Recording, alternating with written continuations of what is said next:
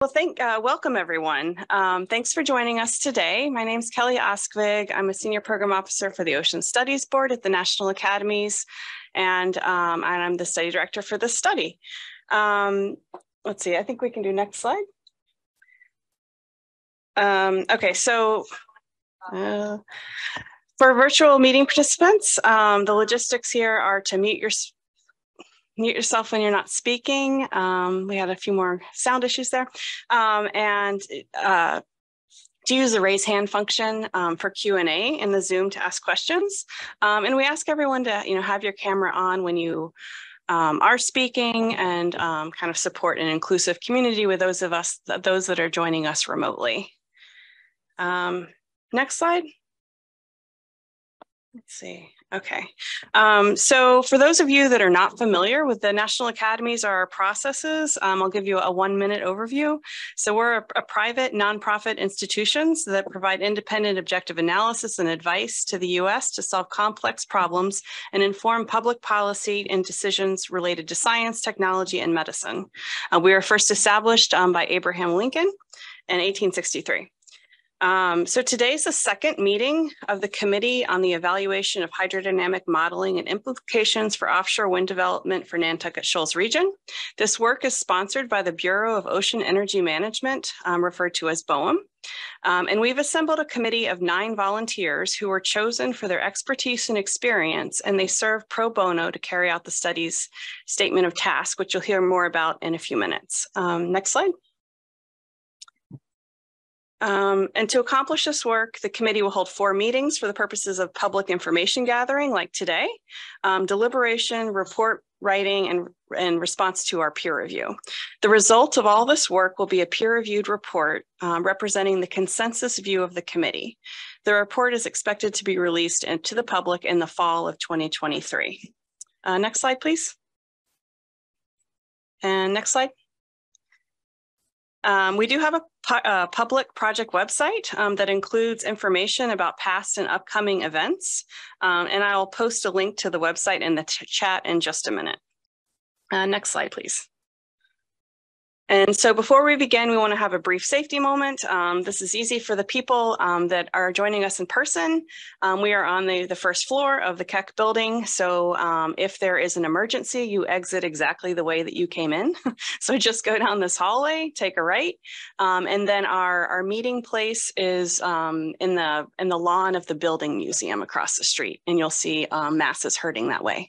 and then also if you need to use restroom, it, that's on your way as well. So just take a right down the hall and there's a, a ladies and men's room. Um, and uh, next slide, please. So hybrid meeting uh, uh, logistics again. So this is a true hybrid meeting. Um, many people are here with us today in DC, and several people are joining us remotely from uh, wherever they happen to be. Um, so in order to promote an inclusive environment, we are asking everyone in the um, and in the DC office to turn on their Zooms um, and use their camera when they're speaking. Um, please uh, turn off your audio when you're not speaking. Um, the folks in the room, uh, you need to make sure your computer audio is off, which I think we've got we've got down now. Um, and then virtual participants, you know, we ask that you also mute yourself when you're not speaking. Um, and all participants, please just use the raise hand function again, like I, I said earlier. Um, and I think that's all I have. Uh, let's see. Yeah, let's jump into the meeting. So I'll introduce our committee chair now. Um, sitting next to me, uh, Dr. Eileen Hofmann.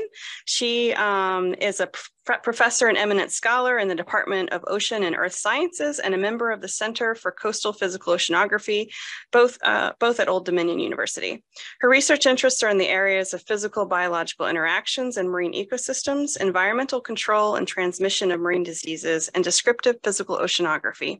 Eileen has served on several committees at the National Academies, um, and we are very pleased to have her leading this study. The floor is yours, Eileen. I need to turn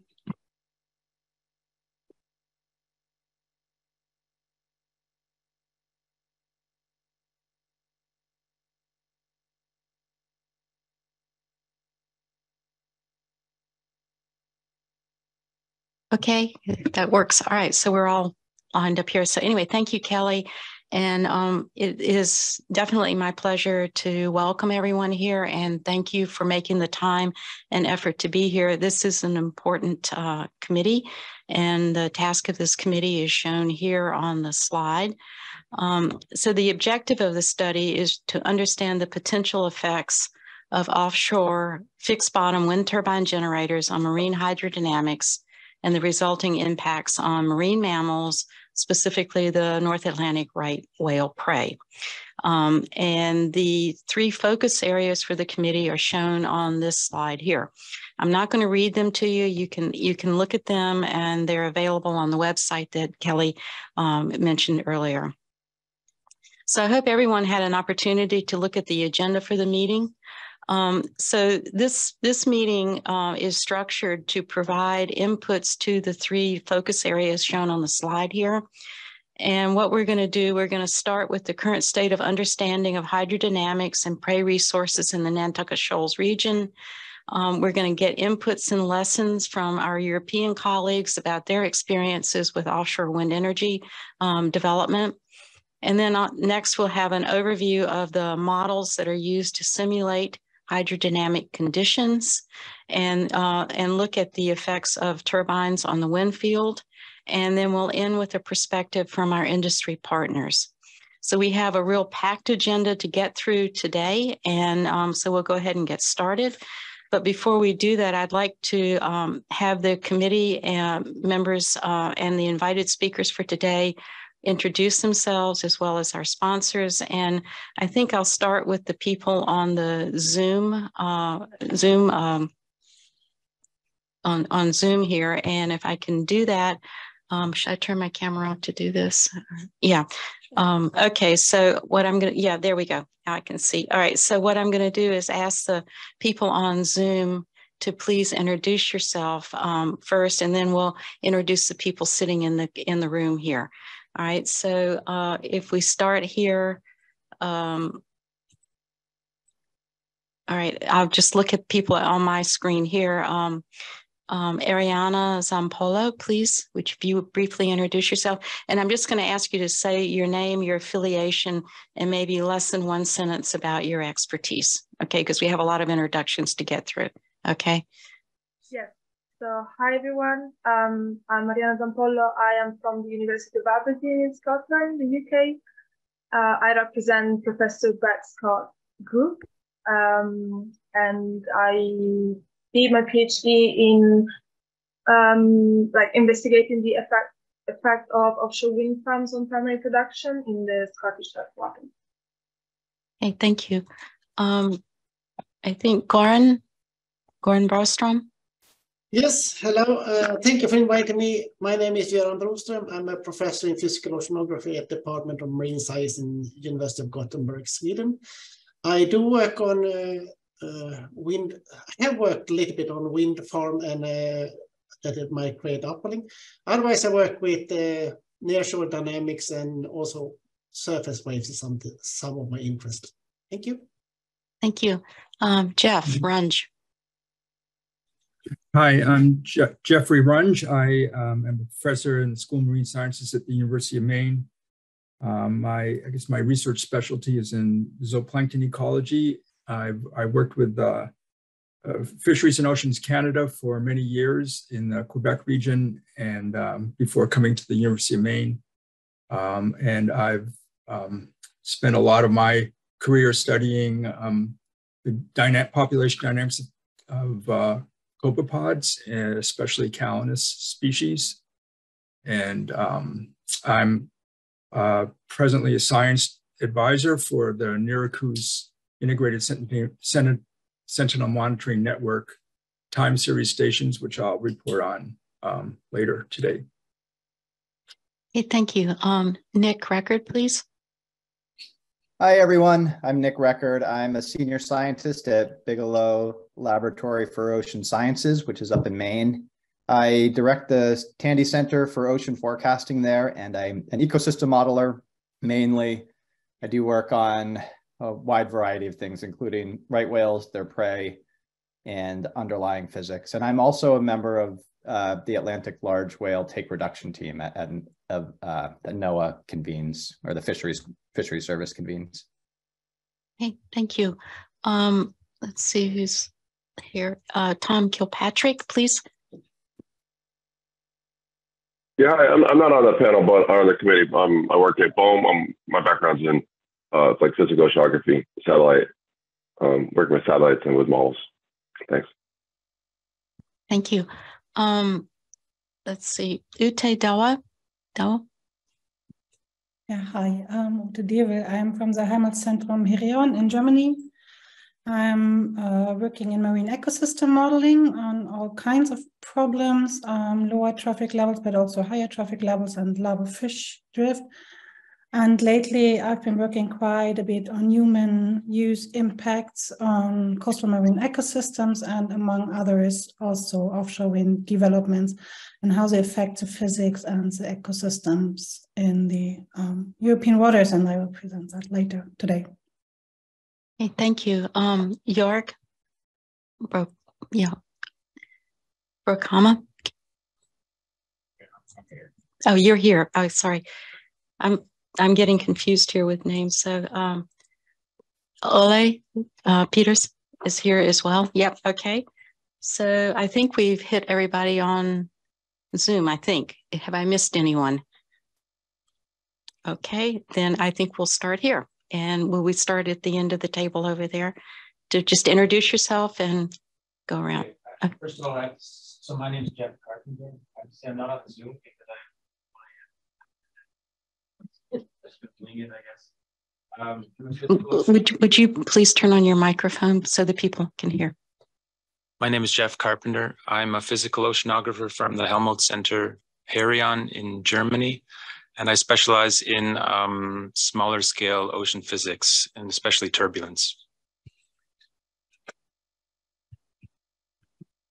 Uh, hi everyone, good morning. Uh, my name is Jorik Broekema. I'm a senior researcher at Deltares and team lead of our offshore engineering uh, market team. And my own primary expertise is on uh, local hydromorphodynamics, mainly related to scour scout detection.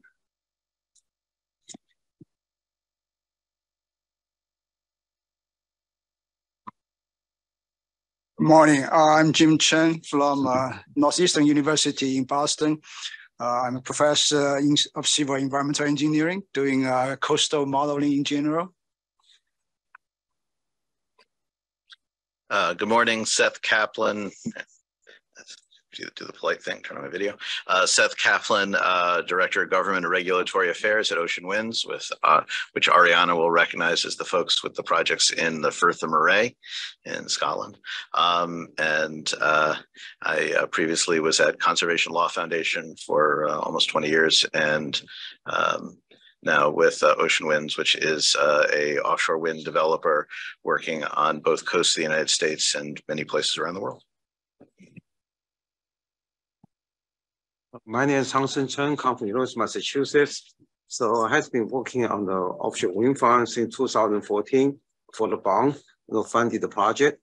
Uh, we had a Northeast forecast system operation for US Coast Guard. So we also get a NOAA supporting working on offshore wind farm modeling. Glenn Gawarkiewicz, I'm from the Woods Hole Oceanographic Institution, and I'm a physical oceanographer.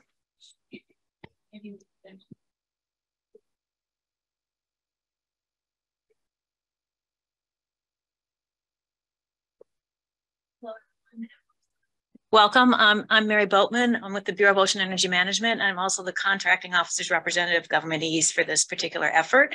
And I want to say thank you, a huge thank you to all of you for your time and your effort and your energy in this. I know it's fast paced and we're asking a lot, and I appreciate that you're all doing this voluntarily.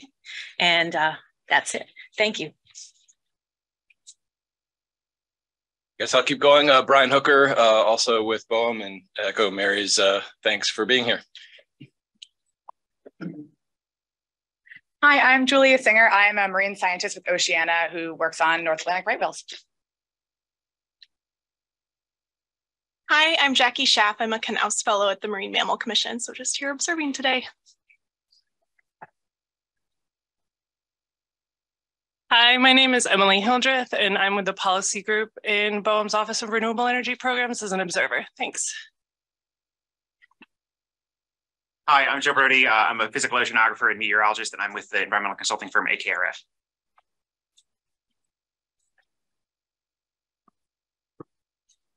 Hi, I'm Erin Meyer Gutbrod. I'm from the University of South Carolina, and I research the impacts of changes in prey availability on right whale demography and distribution.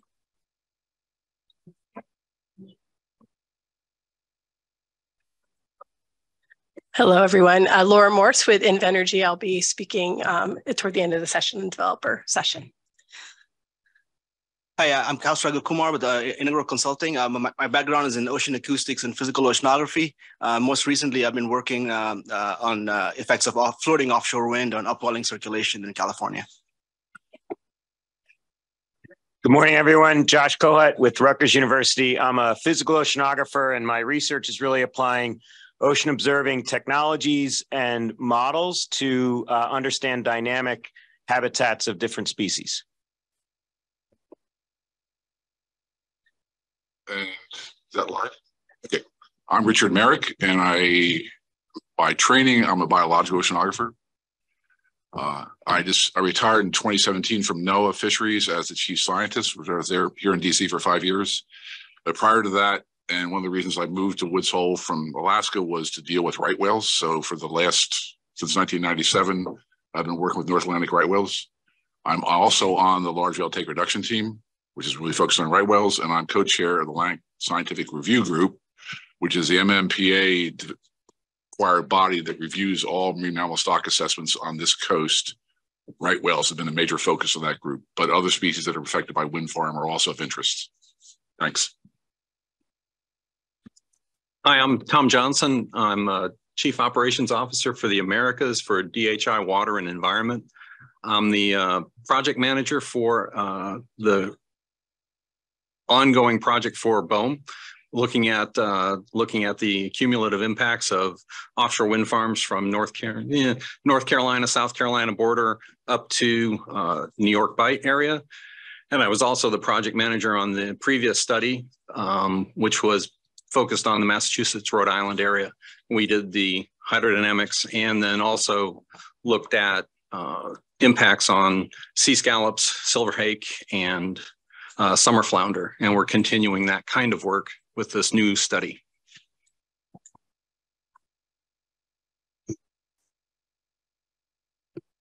My name is Ole Svenstrup Petersen.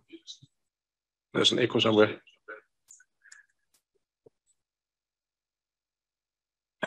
My name is Ole, Ole Svenstrup Petersen. I come from DHI or Danish Hydraulic Institute. It was in the old days. I'm principal engineer in the, our wet ocean department, uh, and I've been working with offshore wind for the last uh, many, many 20 years or so, uh, mainly as a as a modeler, development of models and application of models. And I'm also scientist on the project that we work on for BOEM that Tom is leading. Thanks. Good morning. I'm Doug Nowacek. I'm a, a, professor at Duke University in the School of the Environment and the Engineering School. I uh, uh, I also lead the um, Wildlife and Offshore Wind project that's supported by uh, by DOE and BOEM.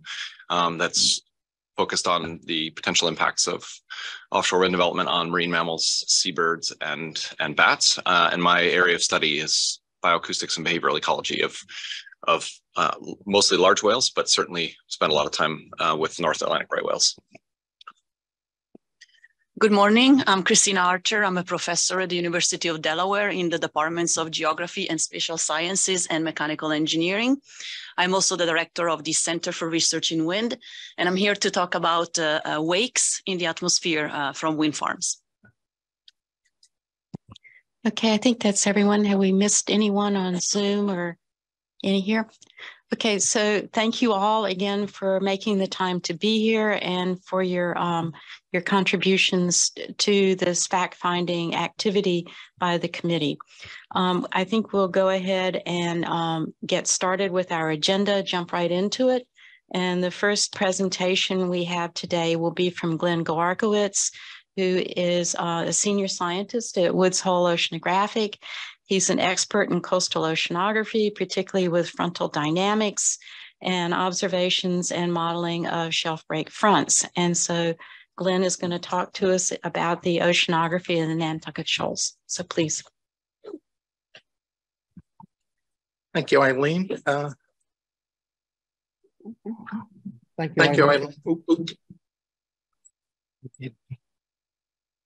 Need to remute myself. Okay, so let's see.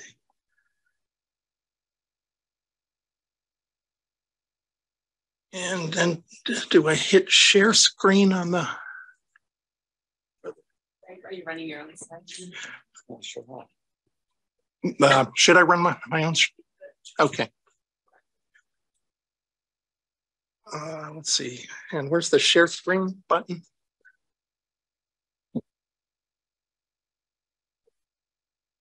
Let's use Show, show screen. Oh, okay. Okay, thank you.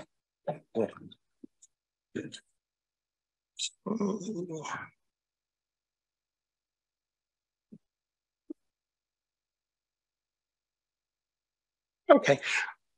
Uh, first of all, thank you for the invitation. Uh, and uh, I'll be talking about the uh, oceanography uh, around Nantucket Shoals, uh, pretty much the, the uh, circulation um, uh, around New England, basically. And uh, the outline of the talk is as follows. I'll just give a quick introduction to the regional circulation. Um, let's see, Uh, is the PowerPoint going to the people on Zoom? Oh, okay, okay, good. Uh, then I'll talk about uh, one of the biggest impacts, which is ocean warming in the region and marine heat waves. And I think relative to the uh, potential prey distributions, the biggest impact is changes in the stratification. And the stratification uh, is getting very, very complex because of an increase in Gulf Stream variability. And I'll also talk about a very important physical process uh, mid-depth salinity maximum intrusions that, that is very much affecting the uh, stratification and also bringing species from offshore. Uh, then um, uh, finally, I'd like to talk about something that was very, very disconcerting in 2021. Uh, uh, my research is really focused on shelf break processes.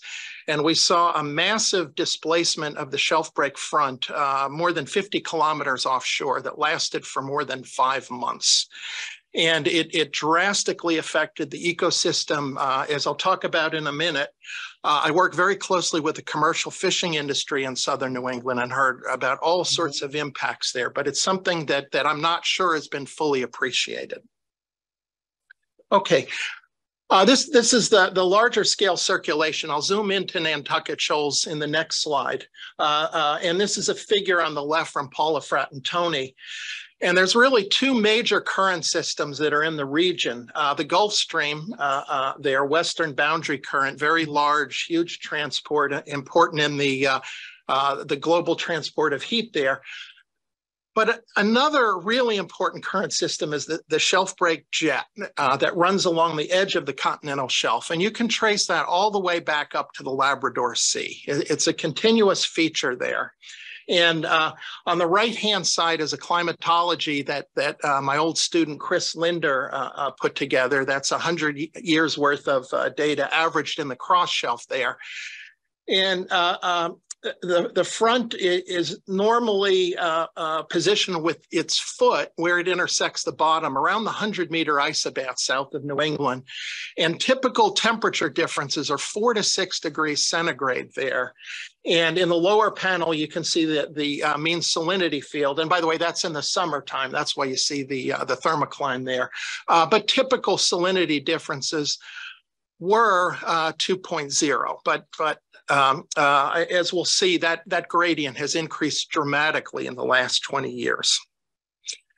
If we zoom into uh, uh, the area around Nantucket Shoals, this is the upstream circulation uh, here. And uh, back around 2006, 2007, when we had a, a sparkly brand new Remus 100 autonomous underwater vehicle, we did a bunch of surveys and actually mapped out the uh, uh, Outer Cape coastal current that runs down past Chatham there. And then just north of Nantucket Shoals, the uh, uh, the flow bifurcates there uh, with one branch heading across the northern edge of, of uh, Georges Bank and uh, another branch heading down the uh, western portion of the Great South Channel there. And uh, that coastal current has a typical velocity of 20 to 30 centimeters a second there. It's an important uh, uh, pathway. And uh, uh, I, I, can't resist uh, mentioning Chen's work back for the SCOPEX experiment on the northern edge of Great South Channel there in the late 1980s, I believe. there, that, that certainly had a, a, big influence on how I look at the region. And, and by the way, that in the lower right, that photo shows uh, how much we had to learn about launch and recovery of uh, autonomous underwater vehicles. Uh, I did regrettably show that figure once to a room full of Navy SEALs, and uh, I was worried that they injured themselves laughing, actually. Uh, okay, so uh, my entire career can basically be encapsulated in this one cartoon. I'm always careful not to delete it there. But um, shelf break uh, processes are very complex. Uh, one of the important things is that there's a persistent upwelling at the shelf break, and that occurs even in the absence of wind forcing. It's really due to bottom boundary layer convergence, and typical upwelling rates are between 10 and 20 meters a day there. The upwelling feeds right into the center of the shelf break jet. You can see uh, the, the isotachs, the, the U-shaped things near the surface. The jet itself is normally about 50 meters thick there. And uh, the jet is frequently affected by warm core rings uh, uh, immediately offshore. The warm core rings have typical vertical scales of 500 to 1,000 meters, so they don't get onto the continental shelf. But I'll show you how they are really affecting the stratification recently. I'll be talking uh, a little bit later about the mid-depth salinity maximum intrusions uh, that go in centered typically at a depth of about 20 meters during the stratified season. And uh, uh, hopefully I convince, can convince you that these processes have been changing quite a bit in terms of frequency and intensity. I won't be talking about it today, but we're also getting significant bottom intrusions uh, uh, that are linked to wind forcing, those can go 100 kilometers across the continental shelf there and get all the way up to Block Island, south of New England. Okay, two things have really shaped how I look at the recent oceanographic changes in the region. Uh, the first was the National Science Foundation Ocean Observatories Initiative Pioneer Array uh, uh, that was out between 2015 and 2022. That was a process-oriented shelf break observatory. It involved uh, gliders, uh, uh, seven different mooring sites, uh, and, and periodic autonomous underwater vehicle surveys there. I actually led the team that designed the observatory there, although I was not a part of, of uh, uh, any of the operations there. But that ha has really, really shaped how I see the changing nature of the shelf break processes. And as a direct result of the uh, public hearings about the Pioneer Array and the permitting process, I was put into uh, very close contact with the commercial fishing industry. Uh, uh, uh we were able to convince them that this was a worthwhile endeavor. And uh, we ended up actually forming a shelf research fleet where fishing vessels collect temperature and salinity profiles since 2014. Uh, as of last week, uh, uh, fishing vessels had collected 818 profiles. This is particularly important during the pandemic when UNOLS vessels were not out uh, sampling there. And one of the most important aspects of this interaction has been uh, uh, twice a year meetings, and there's a photograph in the lower right. I go in and talk about the oceanographic conditions and then hear from the fishers about what the actual fishing conditions have been. So I get practically up to the minute reports on what's going on uh, uh, uh with the different catches. Okay. So ocean warming, uh, the time that, that it really, really hit me right on the face was it was in a cruise in May of 2012, and we were doing some work just north of Cape Hatteras. And there was no temperature gradient across the shelf break front. It should have been five degrees C. We had a five degree C warm anomaly. And I said, something weird is going on here. We were looking for uh, uh, a specific fish, uh, butterfish and bluefish for a program on fish school scattering, and they weren't there at all. It was only warm water fish that we were seeing. So I got back, I had a, a postdoc who had just arrived at Woods Hole. I said, let's look into this. Uh, and that was Ke Chen, who's a scientist at Woods Hole now. This is a figure he made of the uh, mean temperature anomalies from March of 2012 uh, uh, there there uh, was a maximum anomaly of six degrees centigrade. And as you can see, it was warm over the whole area. Ke was able to figure out that the jet stream did not bring cold air down in the fall until six weeks later. And so heat loss from the ocean was 50% less than usual that winter, which led directly to six month temperature anomalies in the Gulf of Maine at 1.7 degrees C, Nantucket Shoals 2.1 degrees C, Long Island 2.6, and Chesapeake Bay Mouth 2.6. And again, when we were out in May, it was a five degree C warm anomaly. And this was the first time it really hit me in the face how extensive these warming processes really were. Now, uh, I think uh, an important topic in recent years, uh, uh particularly for marine ecology, uh, is marine heat waves. And briefly, uh, that's when you have uh, temperature anomalies that are in the 90th uh, percentile or above that last more than five days there. Uh, and uh, uh, there was a nice paper by uh, Hendrik uh, Großelindemann, an undergraduate from Germany, and his supervisor, Svenja Ryan at Woods Hole, on the left-hand panel uh, shows the warming rates from the optimally interpolated SST fields from NOAA there. And I just want to draw your attention to how the continental slope is has the highest warming rates there, along with the axis of the Gulf Stream coming out at Cape Hatteras there. And, and I'll return to the, the changes in that upper slope uh, uh, quite a bit there. On the right-hand side in the, the upper uh, uh, panel there is the number of days per year uh, within marine heat wave conditions over the uh, continental shelf south of New England. And uh, uh, that largest value there is actually 2012, but, but 2016 is the next peak over to the right. And uh, this starts in 1982, and you can see from about 1982 to 2000, the marine heat waves are very intermittent. But uh, uh, since about 2010, they've really increased. And I just want to uh, point out there was a wonderful paper about two years ago by Afonso Neto and her advisor, Jaime Palter, on how the Labrador uh, uh, seawater is not getting around the tail of the Grand Banks as effectively, and that's led to a lot of warming. That's an important paper, uh, Neto et al. I think it was 2021. Okay.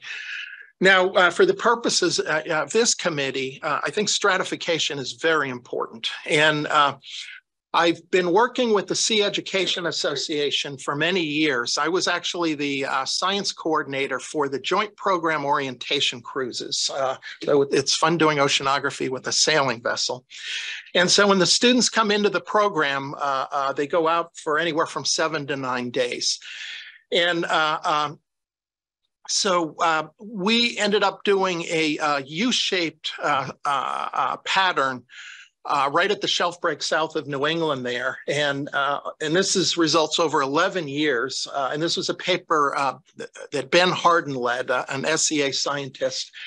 On the, the left-hand uh, side is the, the means. On the right-hand side of the panels there on the left are the standard deviations. I, I, just want to focus on the, the changes in the density. Um, and so in the, the two panels on the right-hand side, uh, that red area arrow on the top left points to the near surface. And over those 11 years, uh, uh, the, the arrow on the right-hand side shows the trend, linear trend there. Uh, the, the surface density, potential density is decreasing by 0.12 kilograms per meter cube per year, which I think is pretty amazing. Uh, it, at a, about 50 meters depth, the rate is about half of that. And then down at 150 meters, it's about an order of magnitude down from the surface. But that, that is really a, a very high rate.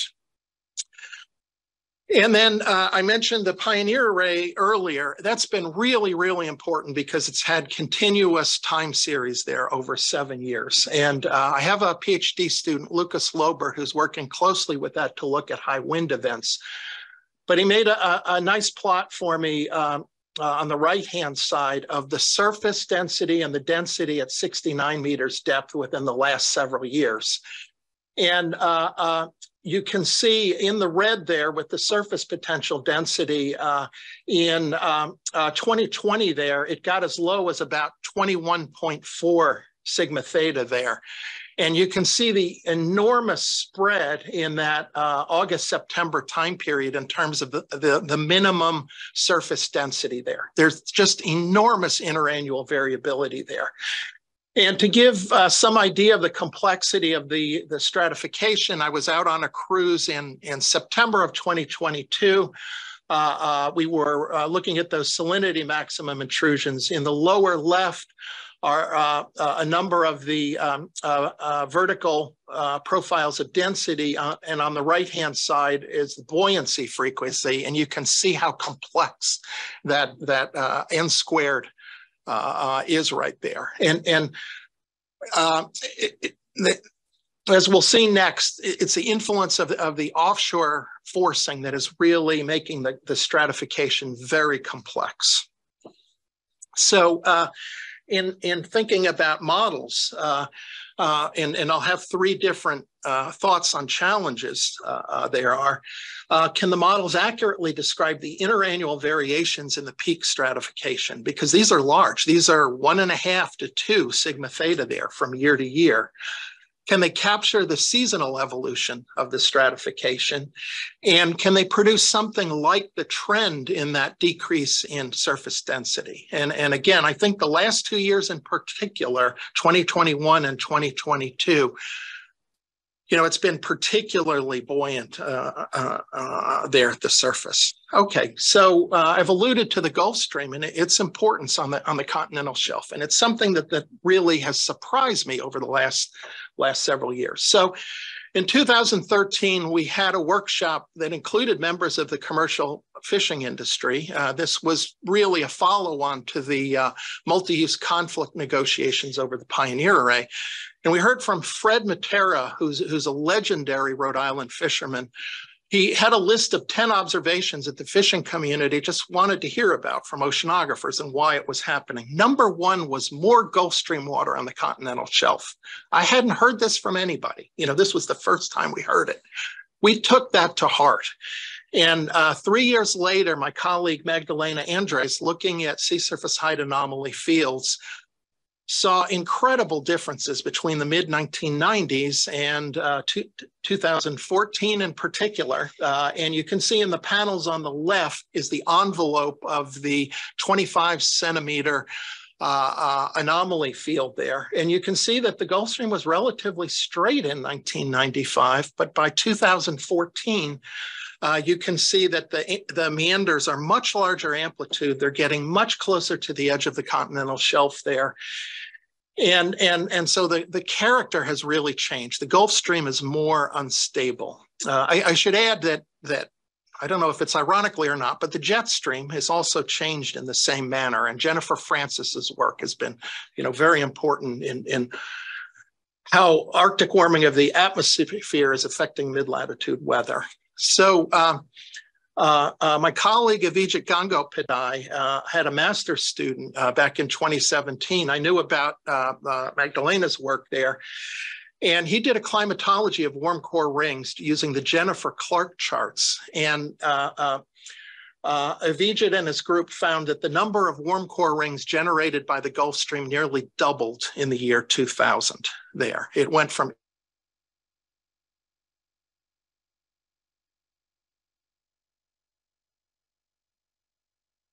eddy kinetic energy.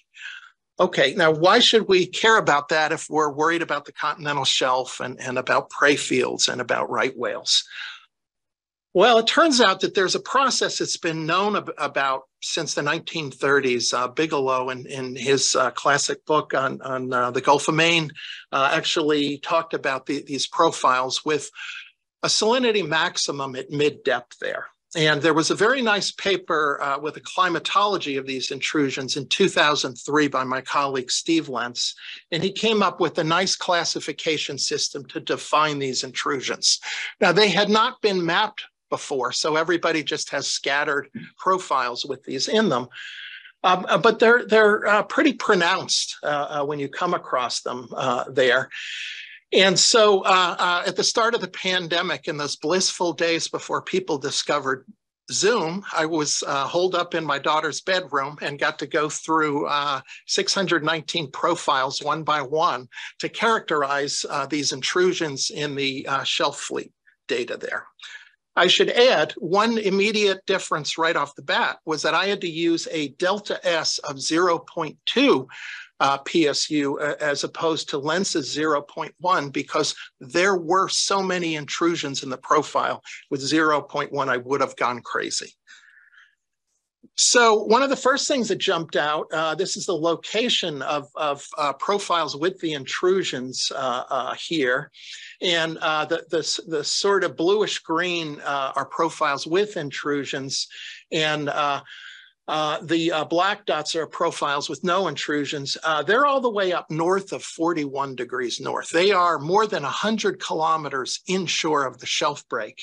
And in the Lentz climatology, uh, they rarely got more than 30 kilometers inshore of the shelf break there. So these intrusions are getting all the way to the tidal mixing front uh, around Nantucket Shoals. And I had one uh, particular profile I'll never forget in August of 2018. We had a 10 meter thick layer practically on the beach at Martha's Vineyard of 36.0 uh, uh, PSU uh, uh, there. Unfortunately, the ship's engine exploded, so I wasn't able to map the feature, which is one of my regrets, but that's field work.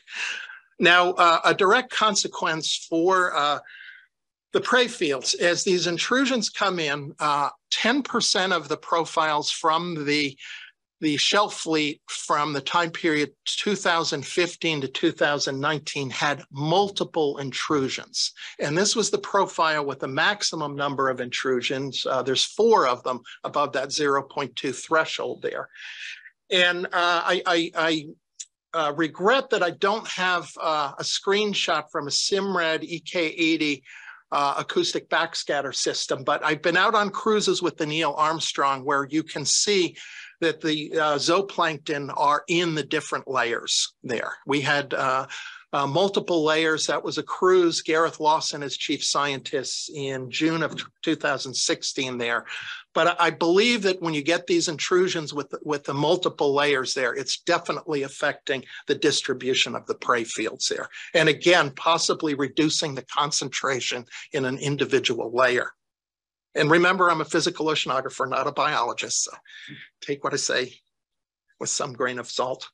Uh, so now, uh, uh, how are these processes changing in frequency? Uh, this was one of the most surprising things. Uh, I was looking at the frequency in terms of percentage of profiles uh, uh, that had salinity maximum intrusion in them from the shelf fleet. And it turned out it's about 70% more frequent relative to the, uh, the Lentz numbers uh, uh, there. They only occur during the stratified season. You need to have the thermocline, pycnocline there for, to, for them to come. But in August and September, it's nearly 50% of the time you're seeing these intrusions. And so there is just uh, an incredible interplay between the continental slope water masses, uh, which frequently now are affected by rings, and the continental uh, shelf. Uh, in the past, uh, it, it, was a pretty much a uniform water mass. There was one nice sharp peak in the Brunt-Väisälä frequency. The profiles were, were much simpler there. Uh, and we are dealing with, with very, very messy stratification now. Uh, the other nice thing, because the fishing vessels are taking profiles every month, anywhere between seven and 24 profiles a month went into this. This is the year-to-year variability right here uh, in terms of that frequency. You can see that September 2019, 75% of the profiles actually had intrusions there. And then 2015, which was a year with very many warm core rings, uh, uh, there, there was 60% of the profiles, you know, throughout the stratified season had these kind of intrusions there. I should add, there was just a paper that appeared about two weeks ago by Adrienne Silver, who's now a postdoc working with me. She showed that 72% of the uh, salinity maximum intrusions in Ecomon profiles occurred in uh, uh, proximity to warm core rings there. So we don't know the dynamics. Uh, we're working on that right now, but there's definitely a linkage to warm core rings. And so I, I think a second challenge, challenge is can the hydrodynamic models capture the, the, onshore advection of these offshore water masses and, and uh, uh, the organisms that are contained with them? And can they produce this kind of complex layering in temperature, salinity, and, and presumably ultimately prey fields that we're seeing in the observations? Okay, um, now uh, uh, th this is uh, uh for me as a shelf break processes uh, person, sort of the uh, horror story. I, I, did three cruises in 2021 in March, May, and June. And we also put out a long range AUV in September of 2021. Uh, this is an image from the State of the Ecosystem report right here for the year 2021. In June of 2021, there were eight warm core rings out there. It was just remarkable. We did a cruise on the Neil Armstrong uh, the last two weeks of June and saw very strong salinity maximum intrusions there.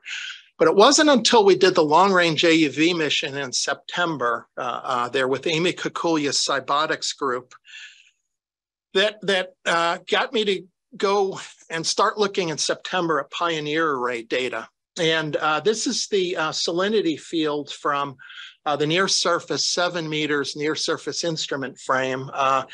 It's a time series of salinity, and it should be a straight line, just like the left of that plot from April until mid-June. It should be at 33. This is well inshore of the normal position of the front at seven meters depth. And it jumped up as high as 34.5 and stayed that high. Uh, we have taken a number of hydrographic sections during that time period. The shelf break front was at about the 50 meter isobath for the summer there. Um, looking at the uh, uh, National Data Buoy Center uh, temperature data, surface ocean temperature data uh, uh, there. Uh, on the, the, left is the, the temperature. the light blue, by the way, is 2012. Red is 2021. there was a six degree C warm anomaly in September of 2021 there. and I was just literally uh, astonished at, at how long the shelf break front stayed so far inshore.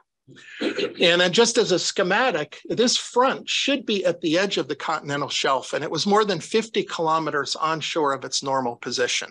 Now, because I'm in close contact with the commercial fishing industry, we were hearing, even while we were on the cruise, that bluefin tuna, which are normally in the canyons all summer and move inshore very late August, first two weeks of September, they were off of Block Island. They were inshore at the 30 meter isobath all summer. It turned out to be a windfall for the charter boat captains because they didn't have to go all the way out to the shelf break. They saved a lot of money on fuel there.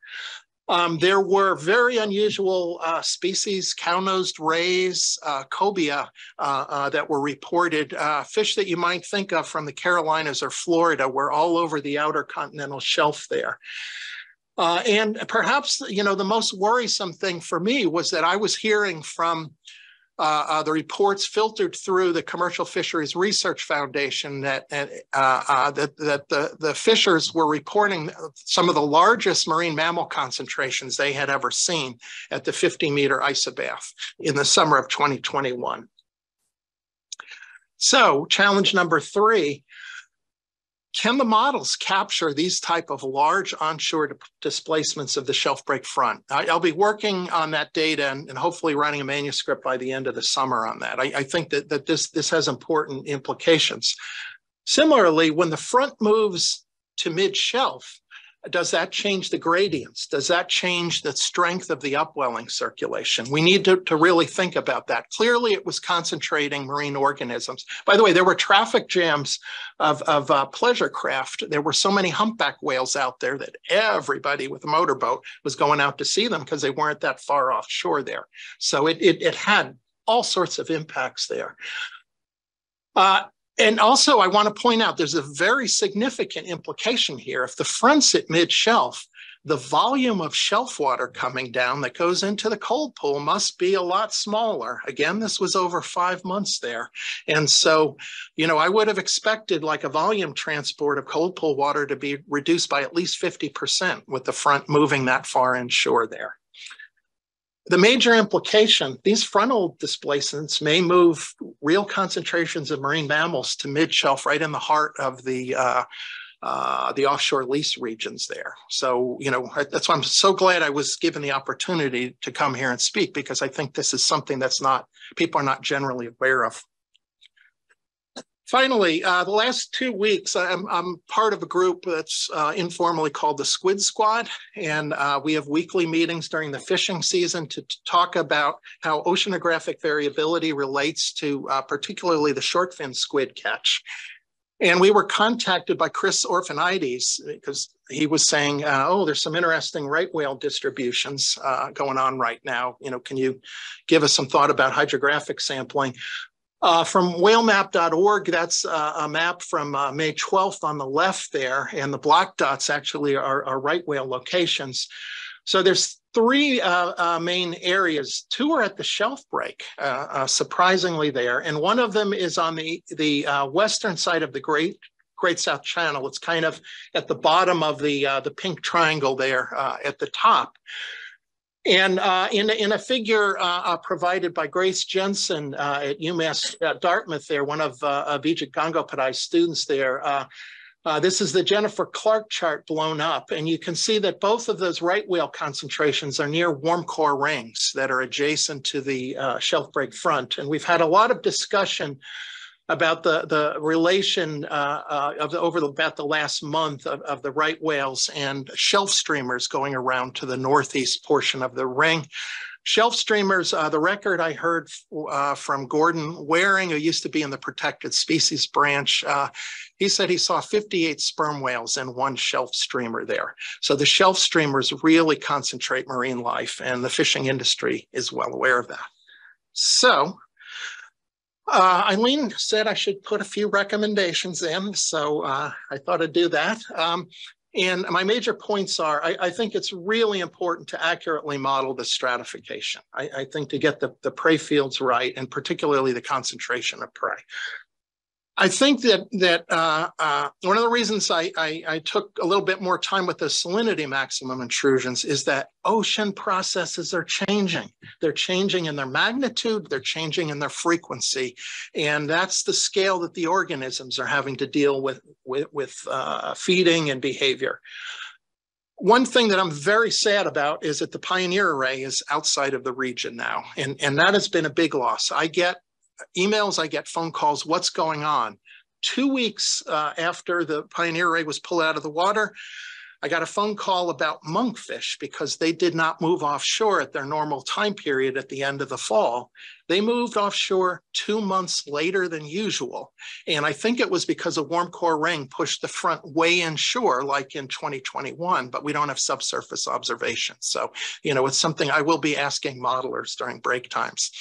Uh, and then finally, uh, uh, I do hope that that subsurface oceanographic data will be made available uh, from the offshore wind industry and from people doing research. I, I, you know, I'm frantic to try and get up-to-date information because again, I have people in the fishing industry asking me. And when I had the Pioneer it was just fantastic. You know, it's like, give me 10 minutes and I'll tell you bottom salinity. And, and I've lost that capability. So uh, I'll, I'll wrap it up there. Okay, wow, thank you. Very comprehensive um, very thought provoking. Um, we have time for a couple of questions for Glenn, if anyone. Um, there's one in the, okay, thank you. Um, yeah.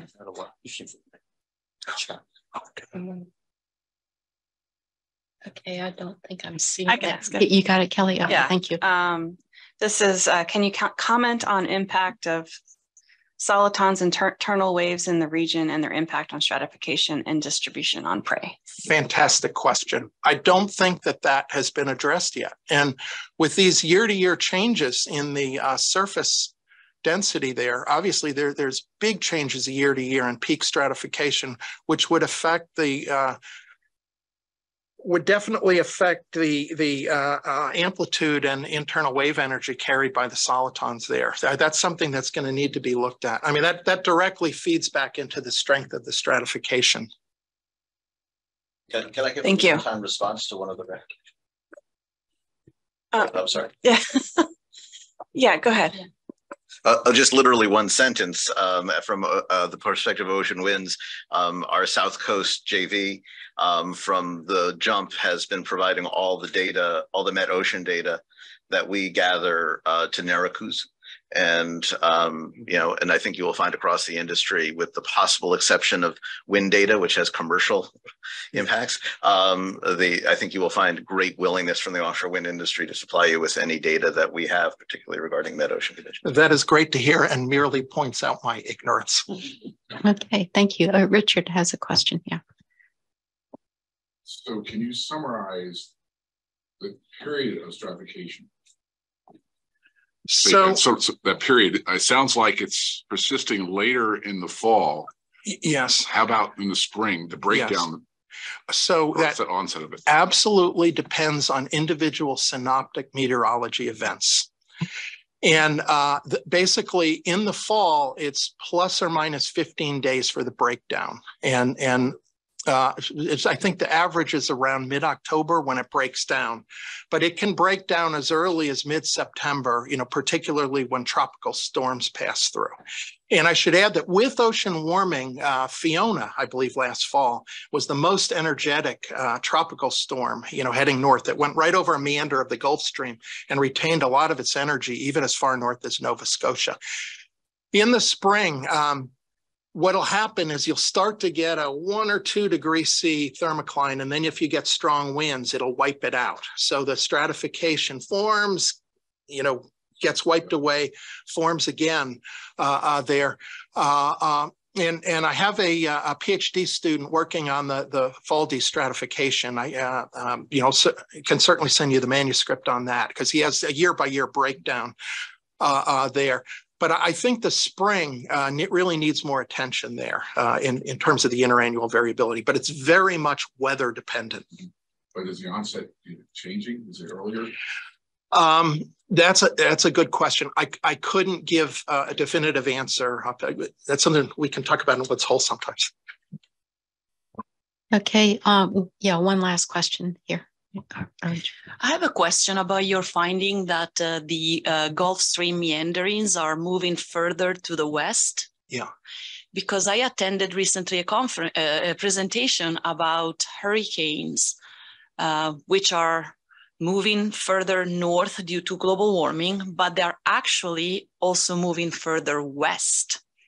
And that was a very unexplained finding. And so I was wondering and curious about your opinion about whether the meandering of the uh, Gulf Stream, whether it's actually continuing or it was just isolated to 2014. No, and it's if you think definitely continuing. could and- that be a relation? Oh, no, it, it has huge implications for storms. And, Right. and uh, you know, I, I, I really want to compliment the Rutgers group for uh, their work on storms and particularly the evolution of intensity over uh, continental shelves there. Uh, Scott Glenn and his group uh, Mm-hmm. in terms of understanding how important the uh, um, the mixing before the, uh, uh, uh, the, the, the core actually hits. That's really important. But no, these meanders are really large. And I was pretty stunned. I think it was two days ago, uh, Grace Jensen sent another Clark chart. There's a gigantic kink in the Gulf Stream right now. The north wall of the Gulf Stream is at 40 degrees north at about the 200 meter isobath. So if there was a storm that came through right now, it would maintain all its intensity, could even be gaining intensity right up to the shelf break. And, and so you know, another consequence in terms of storms and infrastructure is that as the stratification increases, it's going to take more energy to get that cold pool water off up to destratify. And there was uh, what was in 2011, Hurricane Irene was much weaker when it hit hit the coast and, and then of course when hurricane sandy hit everybody was like i'm not gonna i'm not gonna you know go to the poconos you know and then then that didn't lose any of its intensity crossing the continental shelf which is why it's so important for the general public to know about mm-hmm. seasonal stratification so it sounds like they could be related absolutely. yeah absolutely, absolutely. thanks Okay, I think um, Josh had his hand up. We'll do that. And I, I recognize that there are a number of questions from people online. We'll see if we can come back to those later. But go ahead, Josh. Uh, thanks, Glenn. As usual, very relevant talk on the processes. Really appreciate that. Um, my question is, you mentioned briefly the tidal mix front. Yes. And a lot of the shelf processes that you talked about. And I wonder if you could just comment on how the Nantucket Shoals region, that's the, the focus for this, is interfacing with the tidal activities that are strength, they're no, stronger that, near shore. That's a great question, and and uh, you know, Josh, that, that could be a whole nother talk. I, I'm just not an expert in, in that, and and. Uh, what I would say is that the, the, warming rates are differential because of the strong tidal mixing. And there's a paper by uh, Lee San Yu from our department that talks in, in a lot more detail about the spatial structure of the warming rates there. But you know, one of the key things is the upwelling rates, and it's always so much more complicated in these tidal mixing fronts uh, uh, uh, there. I don't know about uh, how those upwelling rates are changing there, but you know, in talking to people, and you know, I certainly expect to learn more about the shifting spatial distributions of the right whales there. That needs to be looked at in a lot more detail, how that is changing. Um, we did the uh, uh, uh, Outer Cape coastal current work in 2006, 2007, and we recently put in a sea grant proposal to get a shelf research fleet based out of Chatham. We need to know how that uh, those water masses that are short circuiting there uh, through the Great South Channel are changing there. Uh, and I would say that's something that needs a lot more emphasis is those upstream mm-hmm. flows feeding in. Yeah, I was just wondering that stratification impact that you talked about, the freshening of the surface, right? If that's going to change the way that tidal mix front. Oh, it absolutely could. Right? It, it, absolutely could. And I was stunned in August of 2018 to see SMAX intrusions going straight into the tidal mixing front, and then they were mixed away. Great. Thank you. All right, thank you. Um, we have some questions from committee members, and I think we'll go ahead and take those. Um, so Nick Record online, would you like, you have your hand up? Sure, thanks. And and thanks, Glenn. That was a really great talk. I learned a lot. Um, I'm wondering, one of your recommendations was about understanding changes. I can't remember the exact wording, but I'm wondering your thoughts on to what degree that includes being able to predict those changes 5, 10, 20 years down the line, or do you mean sort of monitoring and understanding changes as they're happening? Um, you need both. And uh, one of the things that that's just really struck me is how little I was able to predict changes we've seen. That's kind of embarrassing. We uh, originally came up with the Pioneer Array concept in 2004 to look at all that fresh water that's going to be flooding out from the continental shelf. And what did we find? The shelf is getting more salty. And it was because of the Gulf Stream variability. And at that point, I'd already been studying, you know, that that that system for like 20 years and, and I got that completely wrong. Now maybe the flood will come down, but we need to understand the changes that are happening now because I, am probably less confident than a lot of people about our predi- uh, ability to predict 5, 10, 20 years into the future uh, until you know we really get these processes, understand the dynamics, understand you know what's necessary to to uh, resolve them. And mixing is just a huge part that that underlays a lot of what I've had for my recommendations. The soliton question certainly brings that up, but but really both. Okay, thank you. Um, Kaus, you had a question. Yeah, yeah, yeah, great talk. Um, uh, uh, I guess my question is, uh, you know, there's clearly been. Oh, yeah. Oh, uh, great talk. Uh, I, I, and I guess my question is that there's clearly been been some kind of regime shift, uh, and uh, and within within the context of, of, of recent observations since since the uh, since, since, you've been making observations of the of, of the changes, has there been uh, some kind of stability? Yeah, like more recent stability in in no, no, that's a really, really important question, and and uh, so I think there's been been two particular time periods that that people talk about. So first of all, Avijit identified that 2000 shift into more warm core rings, and he has a student looking at the wind stress curl right now. Uh, uh, there, uh, uh, Ian Gifford, and it does not appear that there were major changes in the wind stress curl to, to drive that uh, and so we, are going to have to look at the stability of the Gulf Stream itself, uh, uh, and we want to look at the potential vorticity distribution, uh, just to throw a little jargon in there. Uh, uh, but but yes, there, there's clearly something about the stability characteristics that have changed. The other thing that's really important, and I mentioned Jaime Palter's work and, and her student Afonso Neto, there's a tremendous amount of interest at the tail of the bank now because there's been a retro, more retroflexion of the Labrador current. And so one of the shocking things that we found from the Pioneer array, and this was in a paper in 2018, is that the salinity over the upper slope has gone up by 0.7 PSU in the last 20 years there. Like that's a huge change. And so you have much sharper salinity gradients at the edge of the continental shelf. You're transporting much more salt across the continental shelf. It's even getting to the tidal mixing front, which is you know, I would not have thought that that was possible before. But I, uh, I think that 2010 shift is really important because in talking to a lobsterman in, in Rhode Island one time, he said 2010 is a year everything went haywire. I don't know what's going on, you know, since 2010. So this is why it's so important to hear all the different species about what, what's going on uh, uh, there to try and get a more comprehensive understanding of, of these particular re regime shifts there. That, that's an important question, though. Okay, thank you. Um, one final question, Doug, please. Yeah, this won't take long, Eileen. First of all, thanks, Glenn. Thanks a lot. It was really, really instructive. Uh, one logistical question is, will the presentation be available to us to, okay, to paw back through? Because I've heard a lot of, I like to paw back through. Then the other one was, you won't be surprised, uh, my question, how much, you mentioned um, Gareth, some of Gareth's work along alongside of this.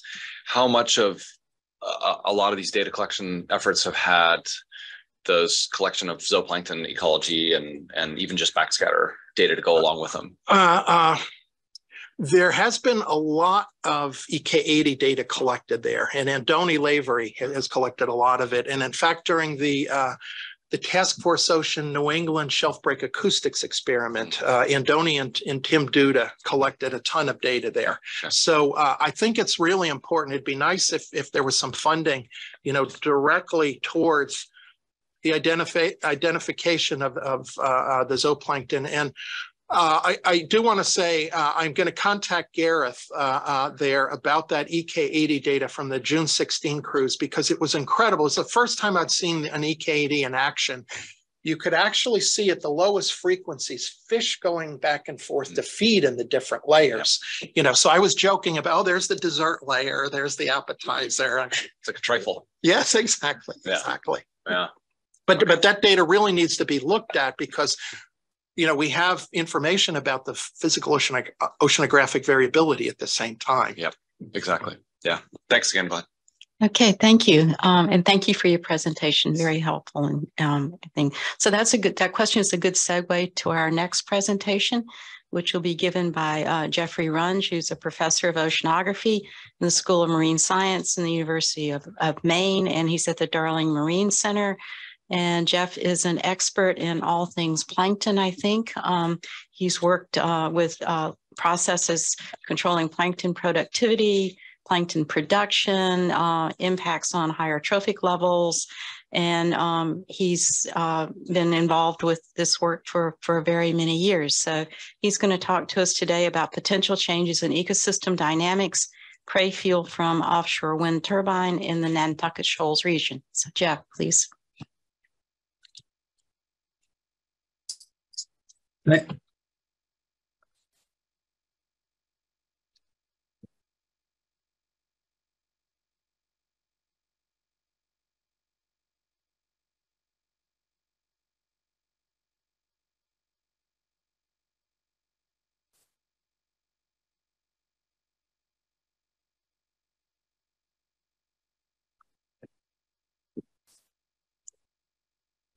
Should show screen. They're not click, it's not screen. So can you share your screen? Is that? Um, I I don't know if you can see me. I can't. Um, yeah, Jeff, if you stop your video, maybe because of the bandwidth, stop your video and then try sharing it again.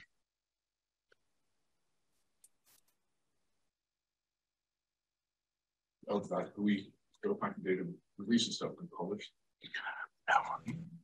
Look for it, couldn't find it. Yeah. yeah. But well, the needs has some. You're in the process getting close to it. He's got, I have some figures on it. Oh, okay, no, I didn't want to talk to him. Yeah, yeah, I'm still in touch with him. Seems like bad that asking to control instead. What you do to show Jeff, we can run the presentation from our end if that's all right, and we can advance at your prompt.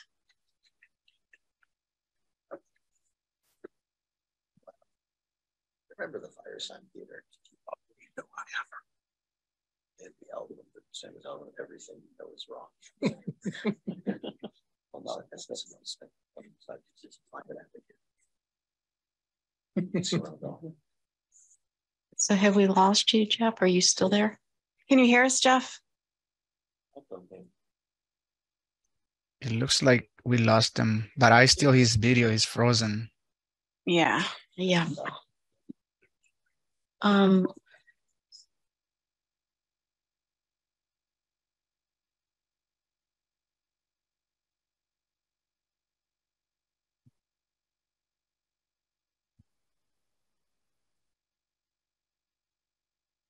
Sure.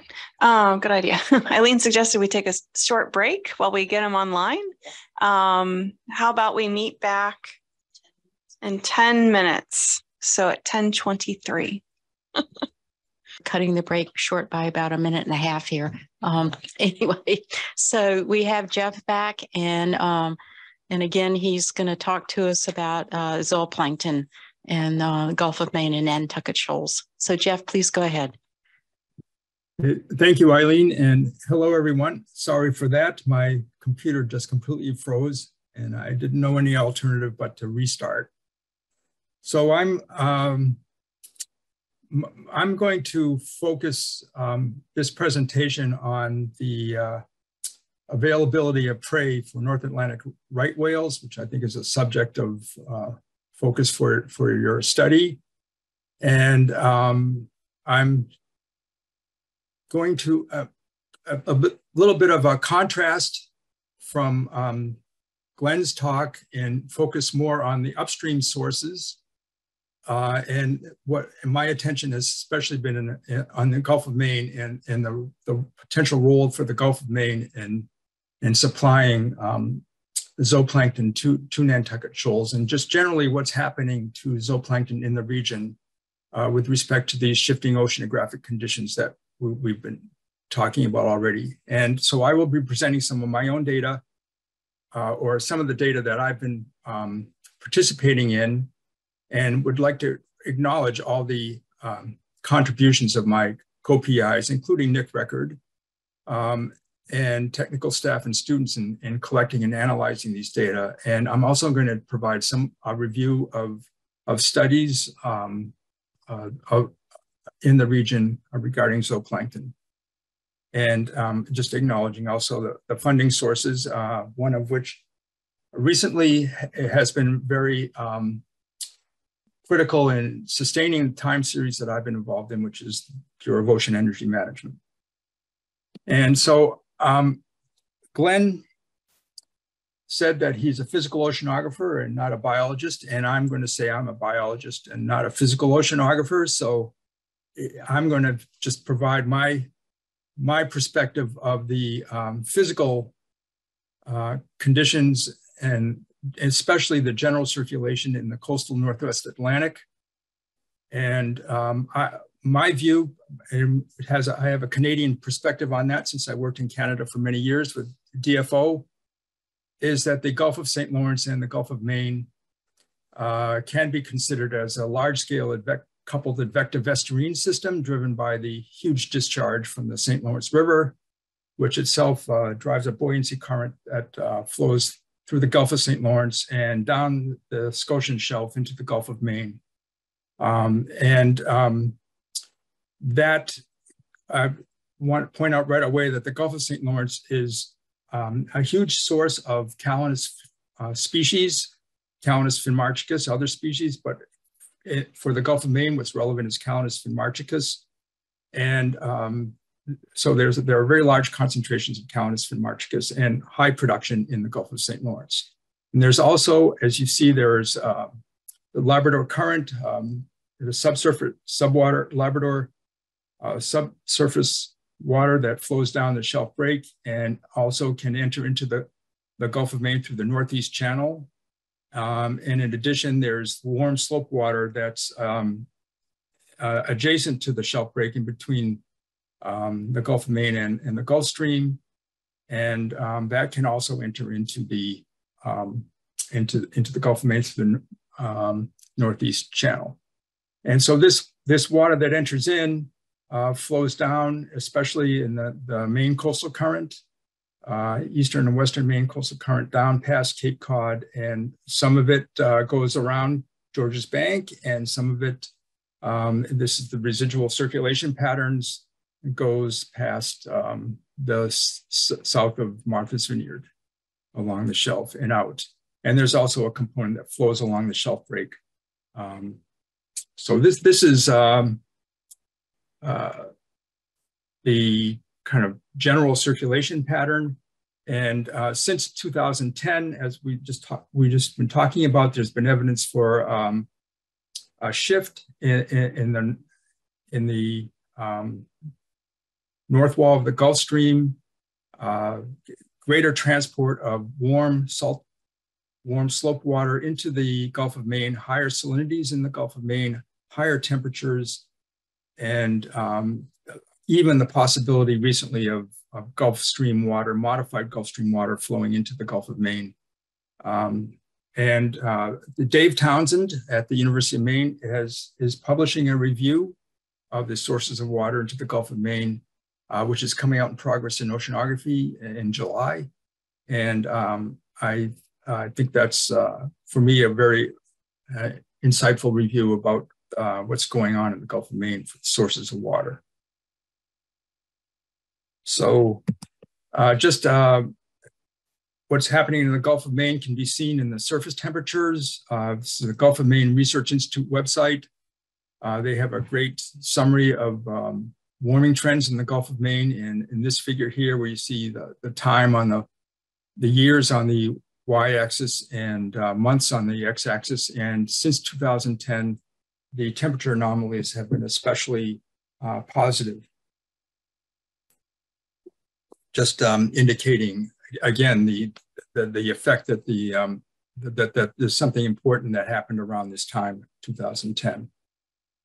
And that warming occurred not only at the surface, um, the surface temperatures on the left here, fall sea surface temperatures. This is again from the Gulf of Maine web, website and also from uh, NOAA's Fisheries State of the Ecosystem report that the Gulf of Maine bottom temperatures have also been increasing, uh, especially since 2010. So it's not just the warming in the Gulf of Maine, my perspective is not just um, an, a heat exchange between the air and the, and the ocean, it's also uh, shifting water mass transport and warmer water from different masses coming into the Gulf of Maine. So I'm, I want to talk about especially the observing programs for observing zooplankton responses to oceanographic conditions. And um, so I'll do that first. And then I'd like to just briefly summarize recent uh, decadal trends in oceanographic condition in, in, in, the abundance of zooplankton in the Gulf of Maine with a focus on Calanus finmarchicus and other prey pseudocalanus and Centropages for North Atlantic right whales. And then at the end, I'm, I pose some questions and implications for Nantucket shoals zooplankton and um, wind turbine impacts. So I'm, I'm providing, I, I think maybe there's an opportunity here for um, a little bit of Hegelian uh, dialectic of synthesis between Glenn's focus on, on shelf break processes and, and the transport of shelf break water into the Nantucket Shoals. And the focus on, on this talk here is especially the Gulf of Maine, and the Gulf of Maine is a source of supply uh, of zooplankton to, um, to southern New England. So the, the first um, observing program in, in, in, the, in the Gulf of Maine that's been going on since 1960 is the Continuous Plankton Recorder, CPR. It's an apparatus that towed behind merchant vessels, uh, tiny opening, 1.3 centimeter squared opening that um, that uh, allows water in, flows past a, a, mesh. The mesh winds up in formaldehyde and is analyzed by uh, plankton experts.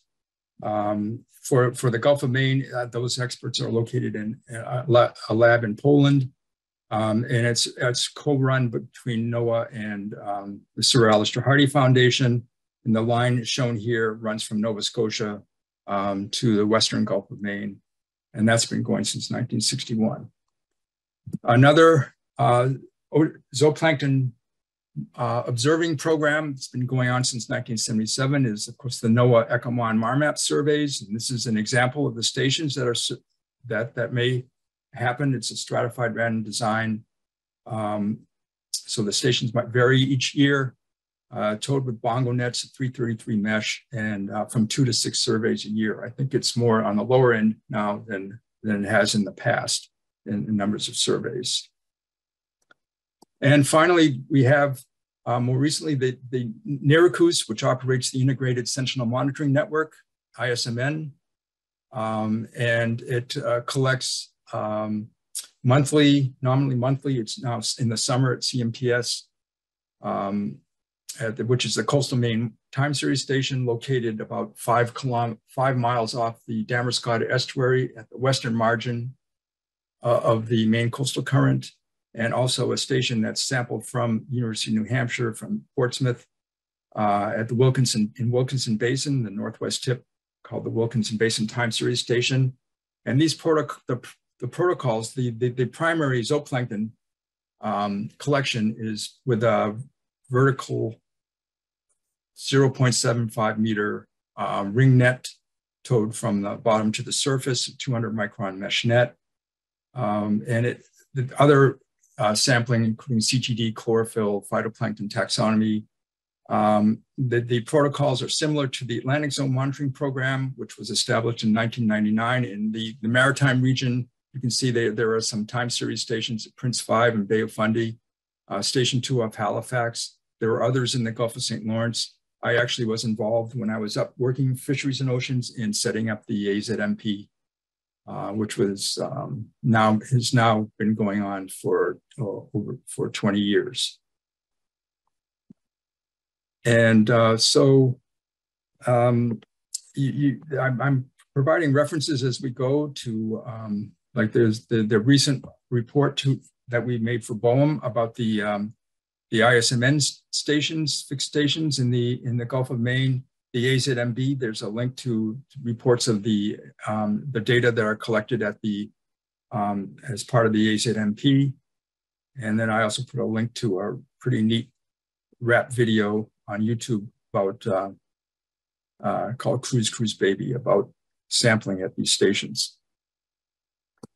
So the foc focus especially on the subarctic planktonic copepod Calanus finmarchicus, the primary prey for the North Atlantic right whale, uh, the range Calanus finmarchicus, you can see that uh, the southern New England is, is pretty much thought to be at, at the southern edge of the uh, viable populations, reproducing populations of uh, southern margin of the subarctic distribution that goes all the way up into Norway and, and into the Barents Sea.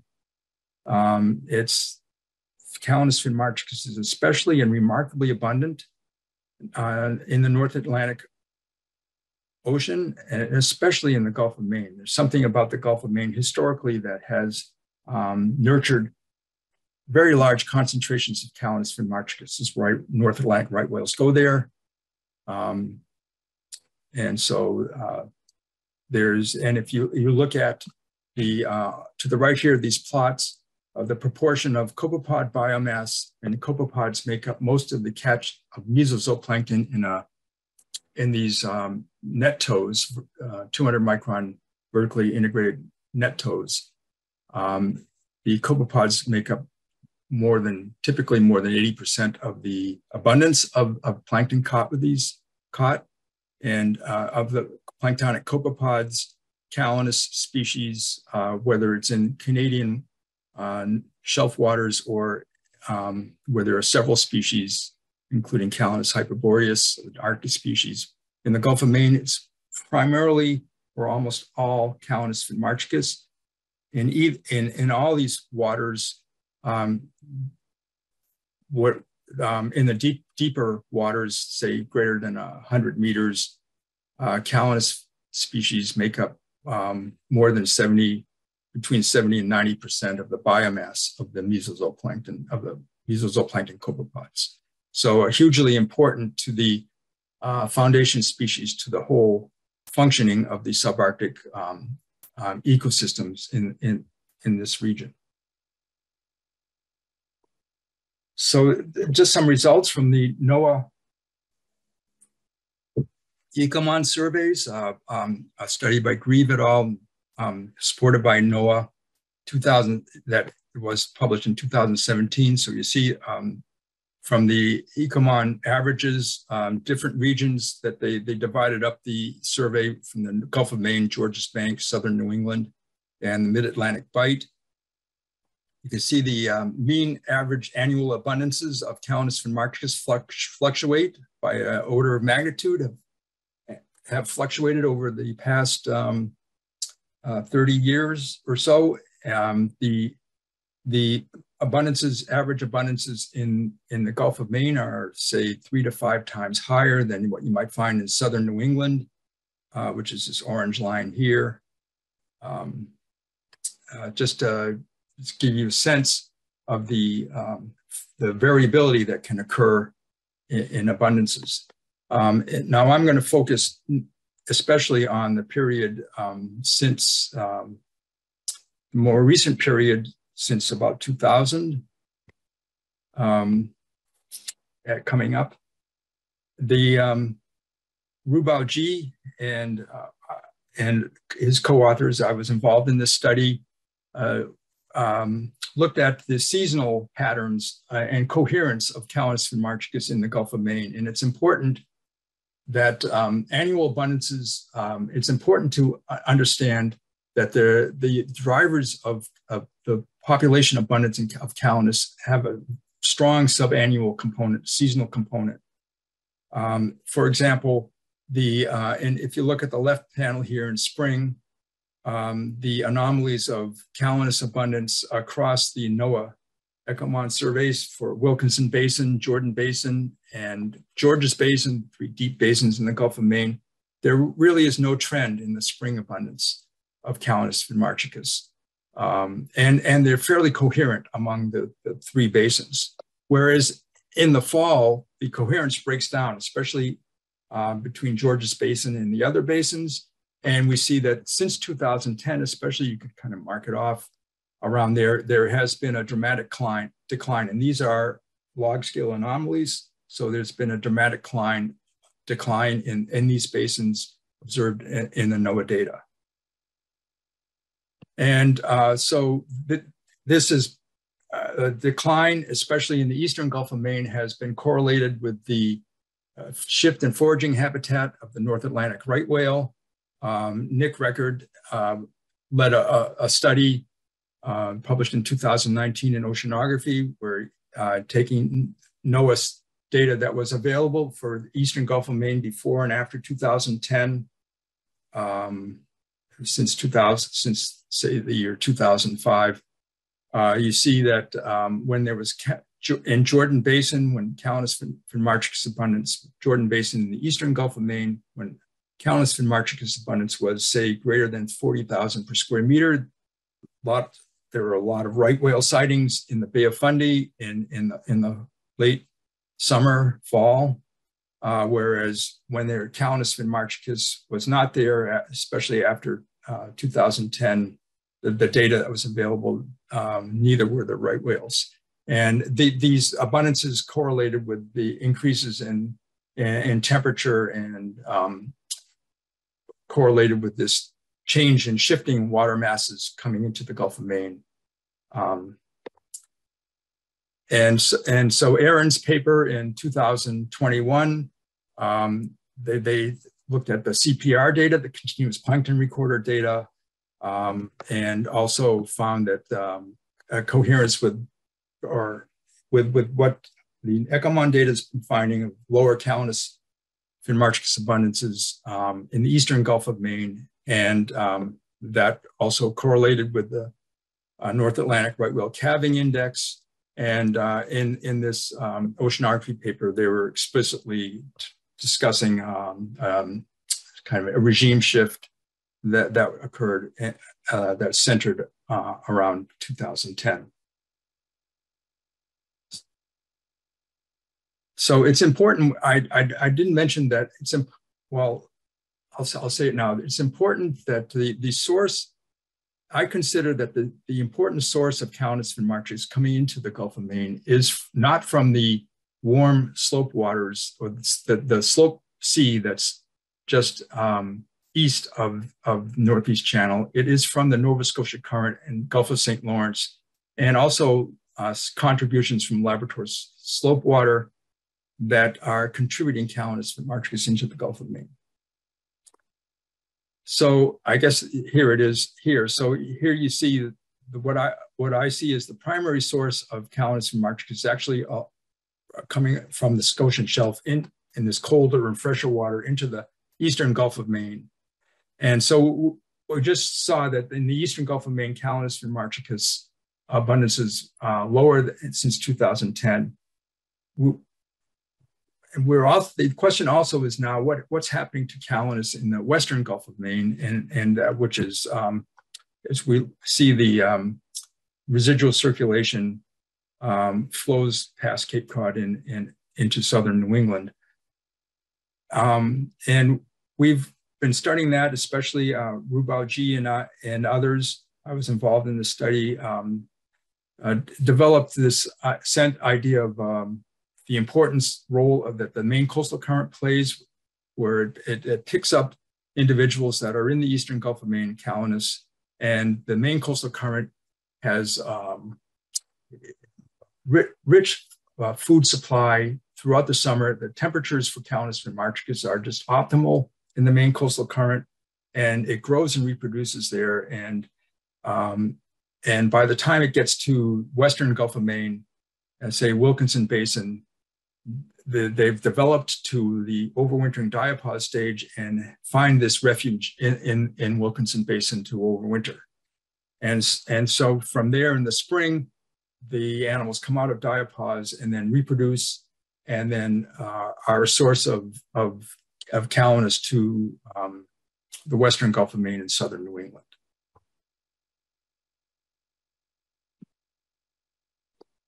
So that's there. It's important to emphasize that there's seasonality of primary drivers controlling the abundance of Calanus. First is advective supply, and that's from external supply.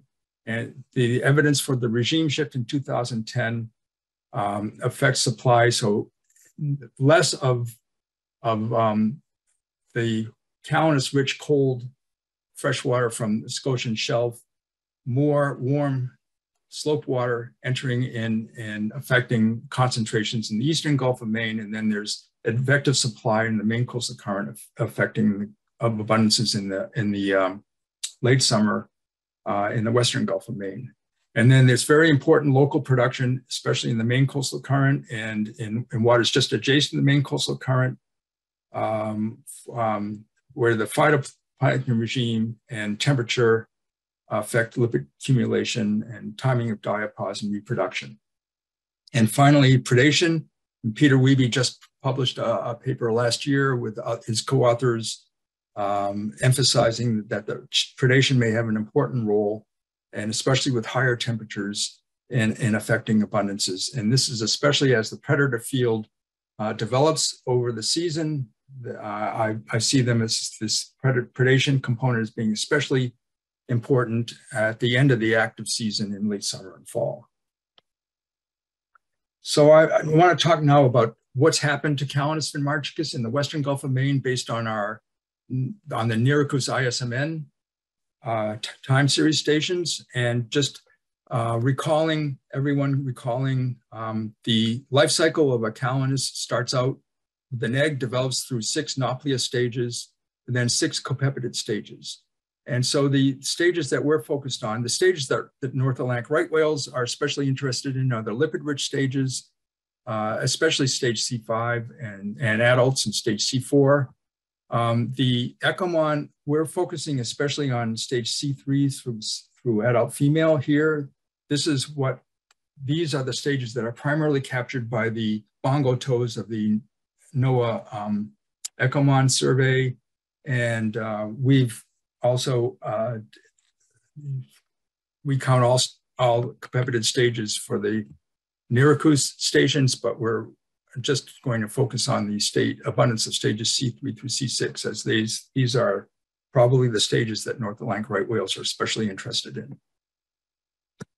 And so here is um, a phenology uh, that um, we've prepared. Rubao Ji has, has been involved in this, especially, and uh, it's and it's the on the y-axis is the um, on the y-axis the abundance in a log scale, uh, normalized to individuals per meter cubed. Um, the dark the time of year, the year day is on the x-axis and um, so what we have here are the all these light gray points in the background are the Ecomon data from Wilkinson Basin. So this is the Wilkinson Basin time series station. The um, colored points are the observations from these fixed stations that just one station from the Wilkinson Basin station in the northwest corner um, in these vertically integrated tows and just to see how they map onto the Ecomon data. And we think it does a pretty, pretty good job of, of uh, reflecting concentrations. And you see that there's a, there is an annual cycle where the abundances uh, of Calanus are lowest in, um, say, February, March, in, in which time they're mostly in either stage C5 or females ready to reproduce. Then there's the appearance of a lot more zooplankton, a lot more phytoplankton food, and uh, uh, spring vernal increase in the abundance of, of Calanus finmarchicus, uh, especially younger stages. And then as they develop into the diapausing stage C5, you can see the decline that occurs over, over the summer and, and late fall.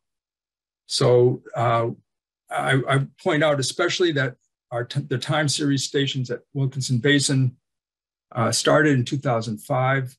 And we see uh, these red points here, which is 2020, 21, um, uh, that the, they're considerably lower than the, than the long time average. The, the average of the Ecomon data is this black line here. And with the twice and half the abundances in this dotted lines from that's from the Ecomon data. And so the woke, the recent 2021 Calanus abundances are considerably lower than the long term than the historical average. Uh, here, it, it's plotted out since 2005 for um, the coastal Maine time series station in, in, in, off in the western margin of the Maine coastal current in Wilkinson Basin in late summer and in Wilkinson Basin in late fall and winter. And we can see declines uh, occurring in all three places. We believe that the CMTS, Maine coastal current, is a source of supply for Wilkinson Basin in later in the summer, uh, where they where they're the Wilkinson Basin harbors these uh, stages that are developing in the Maine coastal current. And we can see that the abundance levels comparing 2008 to 2021 are somewhere between 15 and 40% of what they were, um, you know, back in before 2010. Uh, in the spring, it's a different story. The spring, again, is, um, as we see, there's a decoupling. And uh, even though there are fewer females, say, that come out of diapause in February, March, if the conditions are right, they, they're so reproductive, you can produce so many eggs per female, up say up to 60 eggs per female per day, that um, you fewer females can still replenish the population. So we don't see really any any trend um, over the long term in in spring calanus abundance. And uh, so so you know this this even though there are fewer females here, there's there's a lot of production that happens during the spring period, and we believe that this is um, in part due to a ch changing more earlier availability of phytoplankton. Um, this is chlorophyll biomass before 2010 and after 2010 at Wilkinson Basin, and, and even concentrations between 0.5 and 1 milligram per liter, uh, 1 microgram per liter in the period between, say, in February, March, when females may be coming out of diapause early because the temperature is warmer, um, are encountering higher food availability and being able to reproduce earlier and then and offset the lower concentrations that we see uh, being supplied to Wilkinson Basin. So uh, also looking at uh, other um, copepods in the um, zooplankton community before and after 2010, uh, the red is significant increases in the in, in abundance. And these are ranked from smallest microcalanus to largest, and calanus is up there somewhere can't see it with this bar in a way. There we go.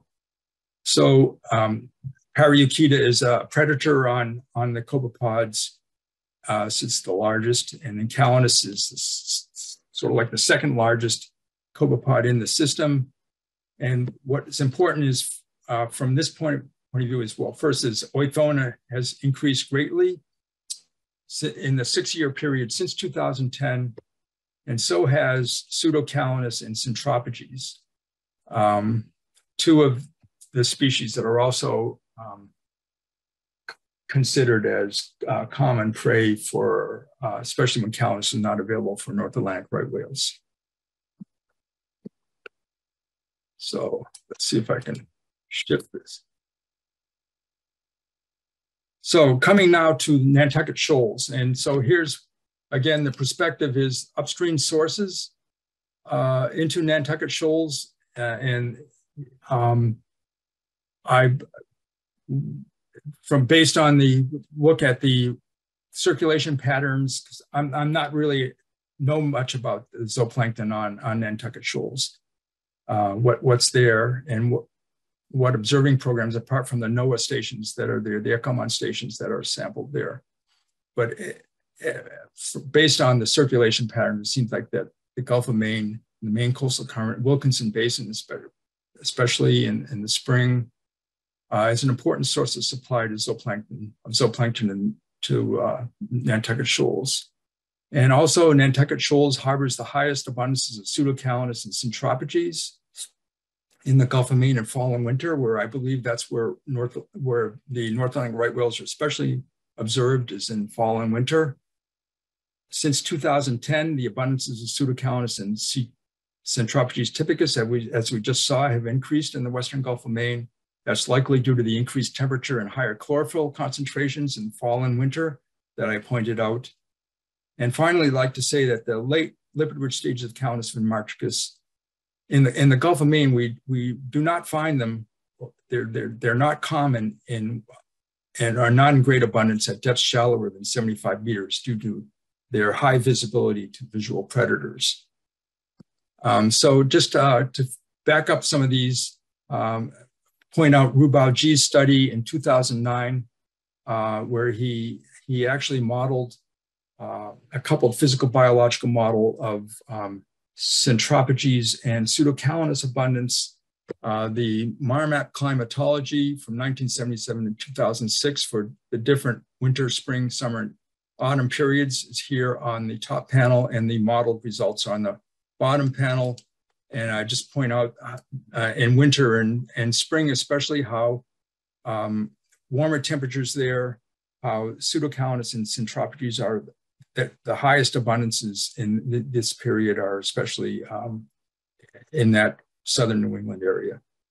Likewise for centropages, um, the southern New England area, um, in the climatology and the modeling, that's where you find um, uh, highest abundances. And so, uh, I mean, thinking about it, maybe North Atlantic, North Atlantic right whales must know that as well. Uh, but also in Cape Cod Bay, because where they, where they go. So these, this southern New England, western Gulf of Maine, southern uh, as being high concentrations of pseudocalanus and, and centropages before the calanus finmarchicus late uh, lipid-rich stages come online. And just uh, backing up the Calanus finmarchicus, this is our observations of abundance of Calanus finmarchicus late stages in the Gulf of Maine, where we don't really see them until bottom depth gets to about 100 meters, or 75 to 100 meters. And then finally, then the questions that I, I might pose, having not much knowledge about impacts of offshore wind farms on, on zooplankton. Um, and so I've given an overview more of the potential effective, the role of infection, especially in local production and, and predation. Uh, uh, in, in upstream supply to Nantucket shoals, but um, really the questions for that, that they're at a finer scale that I, I'm not really uh, have a great understanding of is whether or not there are fine scale patches and aggregations of these um, three uh, known prey species for North Atlantic right whale on Nantucket shoals? Or does mixing on the shoals prevent aggregations from occurring? These are questions that I, I just don't know. And, and Glenn, it's just listening to his talk and um, uh, you know, there there's an opportunities I think looks like for um, fine scale ag aggregations to occur that are at the scale that are of interest to um, plankton feeding whales.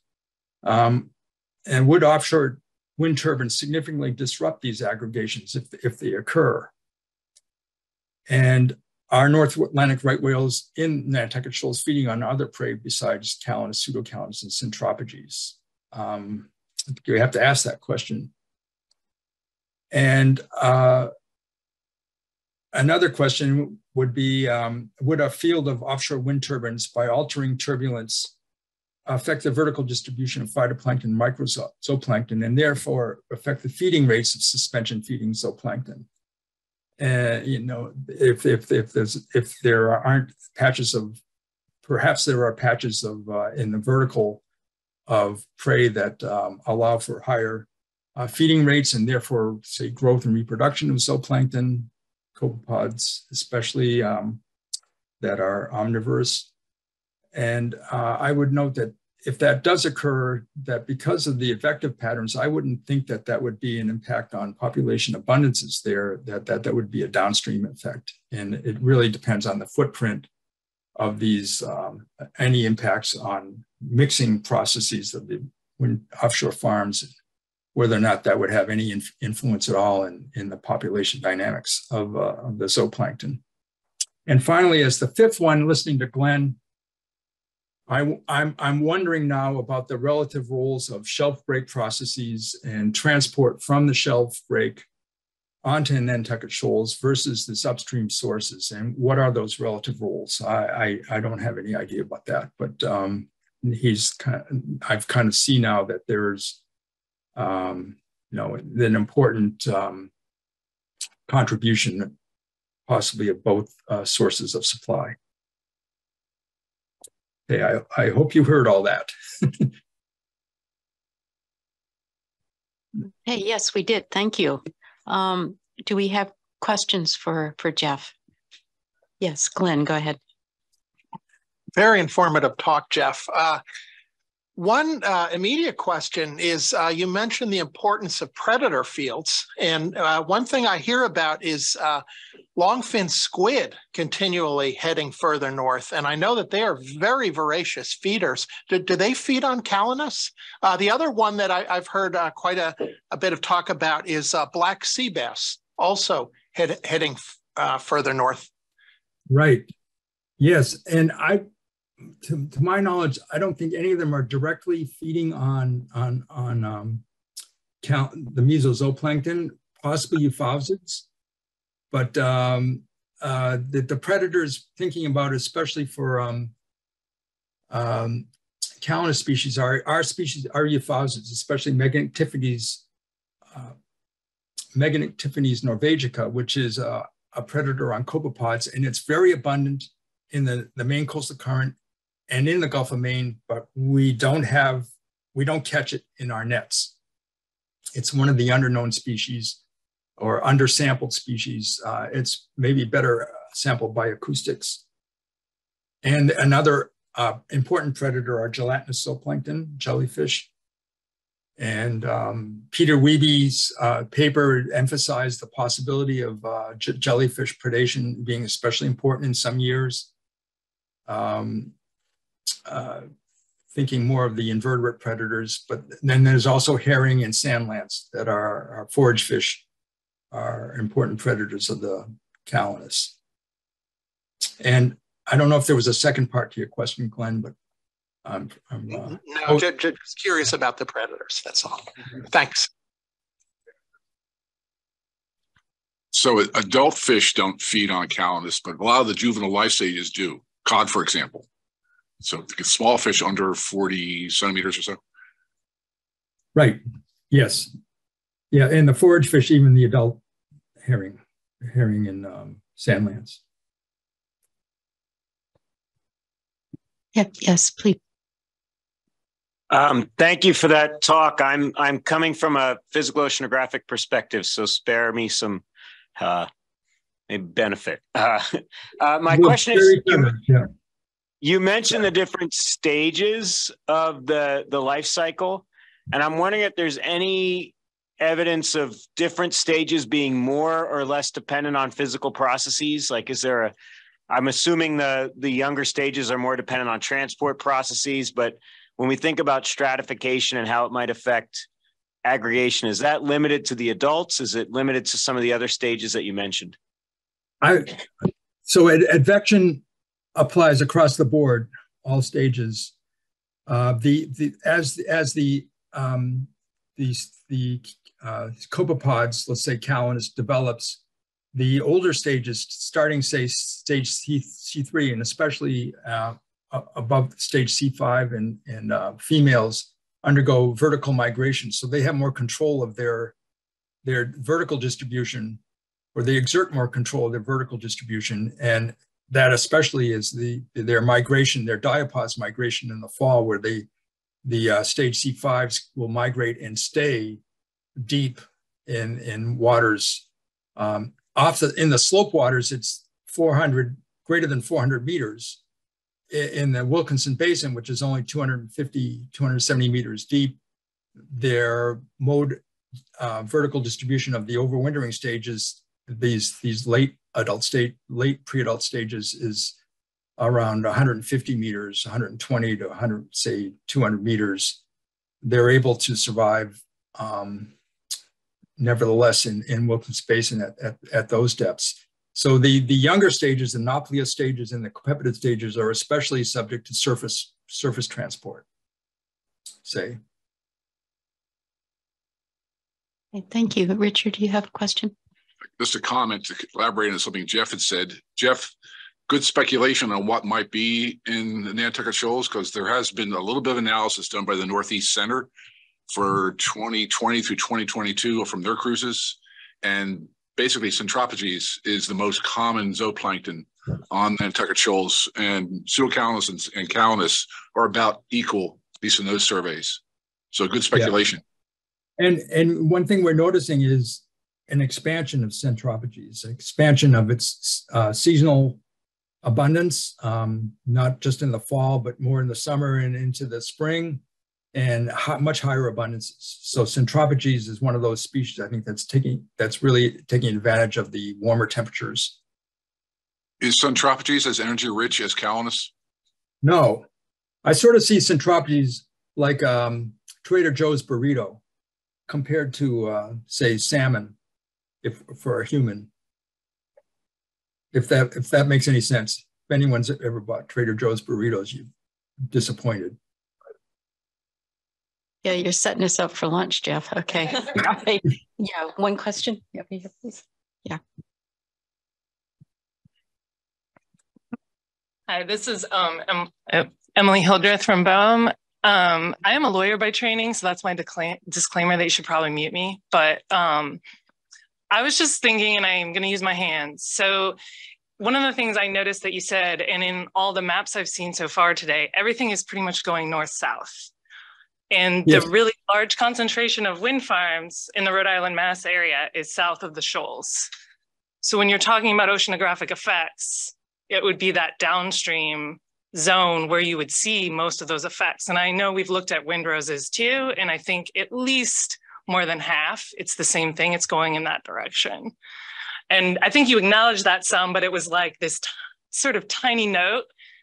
Um, and I just found that like really interesting and really notable. So I guess it's not a question, but I'm hoping you can correct me if I'm just like crazy and a lawyer trying to be in a science meeting.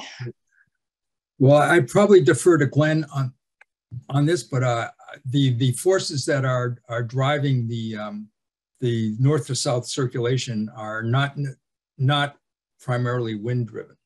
They're um, they're, they're have to do with uh, freshwater input and um, density gradients in in the water, uh, and less about which way the wind is going. I don't know if that's kind of. Oh, go ahead, Glenn. Yeah, Jeffy, uh, that's definitely correct. And uh, just just to add uh, uh a little bit more, uh, that is absolutely certainly true that it's mostly going uh, north to south or west due south of, of New England there.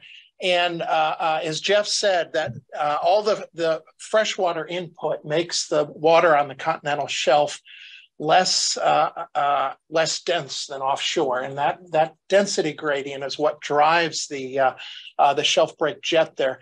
But there's also, uh, uh, and, and, I hate to use a bit of jargon, but an along shelf pressure gradient that drives the depth average component to the flow, and the two components are about equal to each other. And since you're a lawyer, this came up in a recent murder case. Had to throw that in there. Um, where actually uh, uh, somebody uh, uh, uh, sank their fishing boat and their mother went down with the boat and they were found 80 kilometers east of where they said the boat went down. And uh, that was shown to be in error there. So it is, it is actually important legally too. Okay, thank you. all right. Yes, please go ahead. So we have seen all these fantastic uh, observations, all the detail, but most of the transport we have seen that has been, uh, say, residual transports, all the maps you have shown.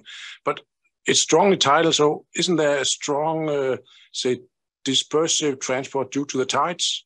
Sometimes that can be even bigger than the residual transport, so that, you know, tides transport uh, down and go back, but still they push a lot of uh, along the gradients. So Chen actually knows more about this than I do. But uh, as you go further east and into the Gulf of Maine, the tides are very important. And particularly on the north flank of Georges Bank, you get very strong residual tidal currents there. Uh, what's interesting is as you get closer to Hudson Canyon, that's a minimum in the M2 semi-diurnal tide there. And that was one of the reasons actually the Pioneer Array location was chosen so that we could look at the, uh, the buoyancy driven flows in isolation there. So generally the further west you get, the less the tidal influences. No comments about this you know, in the New England shelf region, most of the two circulation important. One is come from Georges Bank. Because Georges Bank had a, no, Georges Bank had a circulation go down. Another one just from Cape Cod circulation. This is mostly like a residual current, also buoyancy driving current. But the problem is, you know, when the warming, you know, southern Georgia Bank front becomes strongly because like a said, you know, like a Gulf Stream meandering. So southern Georgia Bank, you know, stratification becomes strongly. That's why they can intensify the southern wall floor to go down. So another thing is, you know, climate change also make the Jordan Basin, like a like Wilkinson Basin, like a Jeff mentioned, is uh, the clockwise circulation is intensified. The Cape Cod currents can be can be intensified. That's get more water come from Gulf region or upstream, or also Georgia Bank region. But you know, so you know, LTR, NSF LTR have long-term transect you know, started from the shore region, from Cape Cod region, the start of there, got down. They had a transit, they already had a five-year data. So every month they get a survey. So they get a most of five years already down data over there, zooplankton, nutrient data. They get another renew contract for the next five year. They should have a lot of zooplankton data there. Yeah. Okay, Yeah, thank I, you. I, I forgot to mention LTER. They, they, they have that, um, and Glenn, Glenn, you know about that, and, and they have the um, Martha's Vineyard Observatory and um, stations there. I'm, I'm, my sense is that they're especially emphasizing the phytoplankton field with the, the remote sense with the auto- autonomous um, or imaging systems that, that they have. Um, I'm, I'm not aware, maybe you can correct me if that, about zooplankton data being collected. Apart from the Definitely. Yeah, Jeff, you're you're right. You know, they do focus on phytoplankton, but they do have you know, microzooplankton, some other zooplankton data. You know, yeah. Yeah. Okay. Okay, thank you. Any other comments? Oh, sorry. Need to look. Uh, hi, Laura Moore. So I guess this is a question uh, for Richard and Aaron and Jeff. Um, ta- eh, Richard, you started to talk a little bit about it with the the different species and their energy value to uh, the population. Um, could you dig into a little bit more? We've talked about some of the aggregations, the one that has been seen in May. Um, I'm aware there was aggregations off of New York Bight that um, one of our projects found off in New Jersey in recent years. And then, of course, Nantucket Shoals, Cape Cod Bay. And the, the energy value to individuals and what species are present that's a big question maybe it's too big to answer here but i would be interested to hear what folks think about that or have to say about that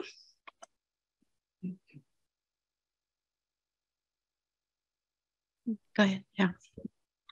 I, I was going to say, at least those concentrations that were to the west of Nantucket Shoals and the ones that are on Nantucket Shoals now, there's, there's not much sampling going on, so it's a little hard to tell what they're actually might be feeding on. Meyer? I, I don't have the, uh, the cal- ca- caloric values off the top of my head. Um, it, it's, it's, I'll, I'll just say that Calanus uh, late stages are much bigger than Centropages or Pseudocalanus, and their lipid content, energy-rich wax esters is way much higher than um, Centropages or Pseudocalanus. So they're, they're I mean, there is caloric con- content in Centropages and Pseudocalanus. Pseudocalanus does have a small lipid um, storage, um, but uh, there's no question that, as North Atlantic right whales would tell you, that that Calanus finmarchicus is the uh, d- desired prey for energy content. And a lot of this also depends on the density of the prey aggregation. So you can you could have pseudocalanus out there in really high densities, which could balance for low density calanus, but it's it's also an unknown.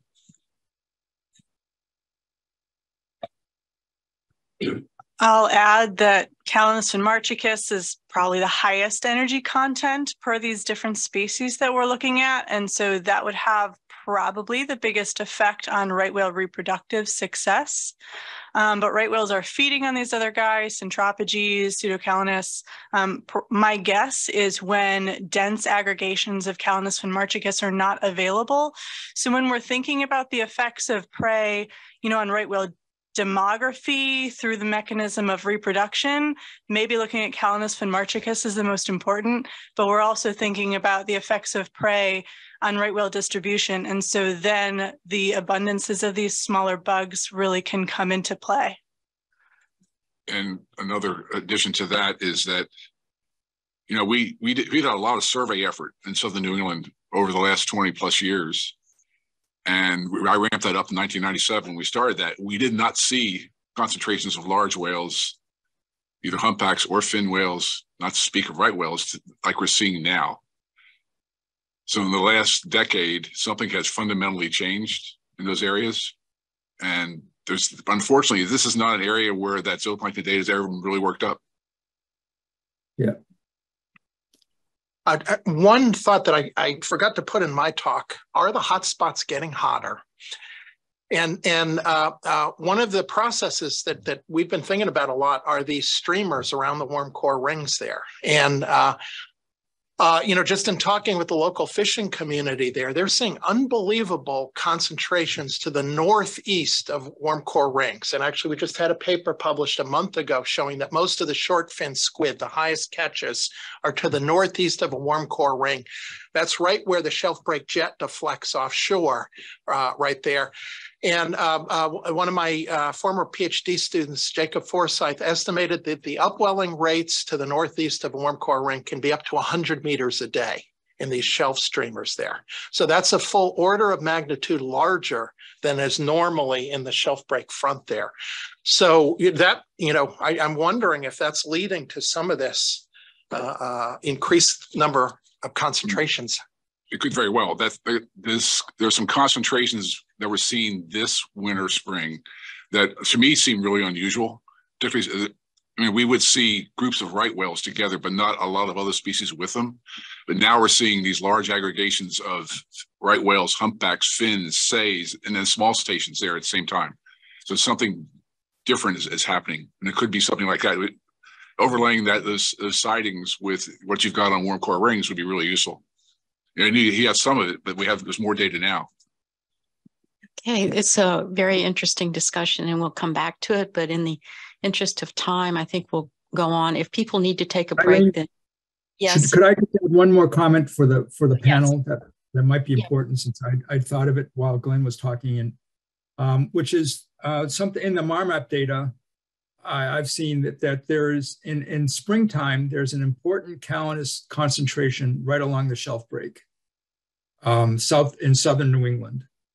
Um, and if there are incursions, that that might be an important other source of Calanus than the upstream is is this uh, springtime abundance of Calanus finmarchicus along the shelf break um, being and intruding into the Nantucket shoals.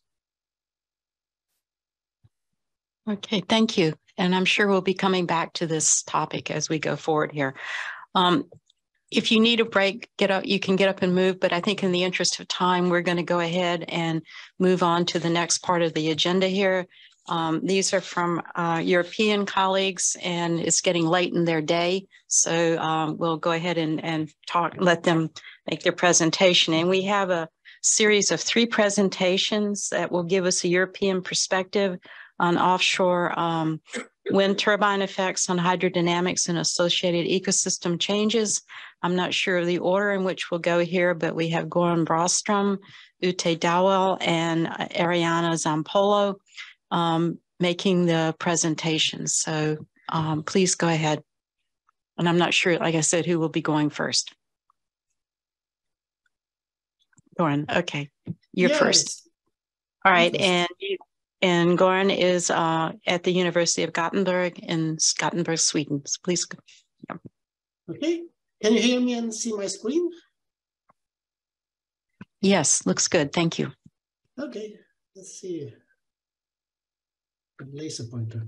Okay, so I will talk about offshore wind farms and uh, how they possibly can impact ocean dynamics and biogeochemistry.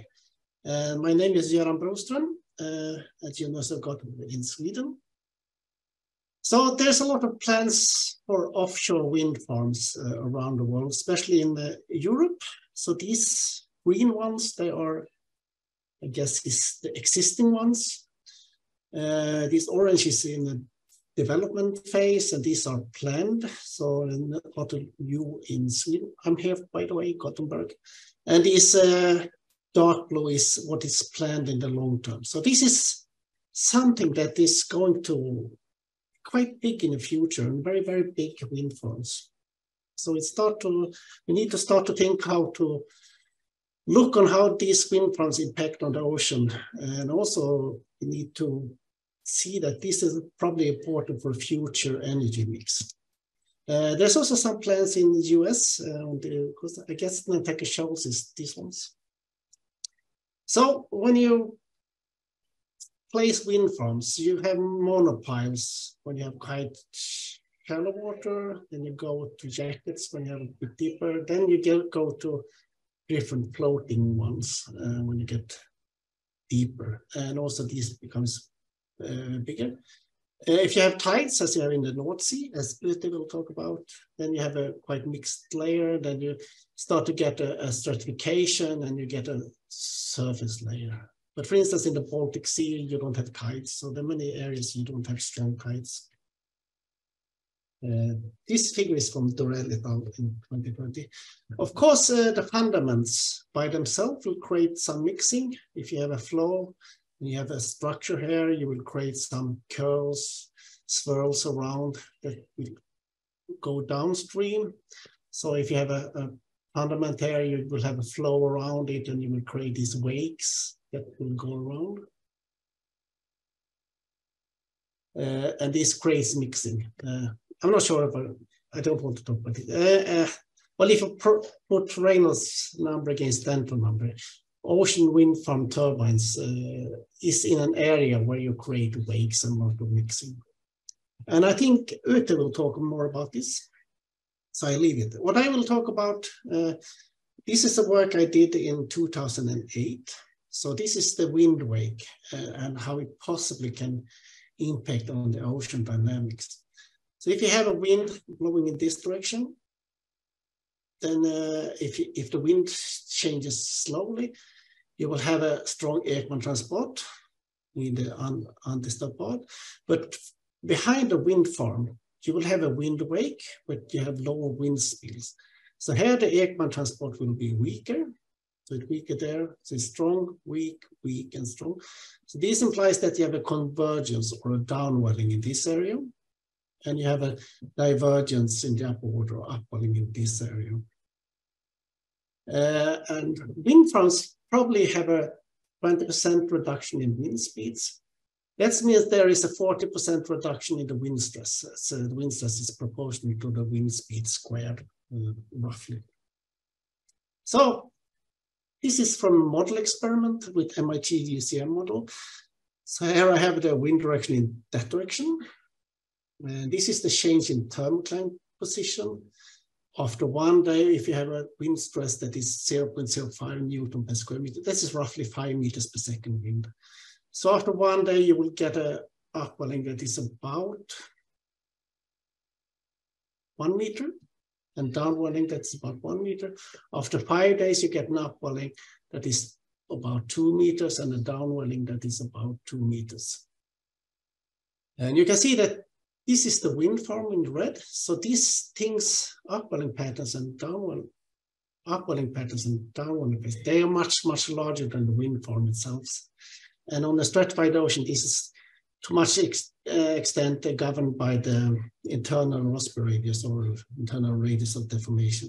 So if you have a double wind, uh, after one day, you see that the signal is actually about doubled, but after five days, the signal is not so big difference between a weak wind and a strong wind. It's a bit larger, it's a bit more upwelling, but it's not doubled in size.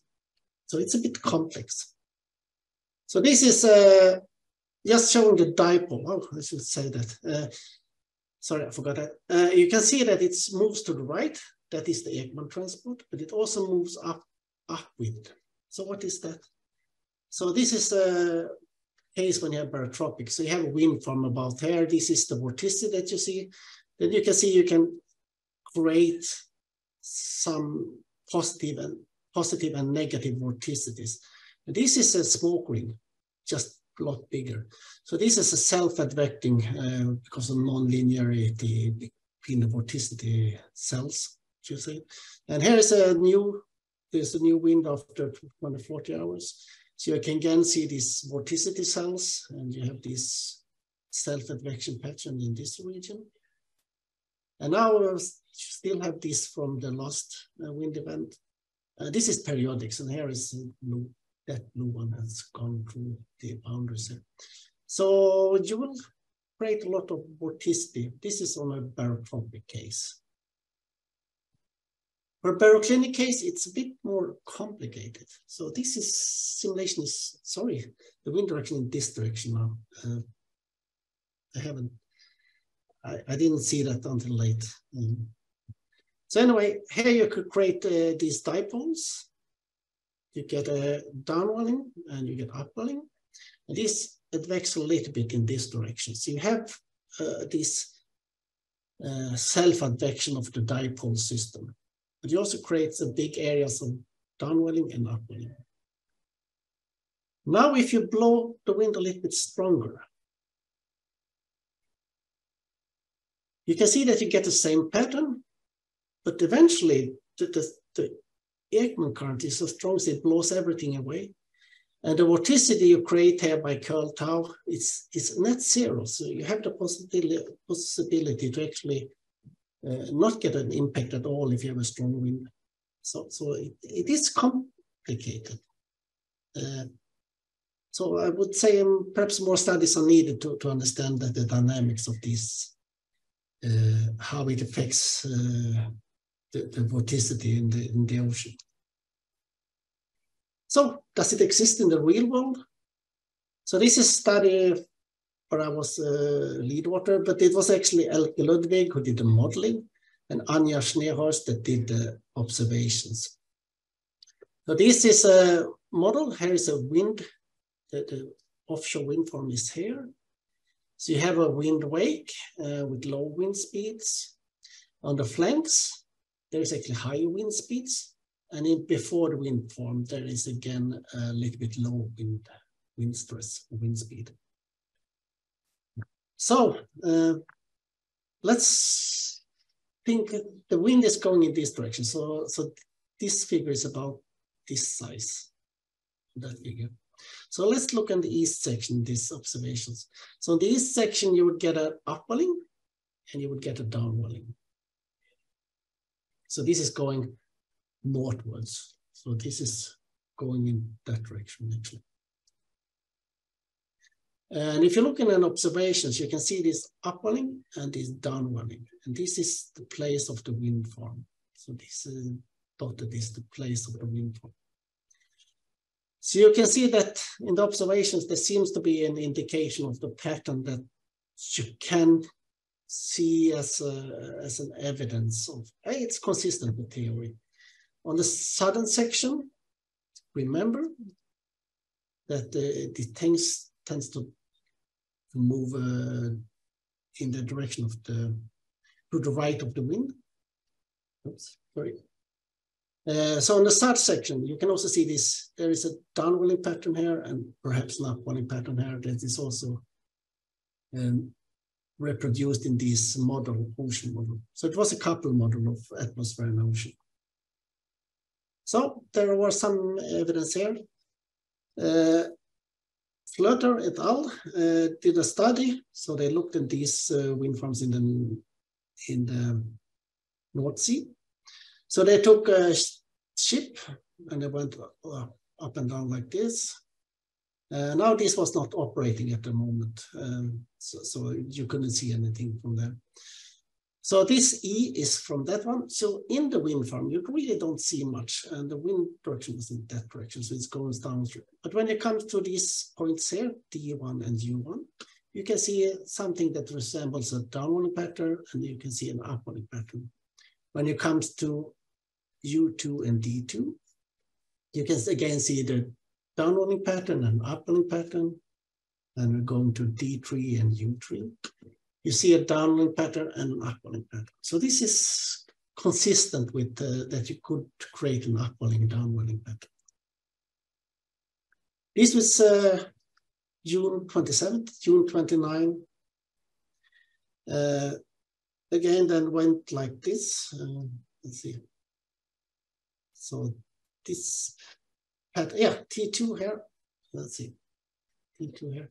You do see a downward pattern, upward pattern in U3, D3, one, like this. Again, you can spot it, uh, but this is in the area of, uh, of strong mixing. So you actually have these uh, tidal fronts that goes around here and tidal jets. So um, I wouldn't say that there is an, you can conclude that there is a proof of this upwelling downwelling pattern, you can see an indication that it, it seems to be consistent with what we predict. Uh, this was after a strong wind event. So here you have actually a lot of mixing. So that has reset this upwelling downwelling pattern from before. But you again can see that it's uh, U1, D1 in this here. You get an upwelling, downwelling. There you can get a downwelling, upwelling. Ah, it's also this is a little bit this is a little bit more yellowish and this is a little bit more purple. So you can say that this might be downwelling and upwelling. So there is a lot of, there is some work uh, using models to evaluate the impact of this uh, proposed upwelling downwelling pattern that occurs from, from that you have a lower wind behind a wind farm. And Christiansen in 2022, Ute, who will talk uh, the next presentation.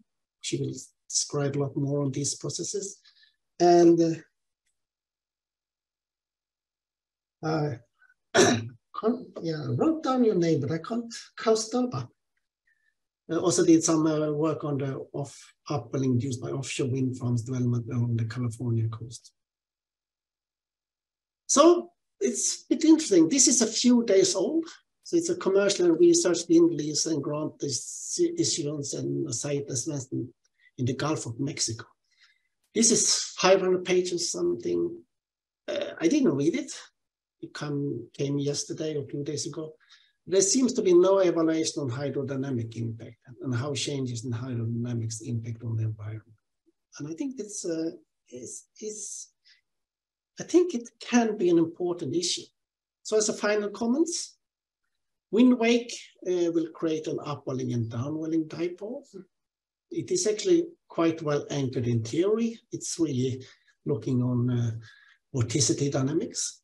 It seems to be observed, but it's not really so easy to detect. Uh, we expect it to be detected by satellite observations, but it's seems not to be so easy to detect it. Uh, but it's lot, in areas with a lot of variability. Uh, modeling studies indicate it changes, uh, it changes the natural environment. And Ute will talk more about that in her presentations. So you will have a change in 20 10 to 20% for productive in a quite large area, uh, an area that's much larger than the ocean wind farm area. And also pointing out that solid structures can be important. They can be important for increased mixing. They can also be important for, there is a growth of muscles in an area where you don't have muscles. And when they die or get ripped off the structure, they can have a transport of organic material to the bottom. They also impact on the or the plankton community in the surface water. And also for organism connectivity, we know that oil platforms in the North Sea are have, uh, for instance, cold water coral, corals Lophelia pertusa, and they can be transported to nearby regions. I would say this is a positive uh, environmental impact. But you can also have organisms that you don't want invasive species.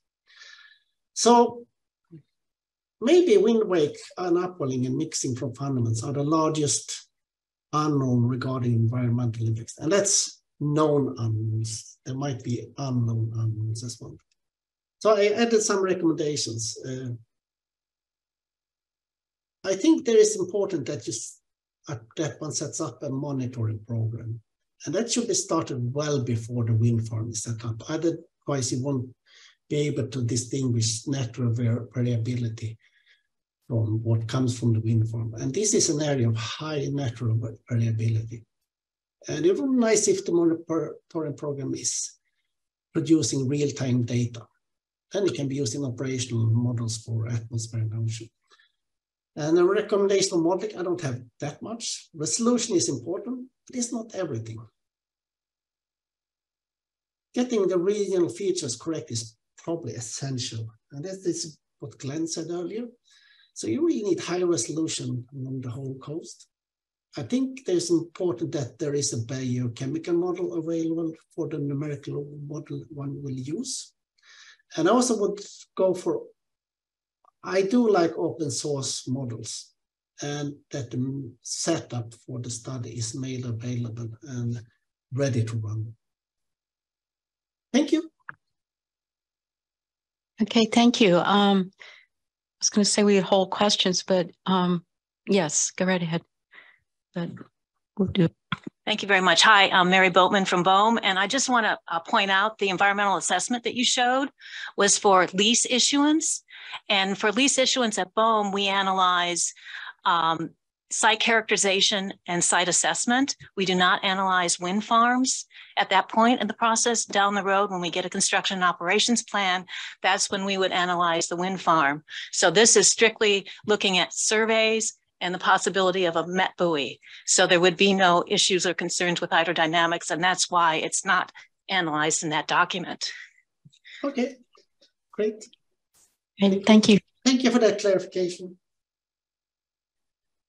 Um, Jeff Runge had a question in the chat here, and we'll maybe do this and then we'll move on to the next presentation. And he was wondering about the footprint, um, the distance from the center of the farm of the hydrodynamic impact of the wind farm? Um, how does it relate to the area of the wind farm and the number of turbines per unit area? Yeah, it's it's a good question. Um, typically, the wind wake. I mean, this is all the wind wake. Uh, so, so you have a wake, and that comes from extracting the entities. There's not much to do about it. Uh, so I think uh, this will be discussed later. Uh, remember her name. Christine. So she, maybe she's better answering the question, but it's it's actually quite long. It's typically four or five times the size of the wind farm area. And this, so, so you, if the wind farm covers an area of five by five kilometers, you can expect an impact of at least 30 by 30 kilometers, I would say. Okay, all right, thank you. Um, there is another comment in the chat um, from York that you might want to look at here. I, I, think we'll go ahead in the interest of time to move on to the next presentation. And Ute, I think you are the one making this presentation. Yes, thank you. Yes, okay, thank you. All right. And, try sharing. Yes.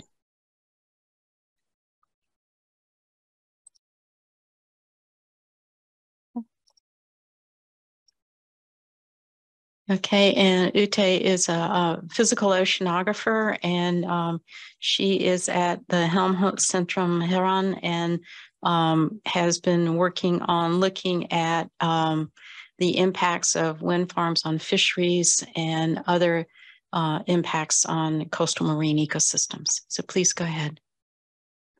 Um, yeah, thanks a lot for inviting me and give a bit of an overview about um, the impact of offshore wind farms on the Southern North Sea ecosystem. And this is, uh, I will present results from numerical modeling work that we've been doing for a few years now.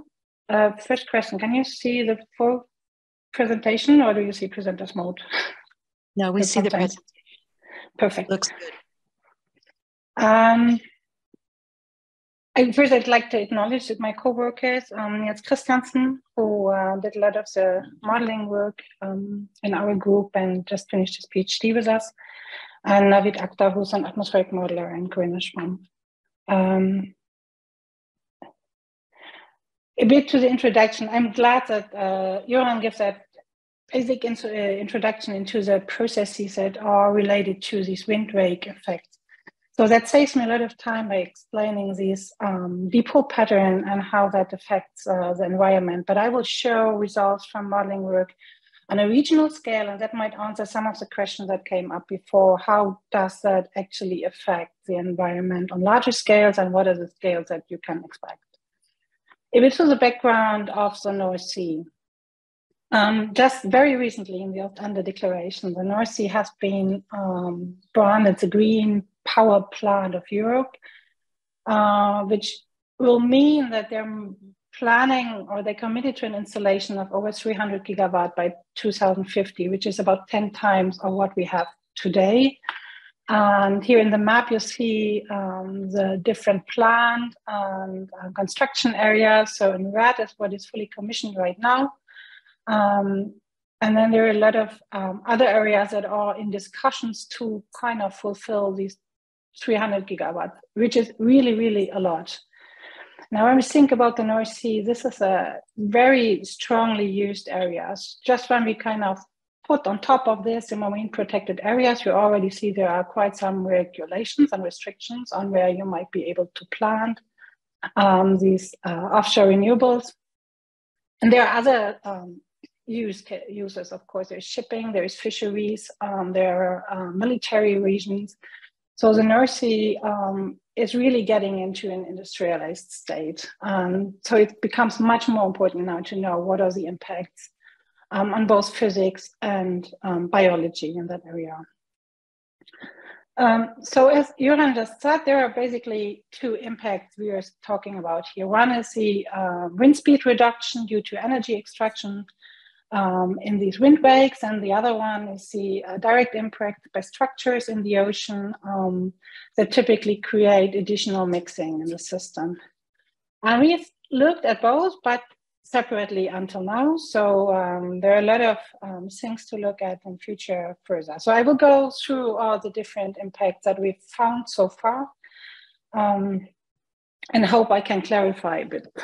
Um, a bit to the wind wakes. Um, from satellite images, um, there have been shown that in 60% of the images, you can see these wind wakes appearing in lee of the wind farms. And the relative wind decrease is about 10 to 20% inside the wakes. Um, these wakes can lead uh, to up to 65 kilometers in lee of the offshore wind farms, independent of the atmospheric stability. So with a very stable atmosphere, you have very long wakes with a dynamic atmosphere, these wakes are much shorter, um, sometimes not even seen. And of course, considering that there will be so many wind parks in the system, there will be also superposition of these wakes and um, they will affect each other. Um, from numerical modeling, we've also seen that there is a generation of turbulent kinetic energy along these atmospheric wakes. And of course, there is an alteration of the wind forcing at the sea surface boundaries. Um, here is a um, sketch from uh, Naveed Akhtar's uh, publication on simulating offshore wind effects in the atmosphere. And you have on the left side the wind speed and on the right side turbulent kinetic energies. And this um, uh, dashed line is a simulation without wind parks, and then the full lines are simulations with wind parks. And then you see, well, you have at the sea surface a reduction in wind speed, um, and in the atmosphere, you do have a max, uh, strong increase in turbulent kinetic energy, which doesn't necessarily reach the sea surface. So how does, does that affect um, the ocean? Well, you got the basic introduction from Göran. Um, and we looked at the regional scale um, under the conditions of uh, current, uh, yeah, now installed wind parks in the southern North Sea. So this is the German Bight area um, and this is um, from a simulation with an unstructured grid model SCHISM, um, where the wind wakes have been um, parameterized using, an empirical formulation deduced from uh, satellite uh, images. And on the left side, you see the estimated wind speed reduction in lee of the wind farms.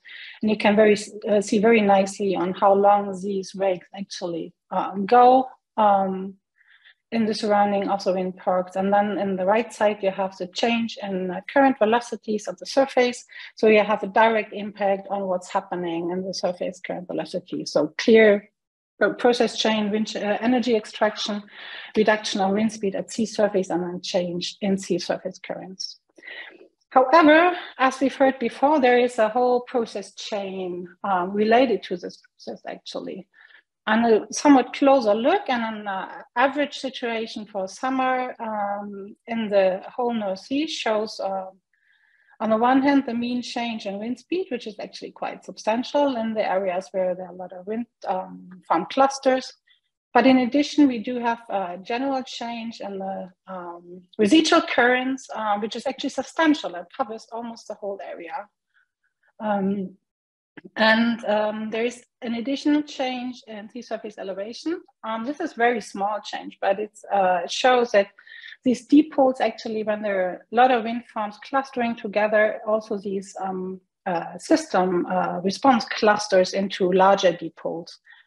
And this also uh, impacts uh, the stratification of the system.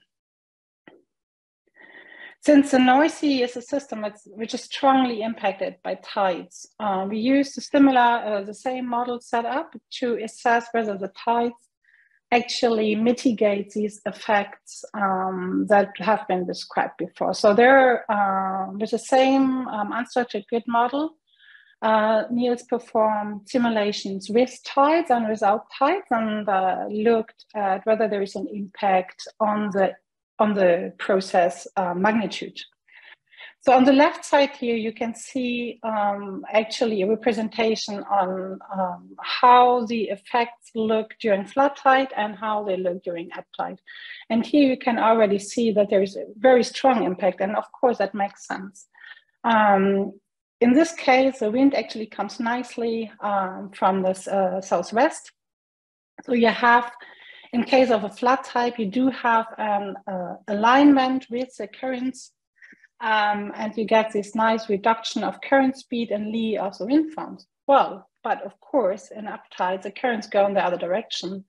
And um, you still have a reduction of the wind-induced currents on the surface, which means that the actual current speed uh, becomes larger because it's going in the opposite direction. And um, this is a process uh, we haven't considered so much before, but it means that the effects are actually mitigated by the ebb um, streams.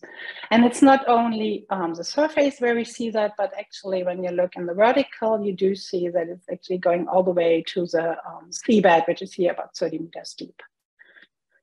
Um, on the right side, um, I'm sorry.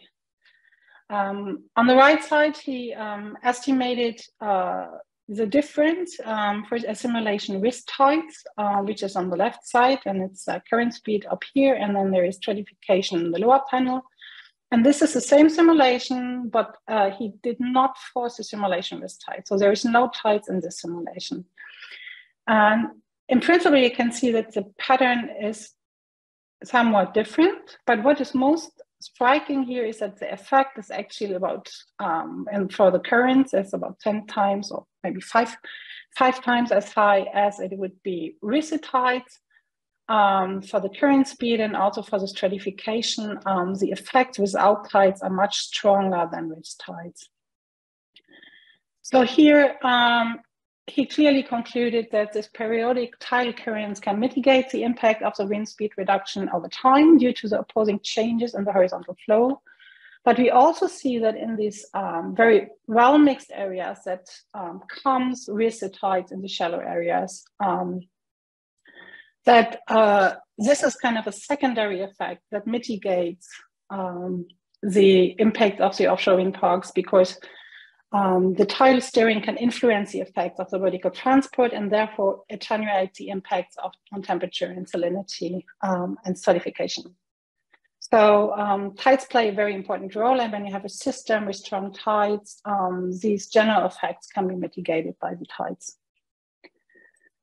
Um, so we also wanted to see what happened to the ecosystem now. Uh, and therefore we set up a different model system because we need the ecosystem model and we used the model chain here with atmospheric forcing um, that I showed before, where we have um, offshore wind farms directly parameterized inside the atmospheric model.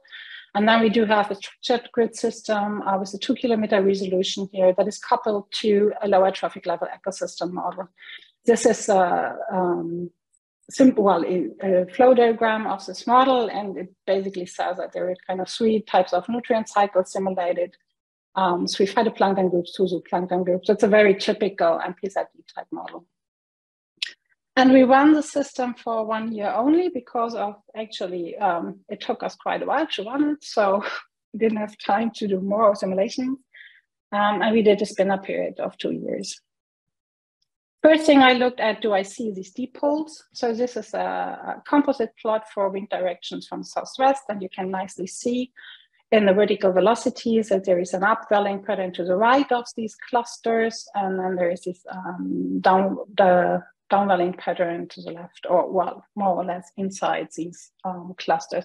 And this is nicely in agreement with Göran just um, showed, just for the whole area. Yes, these uh, um, black polygons show the areas where we consider the windhogs.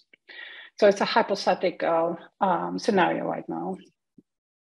If we change it, or if we look at different wind directions, this pattern changes. So that's a good um, sign that this has been nicely covered by the model.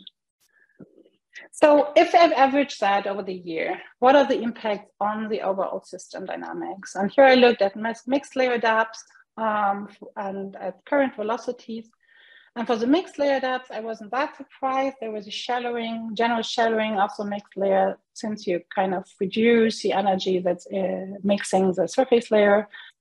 Um, what I was really surprised of that you see uh, general decrease in the residual currents almost everywhere in that area, not only where you have the wind farms, but there are also still some areas where you actually see an increase in current velocities. And in some areas that can amount to up to 10% of the current velocities.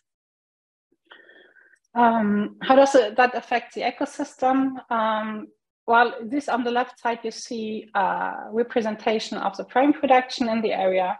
And you can nicely see the prime production is the highest in these um, front uh, tidal fronts. So this is a very typical situation um, in the North Sea. But you also see that many of the planned wind parks are situated in these frontal areas. Um, so what would we expect the change to be? And this is for the whole year, but you can nicely see that there are actually pattern appearing, but they are not only located to where your clusters are structured, but they're actually uh, impacting the whole area. And we have a general decrease of primary production in the situation uh, in the regions where the clusters are, but there is an increase in the uh, locations around these clusters here and also at Dogger Bank. So these are all areas that are very important and dynamic in the Sea ecosystem, and we expect that this might be actually play a role also for hydrotrophics. This is, I will not explain that very detailed, but it also shows that in especially the stratified areas, you would expect a vertical shift in your productivity related to these um, wind wakes of the system. Um, other uh, ecosystem variables we looked at were um, actually sediment biomass or well, biogenic carbon inside the uh, sediments. And also here we see a redistribution mainly related to the changes in the bottom shear stress. Um, and there is, or we saw that there is a stronger increase in sediment biomass in deeper areas, while there is a bit of uh, a, increase in sediment biomass in the deeper areas and decrease in sediment biomass in shallower areas. Um, and what I thought was really most interesting was actually the dissolved oxygen in the bottom layer. Normally the North Sea is not an area that's very limited by oxygen, but uh, here in this area at Oyster Ground, this is actually an area that can become hypoxic during autumn um, as it's uh, like a trough where um, the system contains uh, material. And um, that has also been shown before from uh, mooring data, for example, in oyster grounds on you see. And in autumn, you have these very low oxygen situations. So we saw from the model that these low oxygen situations actually can be even more decreased, um, at least in the year we um, simulated. So Um, I just wanted to show once more this kind of change in primary production versus marine protected areas. And I think it's important to keep in mind that the impacts we see from these large clusters of offshore wind farms are not very, not local. There are uh, changes that can be expected in a large, um, uh, in a much larger environment. Now the North Sea might be very special um, in that case, but maybe not. Well, needs to be assessed, I guess. Um, so the last part that I want to guide you very quickly through is um, this mixing in the ocean, um, which is a somewhat different process. And it's actually quite interesting because it might actually compensate for some of the changes that come from the wind wakes. Um, these are both um, figures from uh, a nice review paper from uh, Robert Dorrell, last year, and this shows that kind of when the um, currents meet the piles, that they kind of induce these kind of mixing and um, vortices in lee of these uh, um, piles. And uh, Jeff Carpenter, who's just with us, um, has a huge experience with that. Um, and he hypothesized that that might kind of induce a nutrient flux into the euphotic zone and thus increase um, uh, productivity in the system. So we started to look at this um, as well, again with the same unstructured grid system we had before, um, implementing, uh, trying different things here. Uh, apologies, um, trying different things here like using a direct implementation of um, these piles versus a direct parameterization um, that comes from simulations um, that uh, Jeff's group have been doing. And then we wanted to see, um, is the effect actually smaller than the wind wakes? Because we would expect, well, they're a bit smaller in space at least. And um, what we found was that this effect is actually the same order of magnitude as the effect that we expect for the wind wakes. And here is um, the changes in current speed changes and the change in stratification. Um, and you see that for the current speed changes, in fact, we found also again decrease, while the stratification change is actually the opposite to what we expect from the uh, wind wakes. I put that side by side here just to give a bit of an uh, idea about this. This is a change in potential energy anomaly um, for the oh, sorry. Um, for the simulation with the atmospheric wake versus the the simulation ugh, I don't touch it anymore versus the simulation with the pile effect itself. Um, and there you can see for the stratification it goes kind of in an opposite direction while um, for the current speed it's a bit more complicated. And uh, um, what the next step would be um, in the in the future is actually to combine these effects to see what the net effect actually um, will be. So to summarize, um, we see that these offshore wind farms alter the physical condition on um, that it results in large scale anomalies and not only very local anomalies. And we have an ecosystem response, which is also large scale and tends to restructure um, the productivity in the system, but also carbon sediments or bottom water oxygen are impacted. Um, and it needs to be kept in mind that there are far field effects, really far field effects that might, for example, um, impact other areas, marine protected areas, um, and that need to be assessed um, clearly uh, while considering these offshore wind parks. Um, there are also a lot of things that we don't know, of course. Um, well, this is just a bit of a list. Um, I did not set up recommendations here, um, but I think what what the major recommendation is take keep in mind that there is not just the local effect, that the whole thing will change and tides play an important role. Um, and uh, Yes, in terms of modeling, clearly, I also don't think that it's very.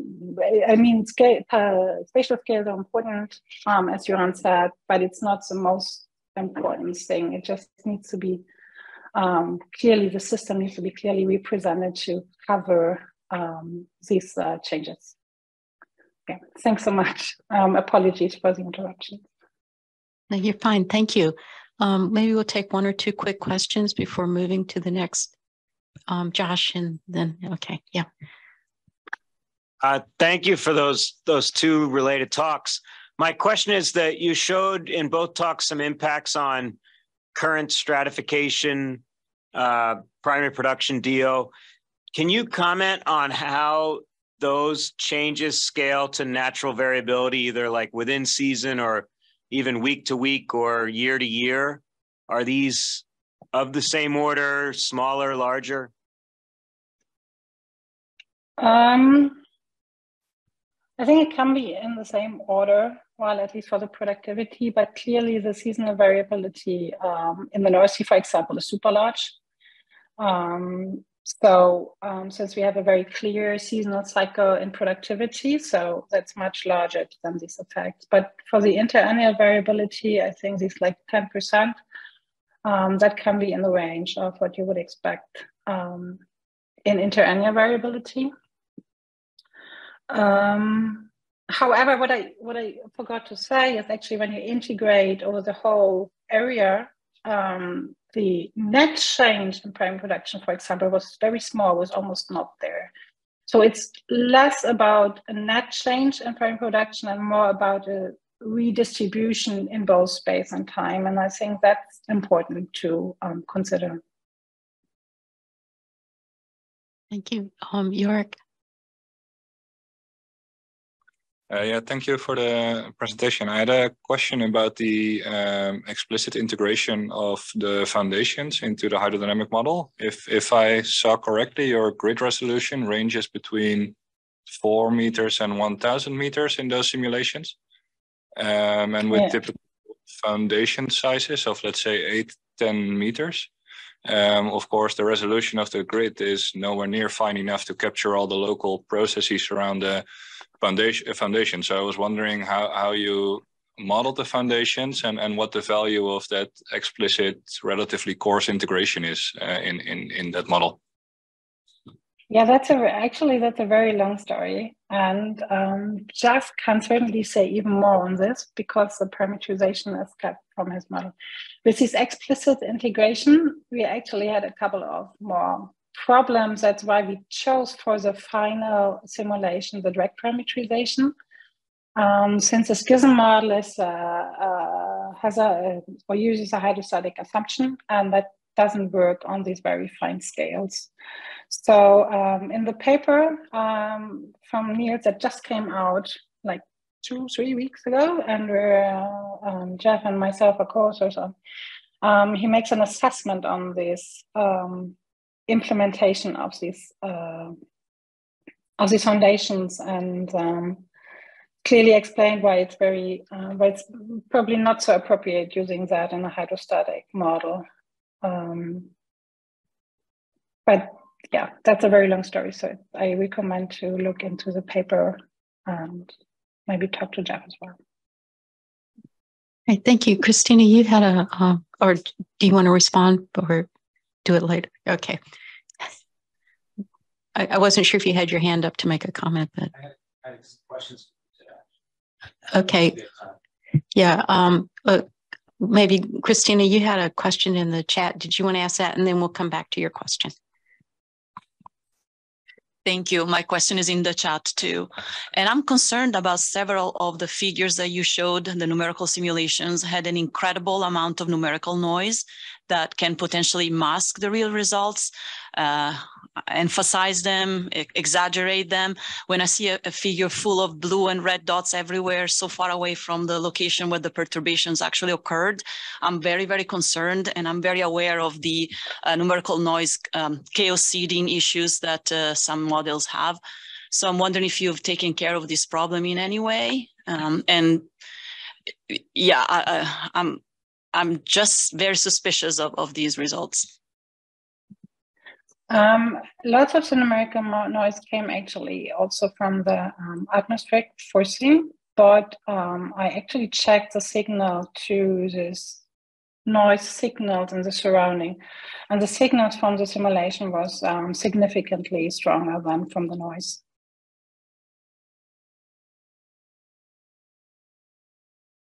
Okay, thank you. Um, Jeff, did you had a question? Yeah. Yeah, hi Ute. Uh, it's Jeff here. I'm in the United States actually. So I I had a question. If you've looked at for the wind wake parameterizations, have you have you looked at different types of parameterizations and any effects that that would have on the results? Mm, no, I haven't. For the simulations we had, we just had this kind of one simulation, which took months to do in the atmosphere. So um, but Naveed is currently working also on, well, not on different types of parameterization, but on different types of um, parameter settings for the, I mean, I'm not sure what whether you mean parameterization or the parameter settings um, for the uh, for the clusters. So I think he's um, they're testing uh, these different um, types, like hub height, changes in hub height, and changes in density of um, um, piles to see how that affects the results, but we haven't um, made simulations with that yet. And then maybe one quick other question was on the primary productivity results. So these dipoles, they show, you know, positive and negative anomalies. and then you see very little net change in in NPP.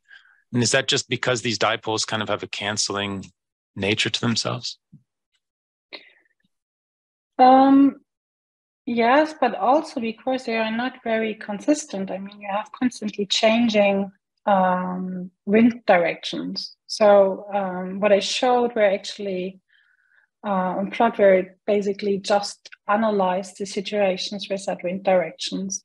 Um, but in reality, it is also constantly changing. So I think that's one of the reasons. And then the effects, I think, also cancel each other out. We're going to hear about hydrodynamic models, uh, methods, assumptions, and conclusions, and how these translate to the Nantucket Shoals region. And we have three presentations. Um, the first of these will be by Changsheng Chen, who is a professor at the School for Marine Science and Technology at the University of Massachusetts, Dartmouth. And I think it's fair to say that he is the person behind the development of the finite volume community ocean model that we've already heard referenced in presentations this morning. And so he's going to talk to us today about some of the uh, about about the model and some of the uh, applications of the model for looking at offshore wind farms. So Chen. thank you.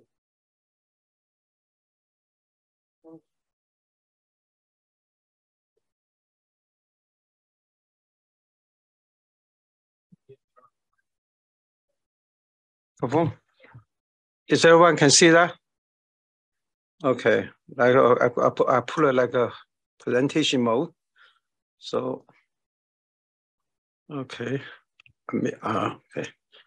So, what I talk today, you know, we talk about the potential impact of renewable energy for environment issues in Northeast region.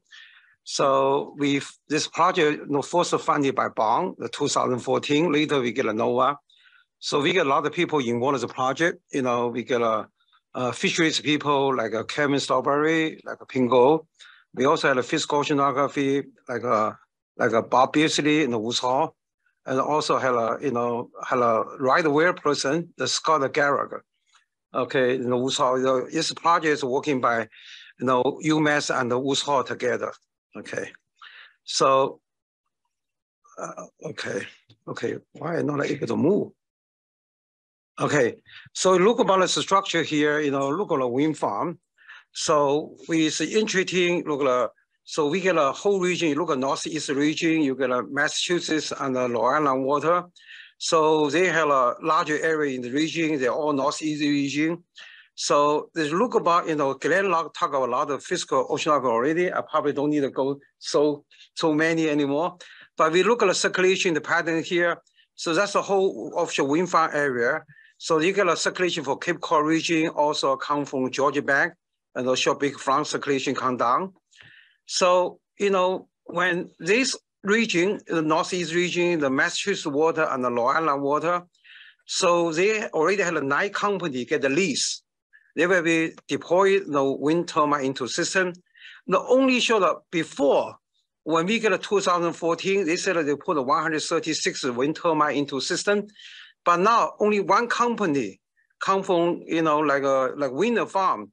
So they will be put here small, the yellow region, here the half region, put hundreds. That means you get a lot of wind farm, you know, there. So so even this one here, they get a, you know, they get a of generation wind farm region, but also they put a, you know, tower region is 16 feet. So what do you do? You have to think about result system here, then look about what structure here. This picture shows the scallop distribution for fish data. So you see the most uh, regions very interesting. You get a, you know, you get a, a mid-Atlantic a larger population scallop there. I think Alan will do a lot of work about this, right? So then also had a Georgia Bank region, had one here. You look at the Nantucket Shoal region, this region here, you don't, you don't have a lot of uh, scallop, you know, magic over here. But that's to put a wind farm there. The question is how they affect that.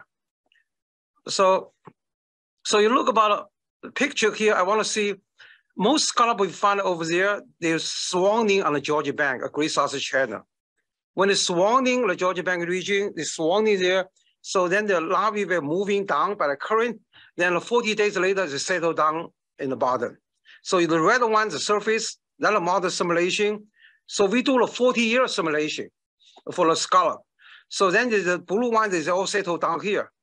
Okay, most settle down, but in the, a lot of larvae will settle down on the, in the, on the southern New England shelf, on the Nantucket Shoal region. But then the question, the problem, you know, then you then, then you look about uh, you look about uh, you know wind farm. You said, okay, now I put a wind farm there. I put an individual wind turbine into system, so they get a you know vortex wake, right? So can call a vortex wake over there. That's the model simulation. You can see a lot of wake can generate there. So the question here, you know, does this is really true on uh, a Nantucket Shoal region? Does can be happen in Nantucket regions like this? So we then we we was doing okay. So we was question here. Then you look at the circulation pattern. I'll probably skip this one because Glenn will talk a very nice talk and show about whole things here. So that's the red one is the surface circulation. The blue, no, no, white one is uh, like a steep circulation. You can see the circulation, one, two circulation. One is come from government region, go down Cape Cod region, uh, Romney region. Another one is uh, come from Georgia Bank circulation come here. This region is a flow-through system. It's not a, like you look about North Sea, they have a basin, like a, a semi-enclosed basin, but in our region, everything's open. Okay, they just go through a system there. So that's why you flew, they also have a one, you know, you know, Gulf Stream, the one coring, like Glenn was mentioning about it. There's also a lot of intrusion in the shelf break region. So then we want to see that for long term, you know, Gulf Stream is very important or level seawater come down. For, for short term, they get stronger tide current over there, so what's happened. So I want to show you some kind of work we done before. You know, I think it's uh, Anthony and Woods Hole and the Game Department. So he had answer proposal funding for CODAR measurement. So we get Bob Beardsley and Steve Lentz and working together. I do the modeling, Anthony do the observation.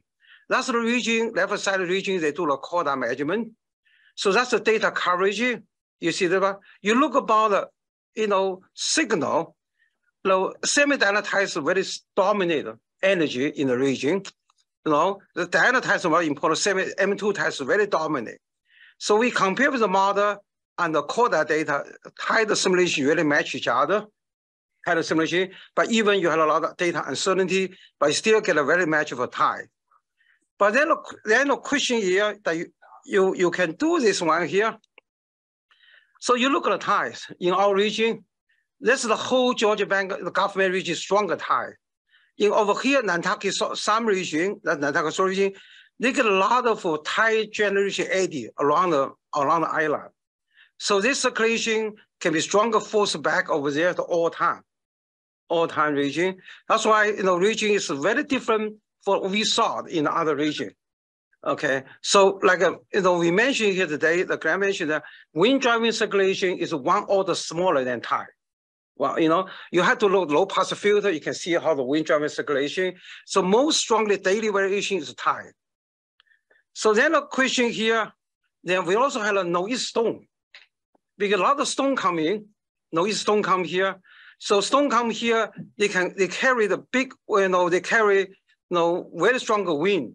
You know, they get a lot stronger wave. Also, wave is very important. When storm come here, they can surface wave. In Nantucket Shoals region, you know, when storm come here, wave high can be 10 meter, 10 meter high, the wave. And the storm come here. When you have a hurricane, for example, we only had one hurricane really cross our region in the Hurricane Bob, 1991. So that's time I was student in the Hole Oceanography Institution. So we we all uh, electricity down, everything down over there. So you can see the when the storm, you know, hurricane come, it rise had a big wave come here around the region.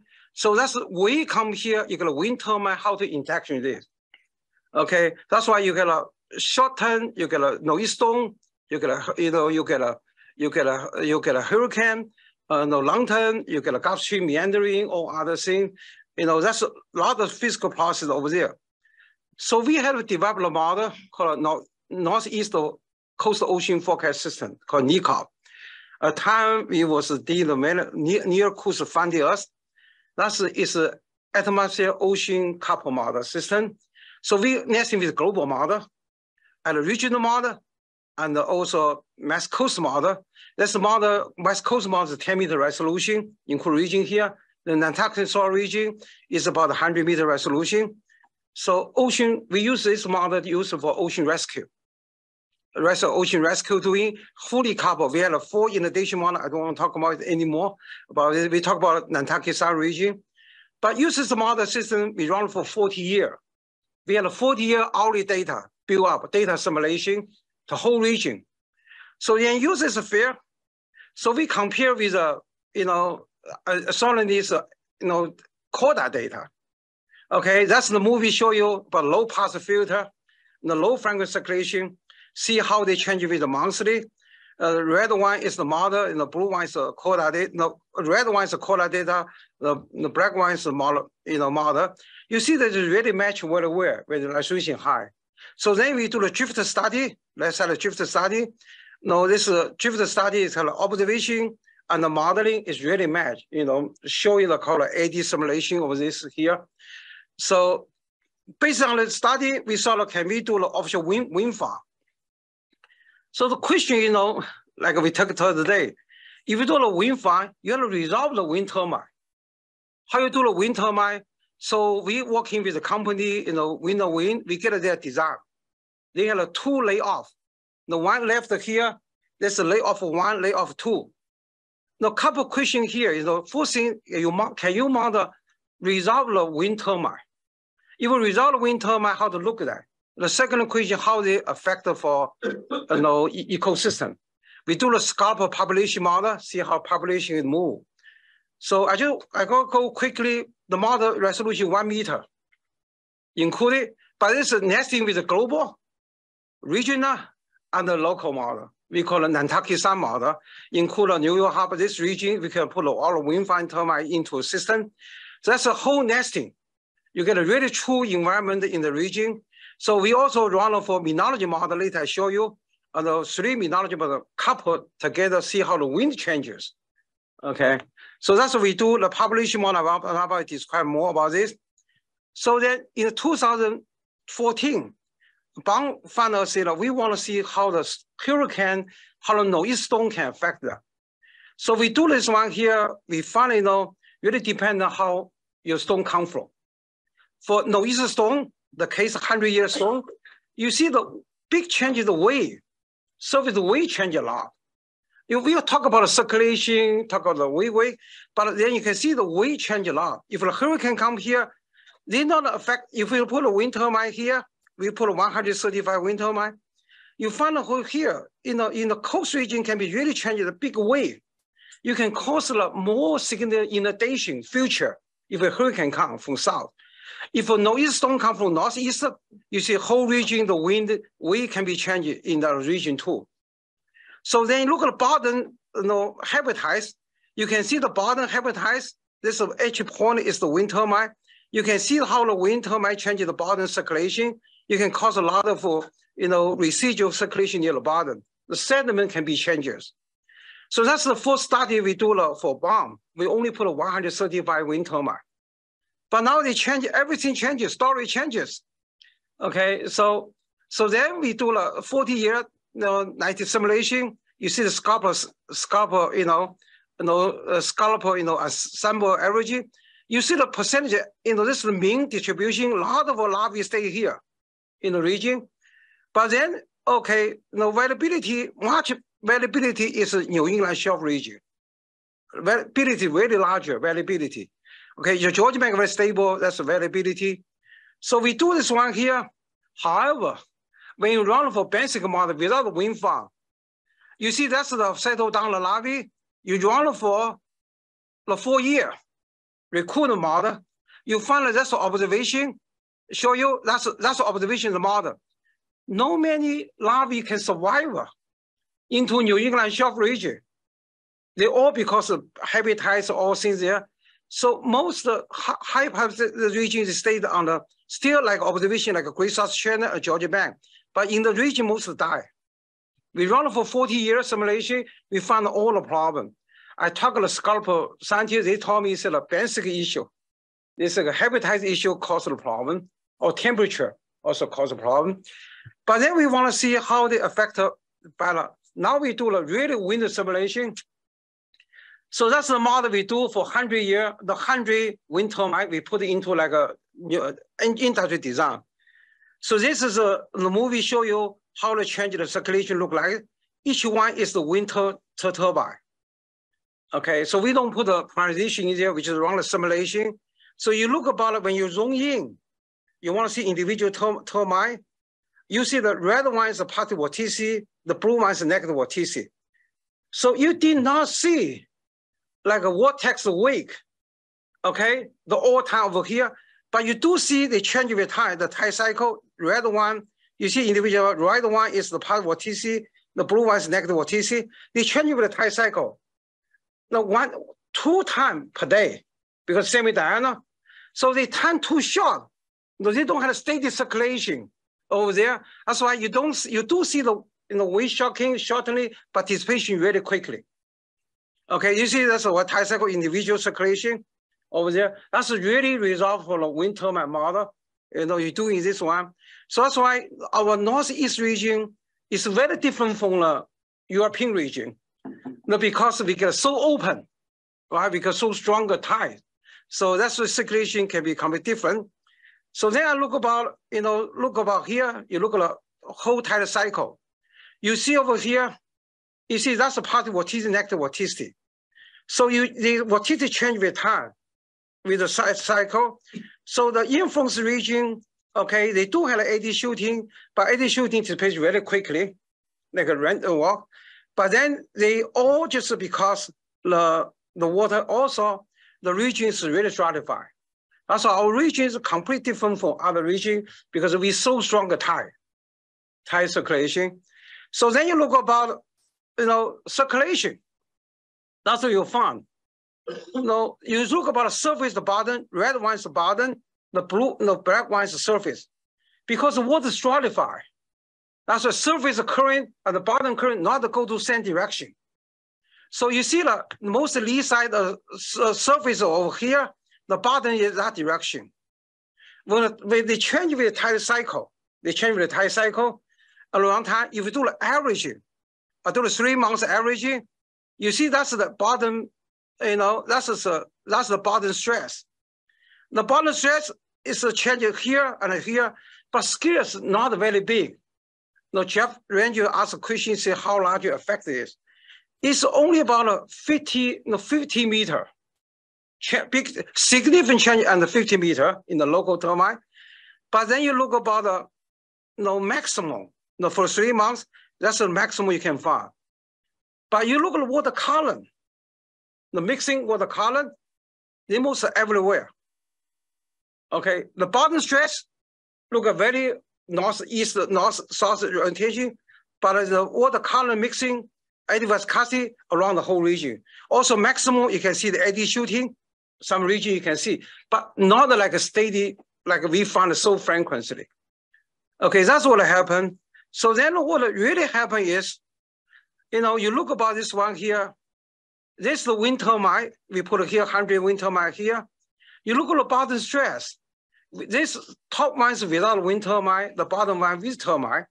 You find the most bottom stress intensified big larger, not in the wind turbine region, was in the shallow region and Nantucket Sound. Because this is shallow, that's a shallow region, that's very, because it's a little bit deeper, like 40 and 50 meter, but here is like a 30 and 40 meter. That's bottom stress can be changed a lot.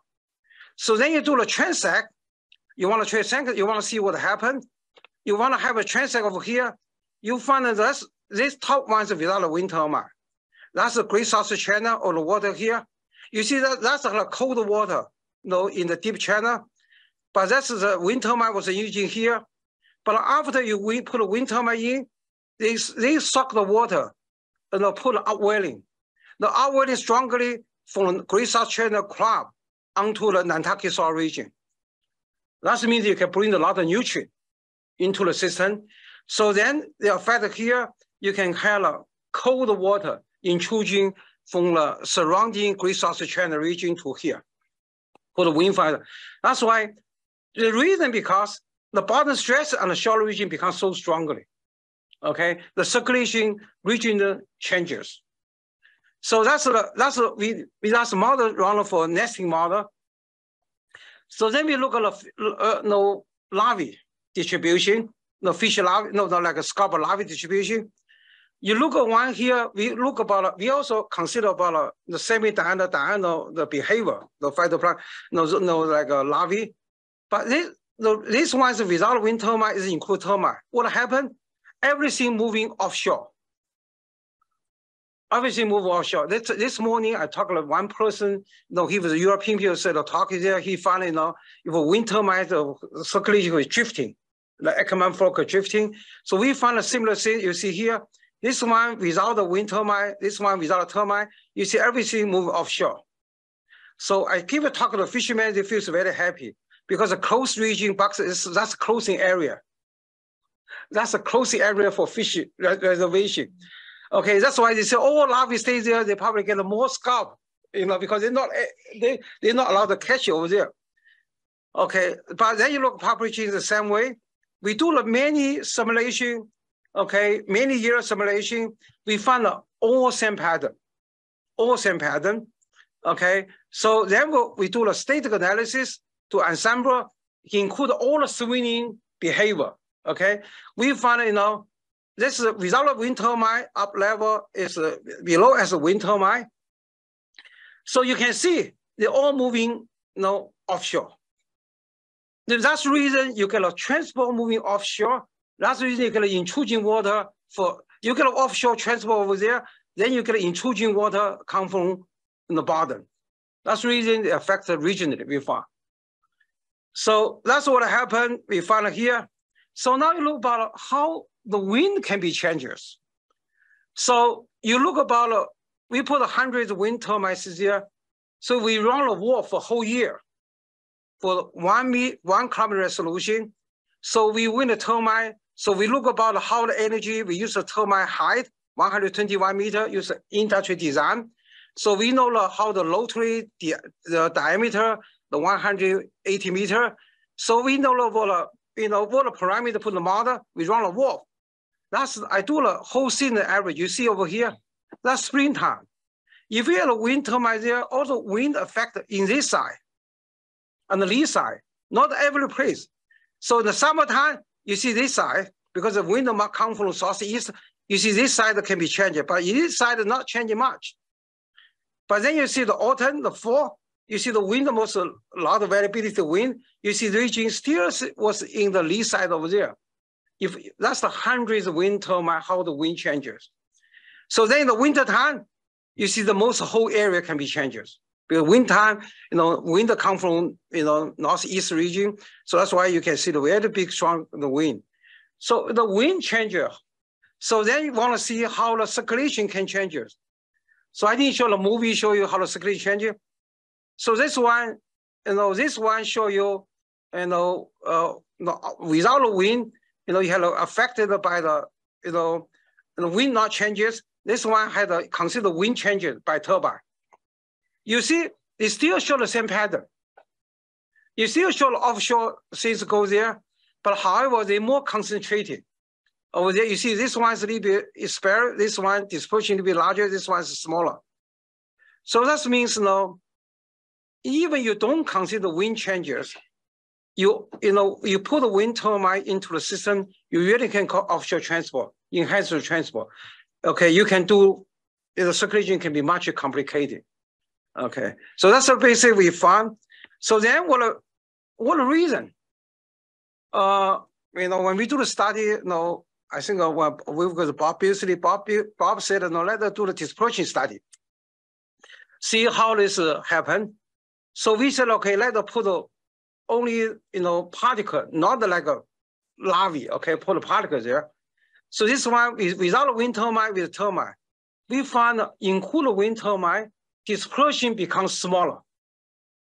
No, because you got a larger, larger dispersion, dispersion, when you include turbine dispersion very smaller. You see here is very narrow. Okay, if you put a, put everything here in the inside of wind turbine, you see here, they, they change a lot. Then you look at this one here, is this without a wind turbine dispersion really bigger. Everything is spread out. Include turbine, You see here, it was a dispersion will become narrow, dispersion smaller. That's why when you include a wind turbine system, horizontal dispersion changes. Okay, that's the, circulation can be changes. Okay, that's all basically we found. So then a question, another question about uh, industry design. Because they a, you know, D1 de designing, they said, okay, I can put a wind turbine like this way. I can put the eastern north like this way. Okay, even separation scale is the same, but uh, location different, orientation different. Now, how this designing can affect it about circulation? So we find, you know, they do affect it, but not like a, you know, current induced effect. That's a that's a layoff one, layoff two. You see, they're very similar, but change is very smaller, not very bigger. But they do change it, right? But not like a we think of the significant like a like like current, like a tide. So that's what happened. So now the question come up, you know, climate change. Now climate change here, you know, Graham has mentioned this, had a warming system here. So this uh, 2010, they got a big warming here. So we do a, uh, the simulation for 40 year simulation regional model. We find, you know, bottom temperature change a lot because of warming. So you can see the bottom, you know, the Georgia, southern Georges Bank much stratified. Okay, the gradient can be much stronger eh, while warming. So then we find transport, you know, before you get all transport go to south, but now the transport large availability. You know, the annual availability, the southern transport here change a lot. So then you also see, you know, you have a you have a Gulf Stream meandering. They can put water in here. A lot of uh, one core AD can be affect the region. Okay, that's why we found, you know, how to do the climate change so to address the question, we do a couple things. First is we do a couple model. We already couple with uh, our wind, re, wind resolving turbine model with the atmospheric model work. Before I just run the wind, you know, the turbine change the wind, wind drive the ocean, but now we do the whole couple. You know, instantly your ST changes, the work model, see how they changes. So that's the model we developed, okay? uh, last couple years, my student published a paper 2022 in the program oceanography. So then we four things we validate the model. We also make a new designing for the four nesting model, the one, two, three, four. So that's for the model, the couple model system. Each one we have a nesting model run. For couple model, you resolve the wind turbine, you're gonna win to see what happened. Okay, that's the whole domain. Uh, we get a one camera resolution meteorology model. So we get one meter resolution wind turbine model. Okay. So then, uh, then, uh, then the simulation results, we do the testing for Hurricane Sandy. We found that the AC coupling change a lot. Okay, if without LC coupling, that's the hurricane pack. With the coupling, get it this way, get very close. The pressure simulation, I don't want to talk too much about this. We find a LC, the, the energy flux very important. But now we make a tools ready. We can run this one to simulate how the wind turbine is. Last one, I want to show this kind of climate change model. We also, like, a, like people talking about Earth model. So we working them together. We already couple Earth into the NECOFS. We have a fully coupled Earth model with the NECOFS region, uh, simulation of region. So we already run for many years. That's the data we compare region here. We run a couple region, we compare the all model. This model is good. They go, they go to the uh, P, P, PCO2, PHD. They have low trophic food web model. So I just quickly go through. That's the comparison uh, come out. My student had a PhD doing that. We can simulation the nutrient, simulation phytoplankton, zooplankton, uh, simulation whole region. We do a many year simulation uh, come out is a coverage model is pretty good for region. So then last things I want to talk about downscaling. So we have, you know, meteorology downscaling. We run for a global regional meteorology model, downscaling model. So we get regional WRF model, climate change model, three climate resolution. We run for, we prediction for 2050. So we run a climate change model. What we found, we found for 2050, stratification change a lot. The springtime, you get a you get a stratification intensify significantly, but in the fall summer, you get more stone. We don't know our climate change model correct or not. At least we find a stone number in the 2050 had much more than before. You get more stone, so you find in our region, you know, the spring summertime, water becomes very stratified. In the fall, you get a enhanced mixing. That's why the question come out, you know, if you include a wind farm, what's really happen, right? So we had a physical model, we try to do the simulation, use this way to see what happened. So the basically, you know, that's what I talk. So we has been, we found, you know, you really need result the wind turbine. If you really want to do simulation, so that's the reason we had a wind turbine resolving the model. So we get a physical biology model developed, uh, region, we do the assessment, but really question, we do only one design. Now they have a, you know, night company will put all the wind turbines there. So what accumulation effect, we don't know, right? You took a hundred year already significantly change, If you a thousand, what happened? So result we found here today, probably not true anymore. If you put more. That's why I saw this really, you know, important thing to understand accumulation effect. Okay, that's what I, I basically what I talk today. Okay. okay. I do I go too too fast, but I put a PowerPoint here. So you know, if everyone is interested, you can look my PowerPoint file. Yeah, wow. Lots of interesting simulations okay. and things to think about. Um, maybe we'll take one question and then we'll uh, move on to the next presentation. If there is a question. Yes, Richard. Clarification. Yeah. Title mixing. Sorry. Yeah. Tidal mixing was really important in your modeling effort. How widespread would that be in the larger area though? Okay. Yeah, you know, larger, you know, no, this Gulf of Maine region, no, so this whole Gulf of Maine region, you had a couple tide mixing zone. Nantucket Shoals is the one tide mixing zone. If you look at tide, very interesting uh, feature there. Tide system in the region, there are two tide systems. One is a tidal come from Gulf of Maine propagation down, another New England shelf gone down. Nantucket Shoals region is a converging zone. It's a tidal converging zone. That region tide mixing very strongly. So like uh, the most like a very tax mixing on the, on the close to the Great South Channel side. But another side is you know, New England shelf region, that's the mixed region. But the whole region, be, water be, you know, shallower than 40 meter, tide very important. Now they're like a 40, 50 meter, very stronger tide mixing. So I mean, just to be sure I understand, that full region of all nine No, projects. no, you know, Nova Scotia had one region. So, sorry, Georges Bank and then Nantucket Sound, sorry. I just, I'm we're, we're really concerned about the, the area that's subsumed by those nine projects mm-hmm. south of the vineyard and the Nantucket. So my question was really is focused on that one area. Yeah. So is that full area one where tidal mixing, whether it's a diurnal or semi-diurnal tide, is important to be considered in, in the modeling? I should say it's important, but however, stratification also important. You know, because reason, you know, because region is very stratified. So in the Nantucket Shoals region, like a summertime and a springtime is really stratified. So this you know, stratification really strong. They had a cold pool there, okay, region there. That's why tide mixing strongly, but stratification was important.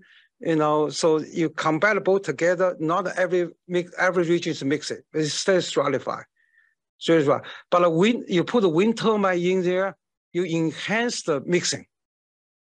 But however, the mixing is locally, right? Locally. The locally, know, locally about 50 meter around the wind turbine, but this is very intensified. But however, they change the whole transport surface current. As Glenn mentioned today, they get a short break from, they get intrusion water. We found, you know, I didn't show the result. We found this region here. If you wind turbine this region here, you a surface currents go offshore. The bottom currents go in. So you probably can in the future can in, in, enhance the intrusion water for short break region. Okay, yeah. No, yeah. one, one another thing is uh, one other thing I want to forget to mention, we do a climate change study for mixed layer. When the warming get mixed layer shallow, wind turbine include push water offshore. But include stratification, the shallow mixed layer, they put the water, you flow in. Hmm. That's why two things will compete each other. You don't know what's really happened. Right. Yeah. Okay. Yeah. Cristina and Jeff, I think you had a question. Or I loved your your setup with the variable resolution Mhm. domain and the high resolution Mm. around the wind turbine. So there's no parameterization. Yeah. You resolve it. What I just can't understand is how it's possible that you show us results where the effects of the of the uh, foundation are limited within 30 to 50 meters of the turbines. They are absolutely gone, gone from the domain in 100 meters. And yet you see regional impacts 500 kilometers away. What does that? How can it be? Oh, yeah. Physically, what, what can possibly do that? Okay, you mean no no wind we put like a wind turbine like a you know like a small region hundred meter, right? But then the question they got a lot of mass scales, you know, circulation changes. So then they push the water surface offshore offshore. So then you There's nothing left, you know, th- th- there's nothing to, Oh. to push. uh, no, no, if they have a current to go out, right? Sure. So then what happen? You cool out. So then the surrounding water get into compensation the water in. That's the reason the water. If you look at tide, you, you see nothing because it's moving like this way. But then you feel the tide out. You do see low French circulation changes. You know, from from Great South Channel flowing up, compensation of water lose what's in the region. So that's that's why we find a most significant change in the that's shallow nearby region, not in the wind turbine region. Around the region have very shallow. You, you look at precipitation there, here's re- here's deep, here's shallow. Yeah. But the strongest effect cannot possibly be away from the location where it's caused. There's nothing that it's like there's some kind of a convergence of small effects that converge somewhere else and become stronger. That is not natural. It- oh no, it's- it's I, I don't, no. I I see what, I believe it's uh, now you leave an individual termite there. That's why we do the we do the analysis right now. We have a make a box model in region, so we want to see how much net transport changes uh, between the wind my region. So then we want to see how the water intrusion, how the because we get a we want to calculate what the mass balance, see how the balance come in.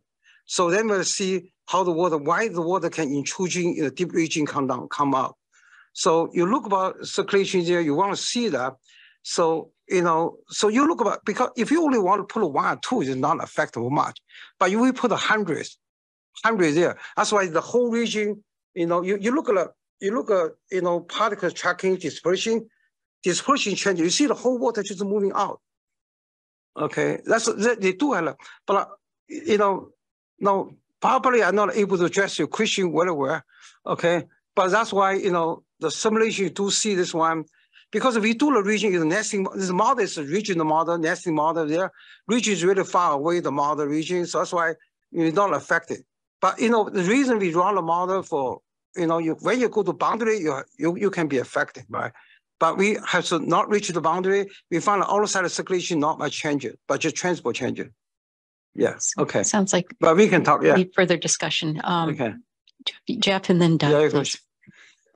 Yeah, I, I, it seems to me like there's two different ways of including the turbine effects in the ocean. You know, there's the sort of bulk parameterization where you say this patch is wind farm, and I'm going to extract a certain amount of momentum from that patch that uh, that's provided by the drag formulas or some other law. And then there's the method that you chose, which is to actually resolve or try to resolve the the individual wakes with a really high resolution around the structures themselves.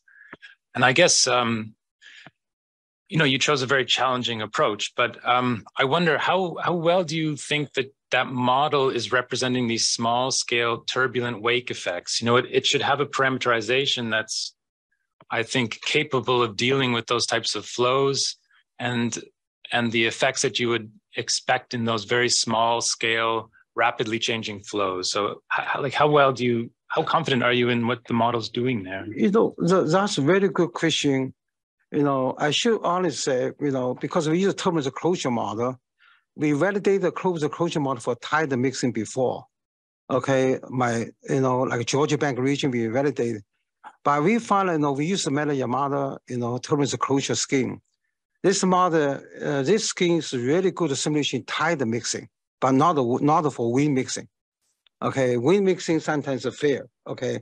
But tide mixing, they can resolve very well. So we compare with the observation data, turbulence measurements comes pretty good. But then you, when you want to go to small scale, uh, the questions might address, you know, I run a simulation with a hydrostatic approximation. You know, hydrostatic approximation, but when you go to one meter resolution, you have to turn on a non-hydrostatic. You have to consider convection.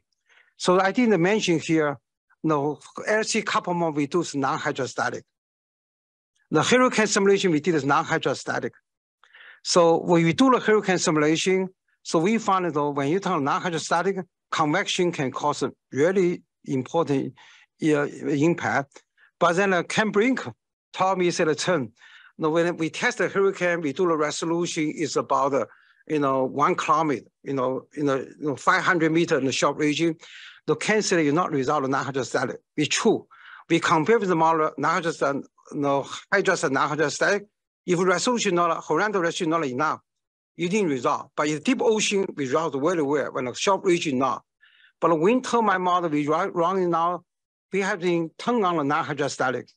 So we want to see how convection because we find so you know convection probably more important than the diffusion when the small scale come in. So I don't get an answer yet, but the system we have right now, we have a non-hydrostatic. So when you turn on a really high LC couple model, you have to run the non-hydrostatic for a small scale, like a one meter. Okay. Doug, go ahead. Yeah.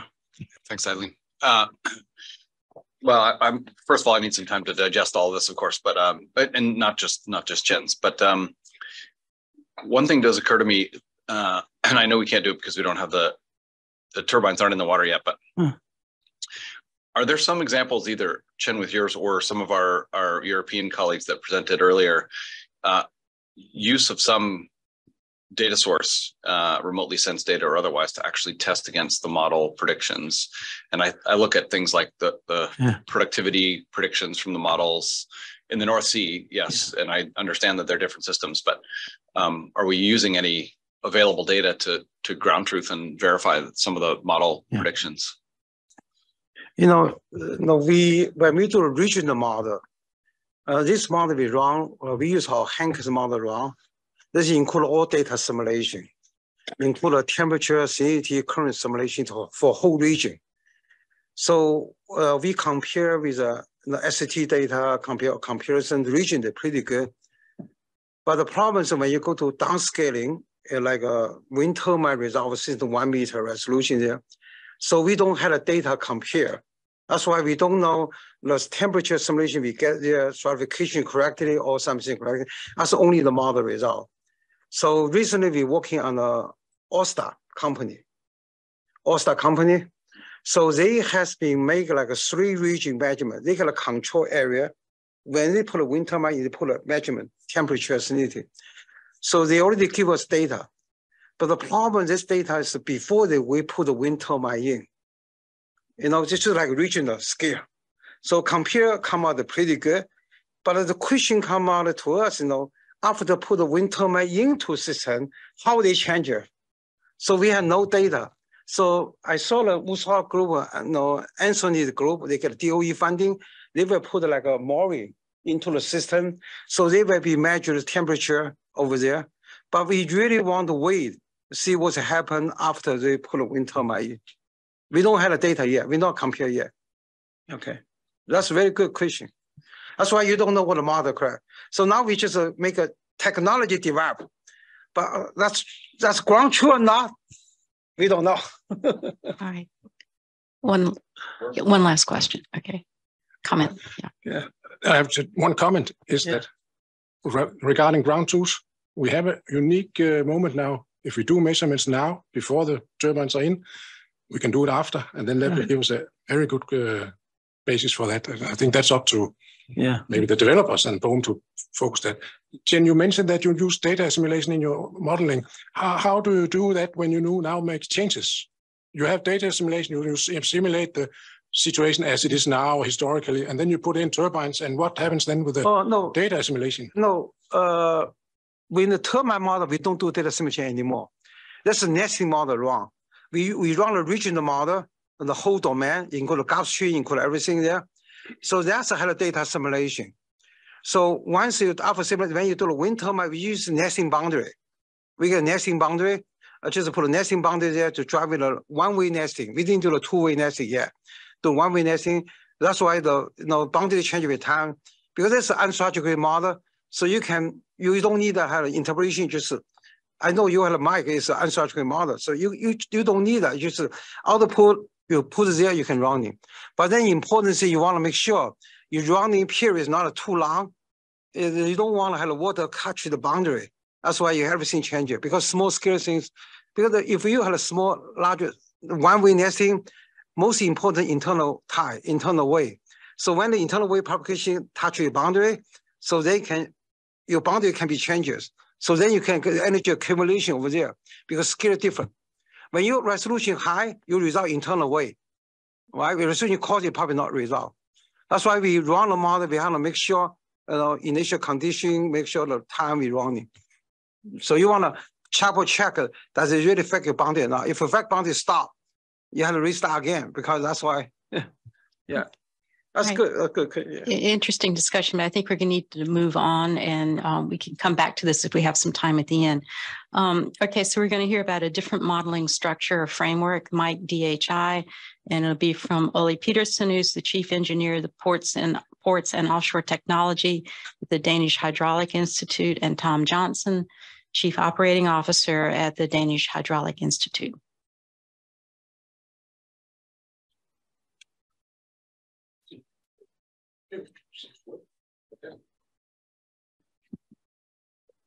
Thank you for inviting us here.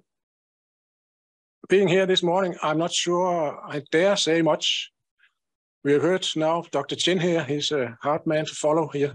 And then we all heard, heard about all these details. Uh, Glenn, you have presented amazing amount of details of how complicated this system is. So we come here with the models and it is, even if it's very, very complicated and very advanced, we think, I don't think it matches anything in reality. So it is a simplification. So that's, I want to say that uh, upfront here. Um, so let's see, uh, why are we here? The very specific reason is that we have been doing two studies one uh, historic study for BOEM looking at accumulated impacts of the Massachusetts Rhode Island uh, uh, area uh, that's completed and reported. And we have an ongoing uh, study right now looking at uh, the whole US East Coast. that's a very specific reason. And we will try and develop, discuss here today what we have learned from these two studies and, and, and try and, and, and put that forward. Another reason is that we think this discussion about accumulated impacts is very important for the industry and for the society. And it is a discussion that often falls between chairs. Developers, they don't uh, require it. They have to their own projects to uh, look for. Uh, and no one really cares about these accumulated impacts. But I think it is important and it will be an issue in the future that may affect how we develop offshore wind uh, in the future. So uh, that's why we chose to come here, and I think it's a very, very good initiative that uh, you have taken. Just a few words about who is DHI. We are a little bit new in the street here in US, uh, so I can hear all of you, you know each other very well. Uh, DHI, we are in, uh, based in Denmark. We are about 1,000 people working with water. We are like a private research institution that also do commercial. You have similar institutions here in the US. Uh, we have offices around the world, uh, also here in the US, in Denver, in Portland. Tom here is chief officer in the US. Uh, we have been around for about 50 years, uh, and we have worked with waters, and we work do studies. We don't do designs. There are many things we don't do, but it's natural water is the key. And another key factor for us that is uh, numerical modeling. That has been kind of our legacy um, we do uh, projects and we also do about 25% of our activity is research and another 25 is our software. We sell this uh, commercial MIKE software that we're using here. So let's see. Well, we have been in the offshore wind business in many years. The Vindeby, that was the first offshore wind park in the world. We were part of that in 1991, about five megawatts, and that was a revolution at that time. Um, so we supported that one and was part of the research project behind. And today we are now up to, we have supported 25 gigawatt of realized projects, and we are still supporting 130 gigawatt of coming projects. We are involved in, we say 80% of all commissioned offshore projects in the world. Um, and we are also doing a lot of, say, research projects uh, related to offshore wind.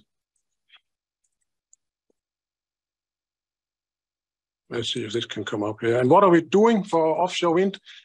Metocean conditions, waves, hydrodynamics, as we're discussing today. We are looking, supporting uh, uh, scour, cabling, all this kind of uh, water things. Sediment transport is part of it. And we also do ecology, biodynamics, EIAs. And some special things is uh, uh, noise, noise for EIA, and also uh, uh, bird detection. We have some bird detection systems that can basically stop wind turbines when something uh, comes flying past. As I said, modeling has been key. It's part of nearly all our projects, one way or the other. And we have this MIKE suite that we are using here, which is a, well, recognized standard in the in the coastal and, and, and ocean engineering. And today we'll use two of these models. That's a wave model that looks at the waves, and another one is our uh, flow model. It's called Mike3 3D. So they are the key tools that we will uh, employ here and have employed in the projects. Yeah, this we have talked about all day. Uh, just for someone has listened that uh, the accumulated impact impacts that we look at, at these things, this is mostly the wind wake effects and how that affects uh, waves, how that affects uh, uh, the currents. We look at drag from uh, the foundations and from the from the towers and from the scour protection and how that affects the, the flows around. We will not look at cables or new habitats, but we have a continuation in the BOEM study. We have done it goes the way further down and look at the migration of uh, larvae or scallops and how they change uh, as a consequence of, say, impact from the offshore wind turbines. So today we'll not go into that in much detail. Yeah, this is the same again. Uh, the impacts, and say what we learned from the study, the first BOEM study was that initially we thought that it was the towers that were an important part the mixing and the drag on these uh, foundations directly in the water, that must be a big impact. But it seems it's not. It is really the wind, uh, the wind wake and the wind energy reduction by the offshore farms. That is a big, the big factor. And that affects the waves. Waves will not grow as fast or they will decay faster. Uh, it affects the currents because uh, they drag the currents. Uh, so that is really a big one. I'll show you why later. Uh, and then, of course, we have the drag and mixing induced from the foundations directly, whether it's uh, it's uh, monopiles or it's jacket structures. They are the ones. There's a paper by Corinna, I reference here, that has a longer list of more impacts on temperature, on heat exchange, on other things, and we have not looked at these things. If we take the monopile effects on uh, on the foundations, as Chen discussed, uh, the flow around these structures is very complicated. The boundary layer is about uh, two, three centimeter thick. So I think even with a one meter resolution, there's still a lot of things going on there that is uh, important. So it's very difficult to resolve actually these flows. And if we do it in a two coarse mesh, we overestimate the forces. We have done that many times. You can see we can easily get 10 times the drag if we don't resolve uh, properly. so what we do here is that we make a, an empirical model, drag on a, on a cylinder structure that is kind of a standard engineering exercise. Also turbulence induced by a structure drag on a structure, uh, it's well known. So we have this input as a, as a parameterization, uh, such that we are sure that the drag induced by that structure is correct, as, as correct as we can get it. And it also includes the mixing. Uh, we did some experiments, uh, that are referenced here, earlier, where we looked at mixing induced by in stratified flow by these uh, uh, structures. So we can put that into a formula that can calculate the effect on the flow by these structures. The same for the waves. I can't remember. No, the same goes for the waves. Wave interaction with a cylinder structure in the ocean. That is uh, something you can write a, many PhDs about uh, without knowing everything. But we try to do a, a simplification where we look at, uh, say, basically uh, what they call a, well, a dynamic model of, of the waves, and then we could uh, boil that down to some empirical relations that tells us how much of the wave is transmission through the structure, how much is reflected, and that gives us this uh, reduction in, say, wave height due to the presence of, of structures inside the water. That's also built into the models. And I say, and that will be subgrid. So our grids are not one meter. They may be uh, larger. We have tried to make it such that we have one structure within each grid cells. That gives us a good control of how uh, these things they work. Next is the effect of the wind wakes. The first study we did, we took uh, a simplified approach and we said, okay, the effect of the wind wake is inside the, the footprint of the wind farm. That has been discussed and we have now taken that up and, and improved it. So what we do now is that we use a system called PyWake. That's the one they use for resource assessment of uh, wind farm. So that is accurate, I'll tell you, because that's money. But we use the same uh, the same uh, feature. Basically, it takes each turbine, it calculates, say, what is the incoming wind, what is the wind production, and then it calculates the wake and, and empirical relation for the wake. Um, and then we take in a farm, we take for each turbine, we look at all the other turbines, how will that wake come in, and maybe reduce the incoming wind to that turbine which is downstream, so that last turbine will get much less wind than the first one. And it will also calculate downstream the wind farm, how are all these wakes uh, combining and going uh, downstream. That's up in hub height. That's now today in 125 meter above the seabed. So that has not really much to do with what's going on at the sea surface where we want it. So what we do is that we use this uh, uh, called Frandsen's model, which uh, which basically takes and we can transform the reduced wind height, uh, wind, wind speed in uh, in hub height down to the sea surface, uh, because that transformation is not straightforward. It depends on the weather, it depends on the stability of the atmosphere, uh, and that makes the this thing very site specific. On U.S. West Coast, weather is stable normally, so uh, that has one uh, impact on how how much of the reduced wind stress will come down to the surface. In the East Coast, in the winter, it's it's convective dominated. It's called so these uh, wakes they mix up very quickly, and it also has an impact of how how strongly is uh, the sea surface impacted. Um, we take that in uh, to account, and then we do, for example, you can see these pictures here. They are uh, the wind speed uh, calculated for. I think this one is uh, Empire wind, and the other ones in New York Bight. We have them for all the lease areas uh, calculated, and you can see the an example of how big is the impact. We calculate this picture every hour for the whole period that we are simulating. So we have varying wind direction, varying uh, stability con conditions, uh, and get a good measure of how the uh, sea surface is impacted. And it takes nearly as long to calculate these ones as it does to calculate the whole 3D model because of this, uh, yeah. I think this one can move if I'm lucky here. This is just an example. You can see, uh, uh, yeah, this is uh, a little bit artificial example. You can see how the how the impact on the stress it uh, it changes with time. So that's it. Let's go here. Now to the real world. Uh, as I said, we did uh, the first study. That's the mesh on the. Can this work here?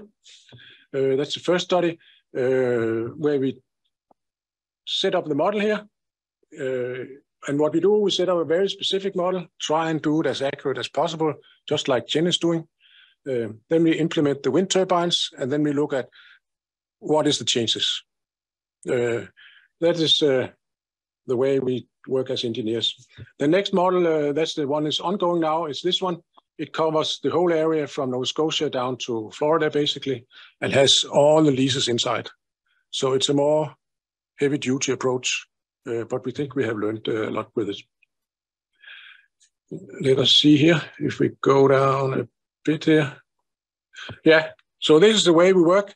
We develop this validated baseline, have that as good as we can, put in the turbines, uh, different scenarios, and then we simulate here a historic period, which is, uh, uh I think we have contractual up to one to three years. Uh, it, it's more the say cost of computing time that is really the issue here. When we do design, we, for wind turbines, we do nearly the same exercise as the baseline, and then we do 40 years of simulations hourly to get all the statistics right. But for this purpose here, uh, we started with, uh, with say one to three years. Um, we do it with a hydrodynamic model, a 3D model that has uh, temperature, stratification, flows, all uh, important stuff. And we do it with a wave model that calculates basically wave spectra also on the same grid. As I, and as I said, we are in the first study, we have some downstream uh, effect uh, on fish and larvae. This is the way we calibrate the model. We look at each parameter. This is water levels. We have measurements. Uh, they are shown on the map here. Just a few examples here. We do uh, time series calculate. These scatter plots which show measured uh, on the axis here and the model up here this. And then we can see if they follow the straight line here, everything is good. Uh, and if there's a lot of scatter, then, well, that's the uncertainty. When we do that for I think we have uh, 20 stations here along the coast, and we do it for typically for one year where we use that for calibration. The next one that is uh, for currents here, that is up in New York Bight. There are these two stations in NYSERDA have two high quality LiDAR buoys with also with ADCPs that we have used, and we have used all Ørsted's measurements and a lot of measurements from uh, developers uh, covering Pioneer we also used and uh, observatory. But still, if we look at current observations, they are scarce. They are nearly nothing. To have a good coverage of current measurements in the same period, that is a dream. So we take all we can get our hands on. So that's also why if we can get someone to collect some more current measurements, that will be important. Yeah, and then if you look at this, this is time series uh, measured and modeled. Uh, these are directions. Uh, this is uh, the current speed, and then it's the direction upward. So we can see there are two little bit dominant directions here, and this and this. They are the tides, but they are not very strong in New York Bight. And these are current roses. Colored is measured, and black is uh, or gray is from the model. And I would say, for example, this the quality of this plot here, that is typical for what we get for current measurements. This is not an exact science. It is something, there's a lot of uncertainty. If we take the next, uh, these are for waves. Waves are a little bit easier, so you can see the match is better, uh, but still wave roses, uh, significant wave height, how it fits, distributions. We also do the same for wave periods and other wave parameters. And for waves, there are many stations. I think we have more than 20 or 30 stations where we look at periods about, say, one year and, and calibrate all over to get a good idea of the representation of the model. Okay. But now we have a baseline that we think is the best or is a good representation of what happens in real life. Um, but as I say, if Glenn looks at it, I'm sure he can point his finger to many places and say, this here is not what I know. But that is life. Um, the way we quantify uh, hydrodynamic impacts is that I said we implement these turbines in different configurations, uh, different um, uh, what say configurations and different uh, strengths. We also, for each turbine, we have this operation curve. They're cut in with three meter per second, cut out 25 meter per second. So what is really important for the wind turbine impact, that's not the extreme situations. That is this normal operation situation because that's where the wind turbines, they operate. And that's when they affect, when they don't operate, they have minor effects on anything.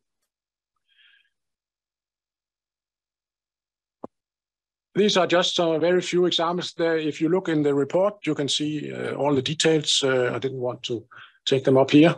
But for example, these are a 75 percentile difference for, uh, this is for depth currents, average. depth average currents, where we look at different scenarios. I think scenario two is the one with full build out of two the, four, full uh, Tom, he can remember all these things with full build out of the uh, Rhode Island, uh, Massachusetts.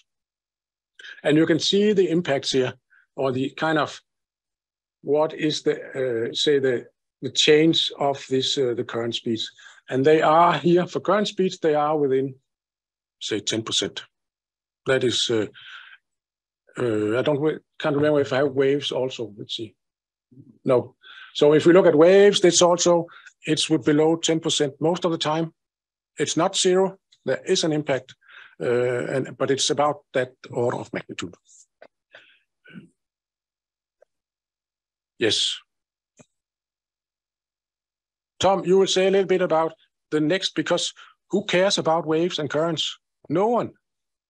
Ask anyone. They care about, they care about, are my fish gone? Where are the scallops I need to catch? That's what really concerns people. Are my beats disappearing? Uh, so you'll you'll move them when I ask. Yes. So just very briefly, we're going to go through some of the, uh, the how we did the agent-based modeling. We used the super agent uh, methodology because when you look at the fecundity of scallops or or uh, summer flounder or silver hake, you couldn't do every egg um, and and model it. So we we we basically collapse these millions of eggs per spawning season into a number of super agents, and then followed those super agents as they were dispersed. It reduces the computational load, and uh, but we can still monitor and update them over time. Next. So the the three the three um, species that we did in the first uh, study that was completed in 2021 was this uh, was an uh, agent-based model or ABM of the sea scallop larvae, silver hake, and summer flounder. And we took those customized ABM templates and then ran them through the hydrodynamic model. And then that what we were looking at basically was the differences in where these larvae settled. And when you look at the the the, the, the graphic on the right, that is for summer flounder. Summer flounder were a little bit different than uh, the sea scallop and silver hake larvae because they had a certain motility and would would sense um, basically ebb tides and flood tides and would swim towards the shore at a certain uh, development stage. So that's why the that's why you see the the differences are are mostly in inshore. Next. Um, the conceptualization, um, basically, this is the, the whole reason you do these agent-based models, the, the, how these were all conceptualized and built are based on these papers that are that are talked about um, here in this slide. They're, they're just settlement rate and population abundance. You know, how do you parameterize that? What's the settlement of probability, you know, probability and, and basically what is the substrate material and the environmental variables that will will um, allow the, the the larva to survive, the dispersal patterns and recruitment basically in different sinks areas and, and their swimming speeds, and then vertical migration patterns of larvae, basically uh, for function of uh, daylight and tidal conditions. So all those things are built into um, these templates and, and basically parameterized based on observations from, from, uh, from experts for each of the different species. Next. And then just to give you a flavor of what we what we found, um, there were you know basically determine oceanic responses for, for sea scallops. You know, there was a shift in settlement. Um, this is a full build out with 15 megawatt um, uh, wind turbines uh, in, in the Massachusetts, Rhode Island area. We had, we had basically four scenarios and, and this is the one that, causes the biggest impact because they're the biggest uh, biggest turbines. And so they, they reduce the wind speed the most and they have the biggest foundations um, uh, sticking through the water column. So we chose that one to, to present here. But basically it shows a shift um, basic to the southwest um, of the offshore wind farm buildup area. There's discernible or notable increases south of Block Island. Um, that's the blue uh, east of Long Island. And then there's some distinct areas of decrease, which is south of Martha's Vineyard and to some degree in the Nantucket Shoals. So, you know, th this is a very, very brief review of, of how we do our agent-based modeling, but you know, the, these are all integrated models in, in the MIKE system. Um, I know someone said something about open source uh, this morning, and we, we sell our software. But for the BOEM project, everybody should know if you are if you are investigating anything that has to do with these two projects, um, following on for I think five years, you can get a hold of the models. So we have got that in the contract so that deals with the open source issue, perhaps deals with the open source issue where the, the models will be made available to consultants to BOEM or people that want to review our, our, uh, our models through the BOEM, uh, these BOEM studies. Uh, next slide. So we also have to acknowledge BOEM. Uh, this is one of the, the mandatory slides that we have to put in. These are our contract numbers. And, uh, and some of our sponsors are sitting here in the room today. So thank you very much. Uh, we appreciate your support. Okay, thank you. Um, questions? Yes, go ahead, Glenn. Uh, very nice talks, uh, very, very informative. And uh, I'm really curious about the super agent modeling there. And uh, one of the things I noticed, you said that area uh, for scenario four, where with the buildup of the scallop larvae, there was that uh, kind of southwest oriented uh, uh, local maxima there that went up to Block Island. Was that overlaying the buried river channel there that goes up through Cox's Ledge?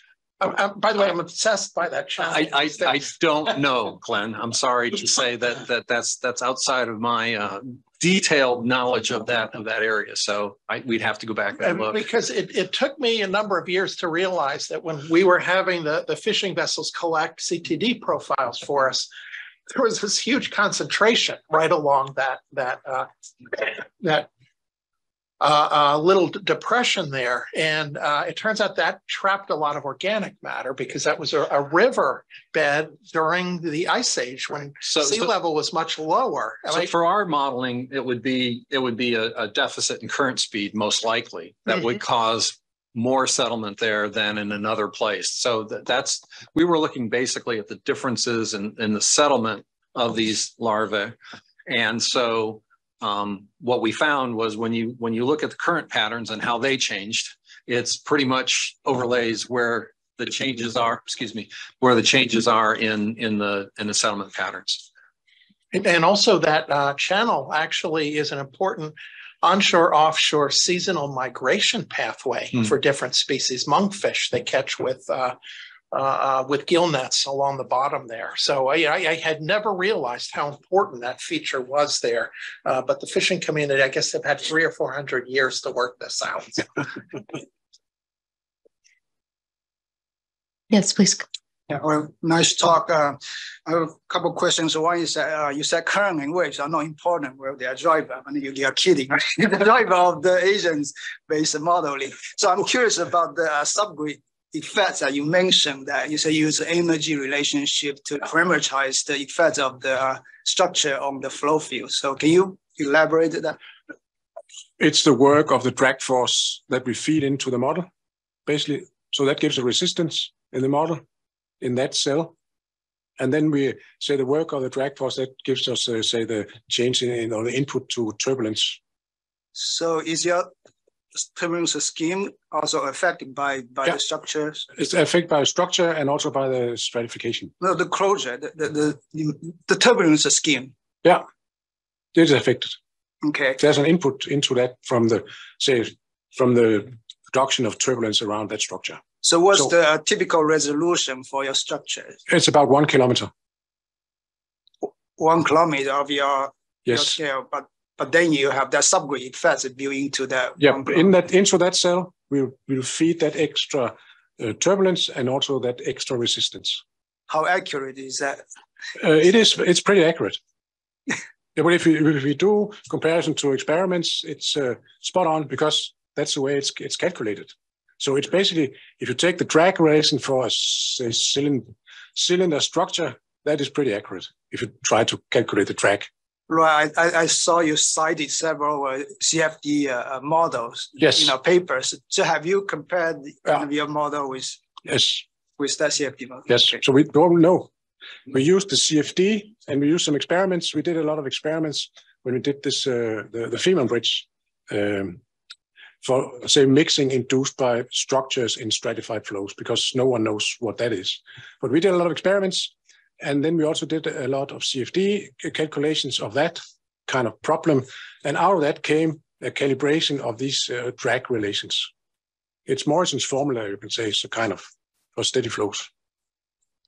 All right, thanks. So, so it's accurate because because we force it to be accurate. But you cannot go in and go. You cannot go 20 meter downstream the turbine and see the variations that Jens for example because it's all into this big cell. Because we need to both model, say the details have the correct uh, impact of the structure, but we also need to model more than one year in an area that is huge. So it's to compromise. How should we do that? It's not possible for us to do a CFD model of every single turbine and calculate that for more than 20 seconds. Uh, absolutely, absolutely. So, That's just curious about how you parameterize that, yeah, you know, yeah, yeah. that so-called subgrid mixing, a subgrid, subgrid effects uh, yeah. uh, using energy principles. Yeah. yeah. But there was some there are some papers cited. You can go back and look. Thank you. You know, I had a comment for scallop, you know, the model. So have you considered swinging behaviors? Because scallop larvae, they had a, you know, they had observation show a semi-diurnal and diurnal behavior on the mixed layer when it's swarming. So they can migrate in the mixed layer uh, in a day, you know, two times per day or sometimes one times per day. If you include behaviors, you see the settle down can be completely different. Yes. So we, we do consider we got a behavior, we do a diurnal behavior and a semi-diurnal behavior. So we found, you know, semi-diurnal behavior, because we don't know which one is correct. Both observation found that. So then you, you look at, because of the migration in the vertical mixed layer, so then, then after 40 days settle down, they can be completely different pattern. Yeah. The answer is yes. Yeah. We, we take that into account. Okay. Okay. I was trying to let the committee ask questions first. So um, uh, this is a bit of a, a, challenging question. I mean, no disrespect to either of the modeling teams. As a, as a developer, we have to develop our permitting documents and consider information like this. And, and what, as, an, as a non-oceanographer and non-modeler, I'm I'm hearing what you're having to say and seeing opposing results, right, from the models, and um, and that is a bit concerning. And so, I guess two questions. One question for you both um, is: Can you discuss a bit why you have such differing results? And then, a second, just a you know comment to the committee as you're developing the report to to please consider uh, and advise folks like myself and regulators how we interpret this variability. Because this uncertainty does i think create some regulatory challenges for us that concerns us. And we and we obviously want um, good science that's validated but I, I don't know how to deal with this conflicting information. Thank you. Just a maybe a caution. This is not like structural engineering where you can do a calculation, ask three people, and they'll get nearly the same. This is still development. This is very new science uh, coming up, and it's very, very complicated uh, because there's so much uncertainty in the real world. Uh, Glenn will know that. Everyone will know that. Uh, so, so that, that is part of the background to why we get different results. So we use slightly different methods, and then we get different results. So so I'm not sure we can promise anyone that we can come up with something that is completely consistent and where you can go anywhere and, and, and get that. You need to have certain knowledge, certain insights uh, someone to go in and, and make the make it. But but I see this opportunity here and also what we do otherwise as a, as a as an effort to try and converge things and exactly to get results that are kind of agreed that we can everyone regulators developer can say okay this is the ballpark we're talking about. Uh, because i have the same feeling as you have that today if i look in one paper it's uh, the world will go upside down if we build this and in another paper nothing will happen. And and wh where are we in between of that? And you can say it has been my ambition and I've, at least that's what i try to is to try and find sensible numbers that are in the ballpark. Maybe not within the 10 decimals, but still something that's in the ballpark and find realistic numbers. Uh, but it's not easy. Sorry. okay, I think Josh and then Richard. Uh, yeah, this is a, I, I guess, kind of a follow up to all the the modelers and something that I wrestle with. It, you you're showing and this is i think related to the point that that laura just raised. Is there a way you've done validation both both groups so far and i know there's a third one to come have shown validation. Is that what's learned through the validation is that accounted for in the derived fields that are shown that that the groups are shown or is there a way to include that so that you can understand the derived forms or the the images don't show the uncertainty. And so maybe there's a way to address the concern raised before. And i don't know if that's possible with the validation that's done but i think it would be helpful to the community to understand what the uncertainty is in these fields given what you know about the underlying data that went into the calculation of those fields. Can i answer that? So i have two things. One that's your responsibility. That is that we need more data it's really crucial that we get more data for calibration, for validation. It is, it is very important. That's I, one thing. All right, I'll, I'll just respond to that really quickly and just say, I don't, I would put any other place on the planet up against our Mid-Atlantic as a place to look for validation data. There's not many places in the world that have more. No, uh, Glenn talked about all the different systems that are in the place, and they don't they don't have the entire coverage of the model, which is why we need the models. But there are a lot of current, there's a HF radar field that provides hourly currents since 20, yeah. 2007 at every six kilometers, right? So there are data out there. Yeah. So I think that if we're going to do something like this, this is a great place to do it, right? But it has another one, and that's it's also uh, one of the most complicated places. So yes, no, we need more data. Compare regional model with the CODAR data for the past uh, like 10 years. So for the Block Island side, just uh, Nantucket Block Island, they got a three CODAR there. We make an 80 year comparison, but it really depends on how you compare. For tide simulation, the model and the position match very well. But for low frequency, really question. So we can get a very good comparison for monthly averaging, but then you do like an hourly comparison, really tough because the CODAR no, they have a uncertainty, most not for speed, most for the direction. Because the CODAR measurements, uh, average uncertainty for direction is about 20 degrees. But sometimes if you look at the recently in the Rutgers University published, you know, CODAR data, the whole region, so you can see a lot of on the short big region, uncertainty is most 80, no, that kind of no, no kind of 80 degree know, 80 and 100 degree angle and wasn't short break region. But in the near shore region, you know, Long Island Sound region, if you look at the map, I have the data I can show you. Long Island Sound region is a pretty good measurement, but you know, when the quality go offshore, the signal error bars very uncertainty is really big. So you have a very hard to compare. So when we do the comparison, we choose the whole 40, you know, whole measurement 10 year. We choose the high accuracy data for. They, they have uncertain number there. You compare the subtidal and the and the tidal current, they come out really good. But however, is you have to consider uncertainty in the measurement. But the core data is hard to compare. Most of good data compares mooring data. And the mooring data, because the uncertainty is very is, is small. you can get a good comparison. Yeah, I'll, I'll, I don't want to tan defray the conversation. I'll just say I, yeah, I I did my PhD on HF radar. I'm very Yeah. familiar with it. I, I, I just was making a comment that you all showed validation. Yeah. And I think there's an opportunity to take what you learned from that validation with whatever data you had Yeah, and, and actually put it into the results here. So we know yeah. if velocity has a certain uncertainty in comparisons to whatever data you chose to uh-huh. validate the model mm-hmm. against, how does that impact where larvae might go hmm in the model projection? That's mm-hmm. just the suggestion. I think that would be very helpful. Yeah.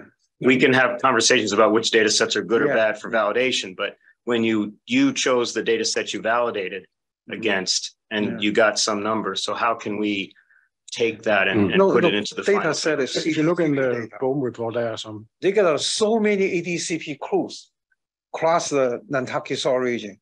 Nantucket Shoal region, every, most, you can see like uh, more than ten year data across the region. The, the results show big region of region there. So we do compare, we know the uncertainty. I didn't going to talk today, but interesting, we can send you the comparison uncertainty. They also intrusion water, how they, sometimes model, uh, though doing go okay, sometimes not. Depend on what, uh, how your model, if you can, if you get a simulation warm core ring correctly, you get a very good comparison. Sometimes you feel the simulation, you not get a short bigger simulation comparison. But in the shallow region, so you have to remove the ties and compare. But tighter comparison, you know, that's pretty good. I'm pretty sure you see that their comparison with sea level was pretty good. Right. Okay, I think, did you have a Yeah, there was response to that? Or there and then one more. Richard and Christina? That was one more answer. That was about the uncertainty. When we do uh, these design studies, we do waves and currents. It's it's a little bit easier, uh, you can say, modeling wise, to get accurate results. But there, we do 40 years uh, typically, and we do a lot of effort to quantify uncertainty because that goes into design and money. You know, but that's uh, uh, it's also important there as it is here. So. Uh, so it's something we do, but but it's not straightforward to do. Okay, I think Richard and then Christina. Okay. So one thing that I'm curious about is how we compare between models based on what we see of the spatial extent of the outcomes or the model run. So in Chen's example, that was just five oh, the project five oh one, Vineyard Wind, correct? Yeah, sure. Your, what we saw of your project was basically the model runs for project five oh one, Vineyard Wind project, For tight, doesn't make for scallops, for the sca- distribution of scallops. I don't get a question. Sorry, sorry, I didn't get a question. Yeah. So you, the project you used, Uh-huh. the hundred turbines, that was basically Vineyard Wind. No, the wind tide include the wind tide include because it's nesting model. We run a global model, a regional model. Regional model come from the hindcast. But you, you were not modeling the full build out for all the projects south of the vineyard in the, in Nantucket. No, I just for the one, Yes, one, that- one that's my design. point. Yeah, hundred, yeah. Whereas what we saw from y'all was the full build out. Yeah, that was four scenarios. So it's kind of hard to compare the results of those two. And, and I think some of us are probably curious about how you, you see the results of a single turbine. You can't extrapolate that to a whole project, right, obviously. So you can expand out to the whole pro, a project like 501 or Vineyard Wind, and that has an effect. But I'm really curious about what the overall effect is going to be from the full build out. So we haven't seen that from yours, and but do you have a, a any chance what you saw with 501? Yeah, You know, that was one- one of our scenarios. I know it's one of the scenarios, but do you have Yeah. it? So that Right would be- now? No, but but- but it's in our report. Do we see that? Okay, because No. that would be the, if Yeah. you're, we're, I mean, I think someone's picked up in the difference in, in the distribution of scallops. It's very different in Chen's results than in yours. Yeah. It could simply be the spatial scale of the model. You know, So no, it'd be no, helpful to key, have the five ones yeah. compare each each other. no key issue difference, separation scale. Because uh, when you put a wind turbine into system, be separation scale between the turbine is critically important. So now the industry agree, they have a one nickel separation scale. When we do the bond project of 2014, the separation scale is five nickel So we consider the whole region, right? But only put a, they only put a hun- 135 turbine into system. But separation scales are, you separation scales are larger, influence is completely different for separation scales smaller. So they consider about, you know, we get, we get a hundred hundred wind turbine just in the one design, the wind of wind, a small area, put a hundred. Separate scale is the one nautical mile. If you put a whole region, it is a separate scale. The the influence can be different. I understand. That's Yeah, my point, yeah, that yeah. the, the full build out may look very different. Yeah, very different Than your yeah. results. Yeah. Yeah. Okay. I think, Christina, we can come back to your question unless it's a quick question or. That's scale up, so. Okay, um, I'm, I'm concerned about running out of time. I want to give York a chance to tell us about, yeah, a third model, um, Delft 3D. And York is a senior researcher and advisor in hydraulic engineering at Deltares. And please tell us about Delft 3D.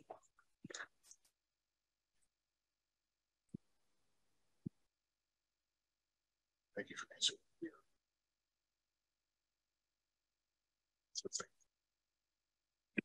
I'll just open my presentation while everybody is going for a potty break and getting some water. The break is after your talk, so they're not excused from the classroom right now. So Everybody's excusing themselves.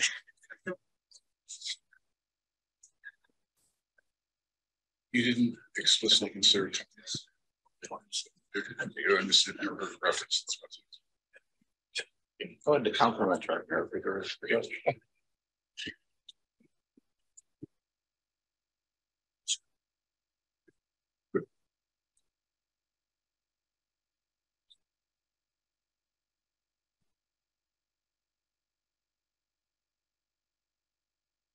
All right. I'm visible. Let's start then. Uh, model number three, as has often been referred to in the previous talks, uh, also also commonly known as Delft 3D. Uh, in this case, now we'll talk a bit about um, uh, the same topics that my uh, predecessors talked about, as uh, using this modeling suite to assess um, ecosystem effects of offshore wind installation. Um, so to tell you a little bit about Deltares, I think we have a rather similar company profile as DHI. we are uh, also an independent institute for applied research in the field of uh, water, subsurface and infrastructure. And uh, yeah, we uh, do a lot of offshore wind related work together with both universities, but also with the industry. So for example, the nice photo you see in the background of, uh, of a turbine getting, getting splashed with a very big wave.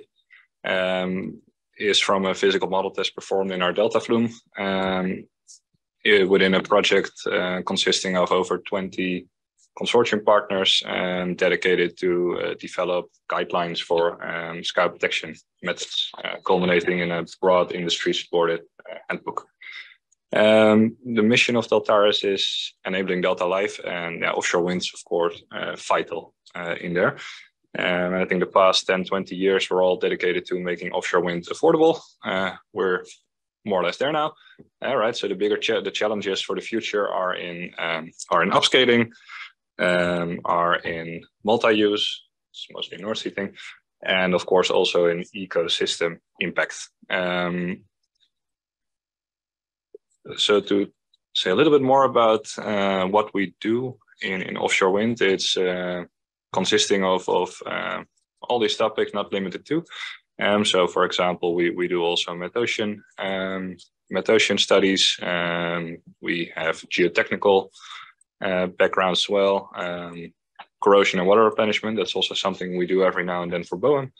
Um, and of course, one of the bigger topics is ecological impact, both positive and negative. And in that framework, uh, we quite often hear terms like nature inclusive design uh, or net positive impact, right? So nature inclusive design is really to, to integrate your design in such a way that you can alleviate pressure on the ecosystem. And uh, depending on how you do it, you may even uh, strive for achieving a net positive impact. So you leave the ecosystem in a better um, shape than you found it. Um, and of course, that's all in the eye of the beholder.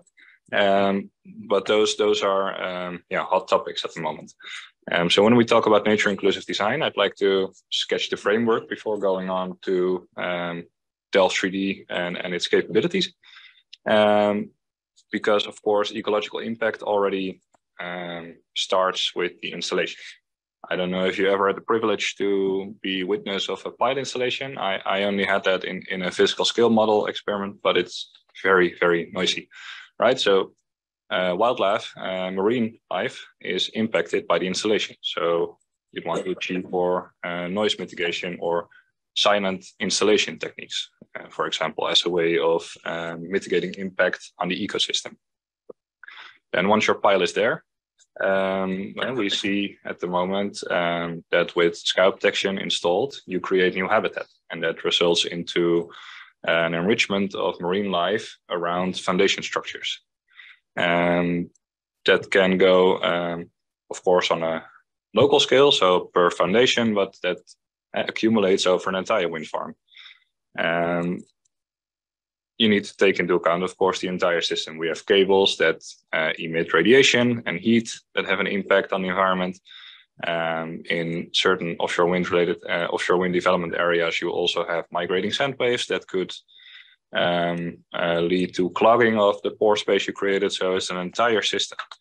Um, talking about an entire system, of course, the turbines, they impact also the hydrodynamics um, by in uh, uh, creating more turbulence, uh, realizing more mixing, all these things that we have already talked about.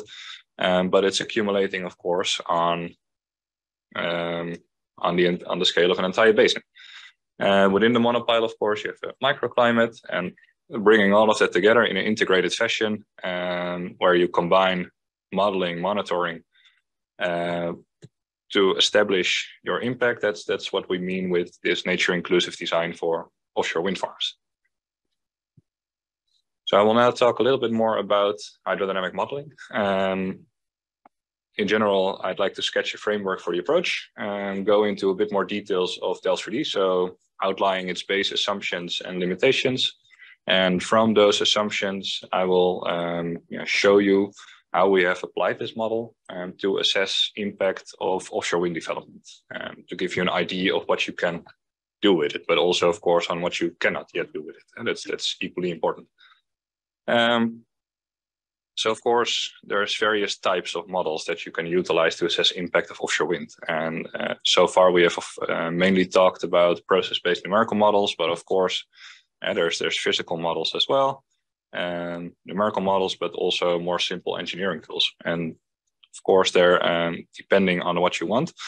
Um, not, not all models are equally fit for purpose. Um, of course, we focus now on the numerical model approaches, um, and there you can also choose from different flavors, uh, where you, depending on the complexity and detail that you require, uh, you can make similar choices. So, for example, we have this 1D network models that you could use to model rivers or maybe even tidal channels. Um, going into more complex 2D, 3D area models, um, and we talk about tidal inlets, seas, um, offshore wind farms or even more detail, more complexity, local high resolution CFD model. And that's typically on the scale of single structures. And here you see a very nice visualization of a CFD simulation that was used to assess the impact of a slamming wave on the loads in the secondary steel structure. That, that, that's the level of detail.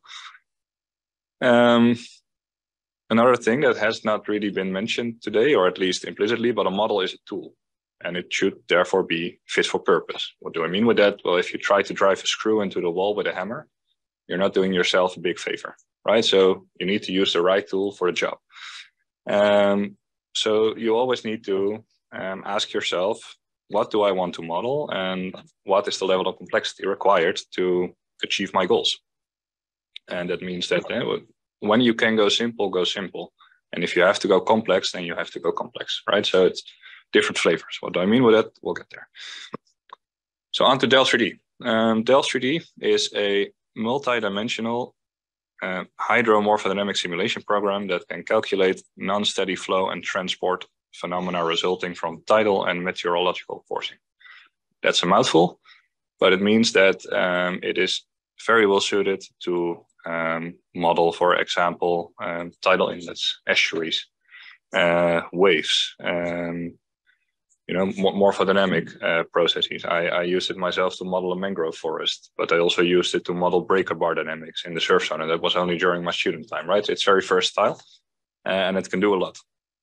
Um, it makes use of uh, curvilinear grids in combination with unstructured elements. Um, so it uses the best of both worlds in terms of flexibility, but also in terms of uh, performance. I'm talking about computational speed and accuracy, right? So you see a very nice example where uh, we combine curvilinear um, to have a good layout in, in tidal channels with unstructured grids to um, combine uh, different parts. Eh? Because if you want to do this with uh, only curvilinear, you're going to have a very, very ugly grid. So here we combine it with unstructured elements to get a very nice uh, looking numerical grid that also leads to good performance. It makes use of the shallow water assumption. Um, and I think most of the models that have been discussed here do that. And that means that um, we assume that uh, one of the three dimensions is much smaller of scale than the other two. So the depth is much smaller than the horizontal scales. Right? That's what you see here. In reality, if we talk about uh, water depths of 30, 40, 50 meters in, in wind farms, and we talk about horizontal scales of, of kilometers, of course, your vertical uh, your vertical dimension is much smaller than your horizontal dimension. But it comes also with the uh, with an hydrostatic pressure assumption, right? So in in the vertical dimension, um, you do not solve the full momentum equation; you solve a hydrostatic uh, pressure equation. Um, so that also means um, that um, you do not um, explicitly uh, model vertical acceleration. And your vertical acceleration is assumed relatively small compared to gravitational acceleration. Um, so that means in Delft3D, uh, vertical velocities are um, computed using continuity relation. It makes use of a Boussinesq approximation. So the effect of variable density is only considered in uh, terms of a horizontal pressure gradient. Um, so uh, vertical variability in density is taken into account by the model. Um, and vertical mixing is, is computed uh, making use of, of um, uh, diffusion, uh, eddy diffusivity and eddy viscosity coefficients. Um, but in terms of the impact of um, uh, density variations under pressure, it's only taken into account in horizontal pressure gradient terms.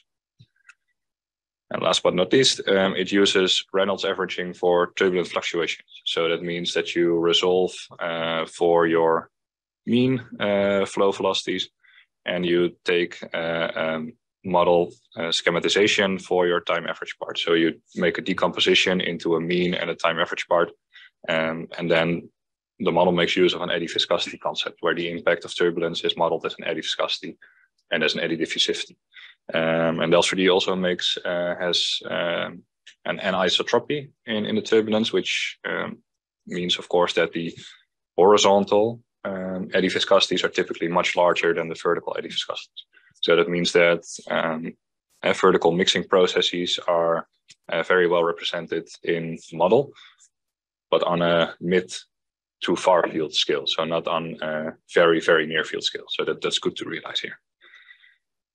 Um, so it has a bottom boundary and a free surface boundary, um, both an impermeability boundary, kinematic, um, and a free surface uh, at both free surface and the bed, and the momentum boundary condition of bed shear stress at the bed and wind shear at the free surface. Or um, now, of course, offshore, you do not have only flows, you also have waves. And Delft3D um, also explicitly takes into account wave current interaction, where the wave processes are modeled with a separate uh, model that is coupled um, to the flow module um, called SWAN, simulating waves approaching near shore. Um, and these wave processes are accounted for in a wave average manner. So your wave induced forces, they are imposed as gradients in your radiation stress. Um, and to account for vertical non-uniformity in those velocities, it makes use of a generalized Lagrangian mean method. Um, and it does a factor addition of bed shear stress components. So it's high level of detail. Um, of course, what we know or we have seen figures like this. And so, so uh, we know that in um, offshore wind areas, in, in seas in general, there can be sediment transport. And we know that turbines have an impact on sediment transport. And, and you can imagine that if um, you have uh, a sediment concentration in your water column, that may have an impact on the ecology by uh, simply um, determining how much light can penetrate through the water column. So it's quite important that your sediment transports are also taken into account in the computation. So Delft3D uh, computes both bed load and suspended load for both non-cohesive and cohesive sediments. Uh, and it can also do morphological updating if needed. Now the flow module can be coupled to a water quality model. Um, and that can also be applied uh, as a process-based model. So it can be applied in a, in a more passive way so that, uh, for example, nutrients or pollutants are um, modeled as passive tracers. So they're then affected by the flow.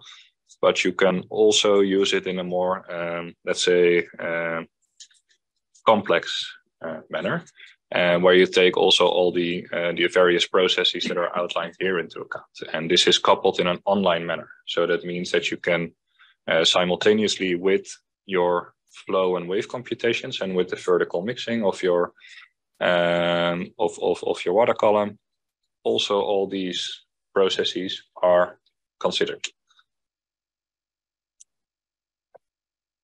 We're now looking at the chain of effects associated with I mean, not only wind uh, developments, but um, uh, coastal seas in general. And we have we have external factors, uh, human pressure, so the climate, discharge, sand mining, and there somewhere in between uh, comes offshore wind.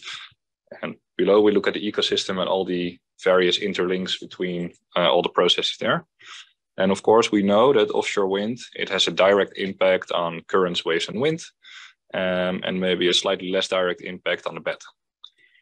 And all these processes, they also influence each other. So that means that uh, you know you can already draw out the lines uh, where you expect there to be an influence on the ecosystem. Um, and, and this is the way that uh, we do it. So we go from the environment towards the ecosystem. So that's called a bottom-up approach.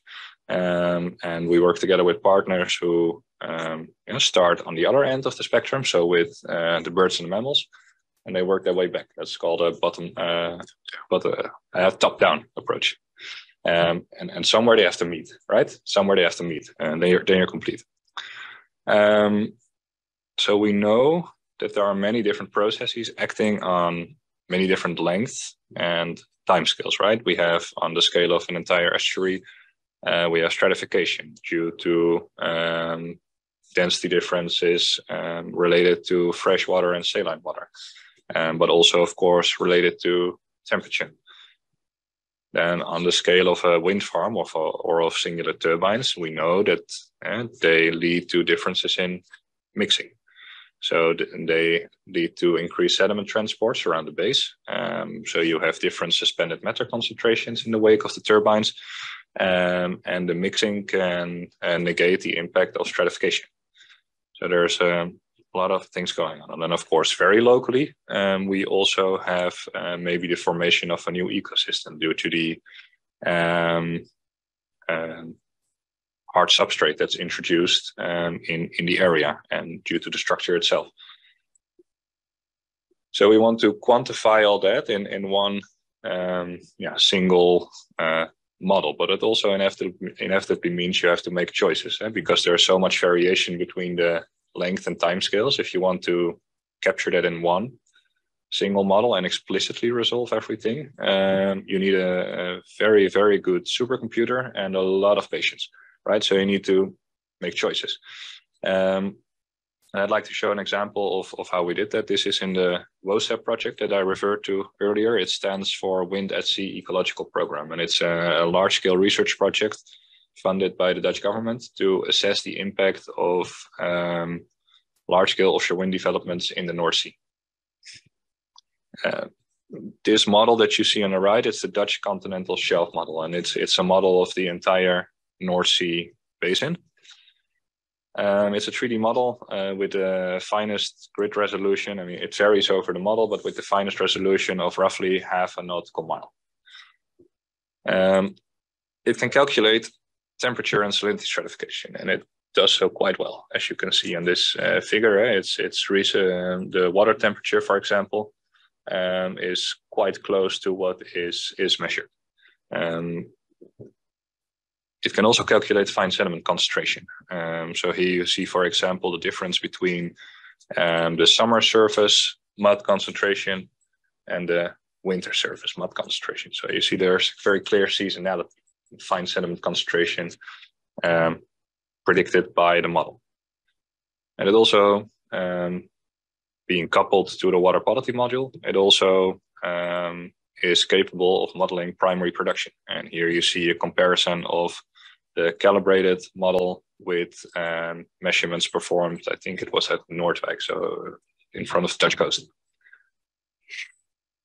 It then makes use of dynamic energy budgets to assess um, the impact on uh, wildlife, right? So that means that for different uh, umbrella species, um, we can assess um, what um, is going to happen if you if you uh, go for large scale offshore wind development in the region. Uh, one thing that still needs to be implemented is a direct coupling uh, with the impact of wind wakes. Um, so that's one of the one of the shortcomings of the model at the moment, and that's being worked on this year. So that's a development step for the present year. Um, another development step for this year is to incorporate zooplankton. Um, and of course, we want to do that to reduce the gap between the bottom-up approach and the top-down approach. Um, Another very important aspect, it has been discussed already, is parameterization of the foundations. Because of course, you can imagine with a grid resolution of half a nautical mile, we do not explicitly model the foundations. We use a similar approach as our colleagues from DHI. We parameterize the impact of the foundations uh, as um, as drag coefficient. Um, but yeah, that involves a very direct coupling, of course, between very local processes and, and large scale processes. And, and one thing we do uh, here as well um, is that there's coupling between scales is highly relevant. And so on a structural scale, you have these very complex flow phenomena around the wind turbine, and that's in the order of centimeters to meters. So you need very, very fine grid resolution to capture this accurately.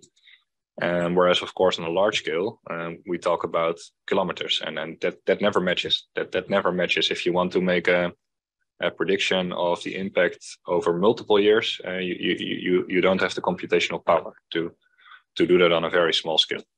Um, so, uh, especially if you want to model the impact of offshore wind development on an entire basin, uh, which you can see on the right. Um, so you want to have good insight into all these small scale processes, what they do with um, salinity mixing, with temperature mixing, so with your stratification, but also um, with your um, uh, suspended sediment concentrations in the wake of the foundation. So for that, we use a more detailed local model as a research tool. Uh, so here we see the results of a CFD simulation, for example um, to get the correct relations for a parameterization and to um, get the right impact. It's very similar to what our colleagues from DHI do. Uh, there's the consistency yeah, between all the all the model approaches, um, and we compare it with um, actual field data. So we we supplement it with actual field measurements. So this is from a recent campaign performed last year.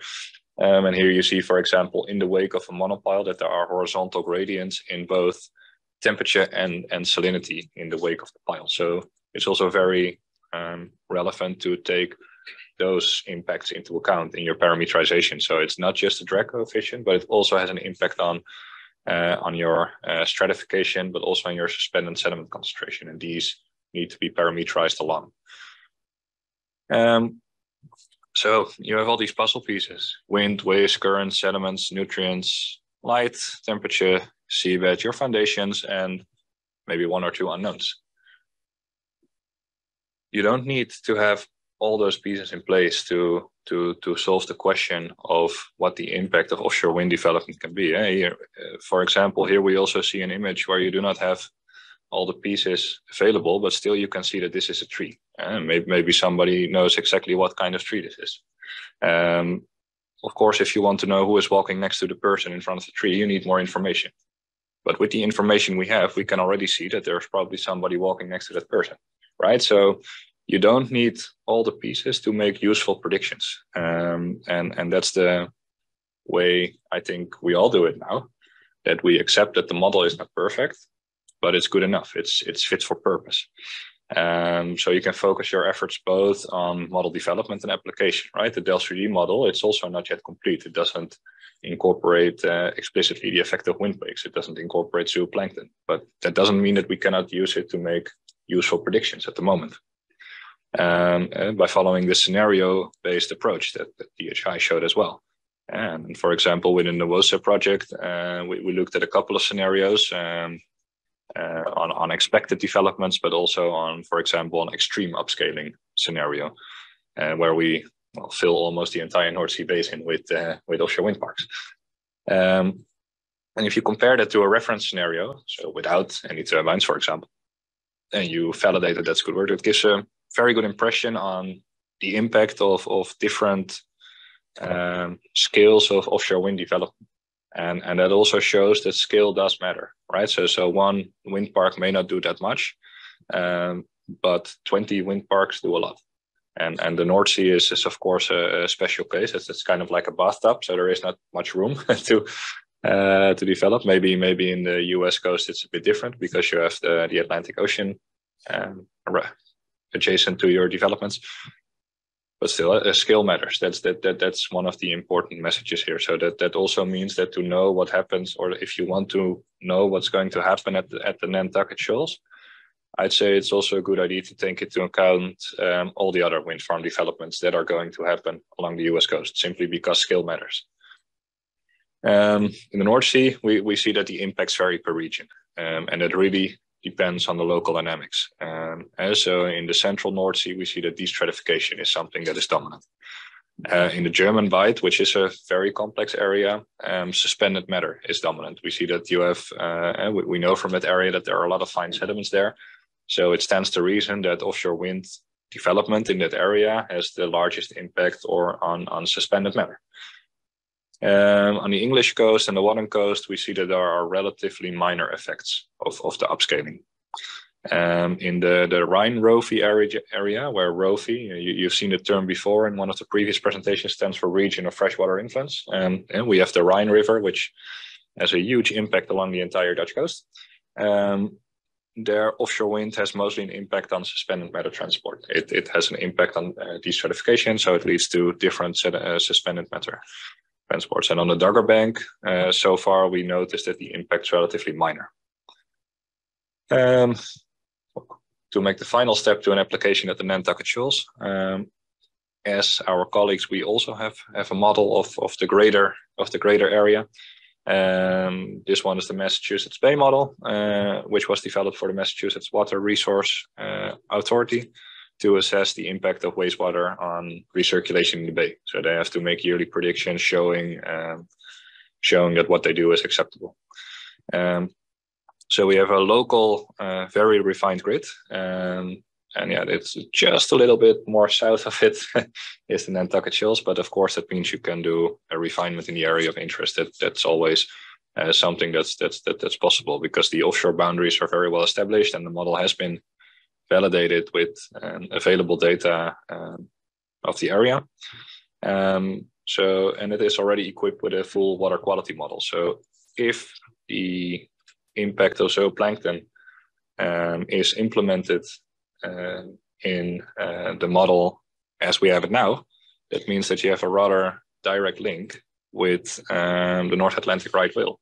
If you can model the impact of offshore wind development on zooplankton, you have um, a relatively, I'm not going to say easy, but a relatively straightforward coupling to what may happen uh, or what the impact could be on, on the habitat of the North Atlantic right whale.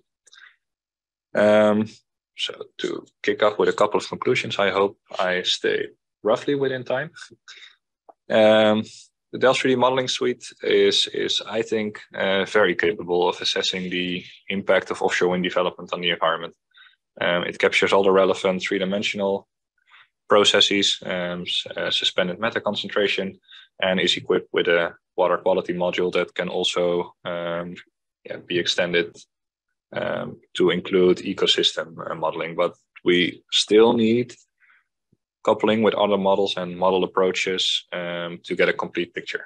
And that, that, that, that that's still required.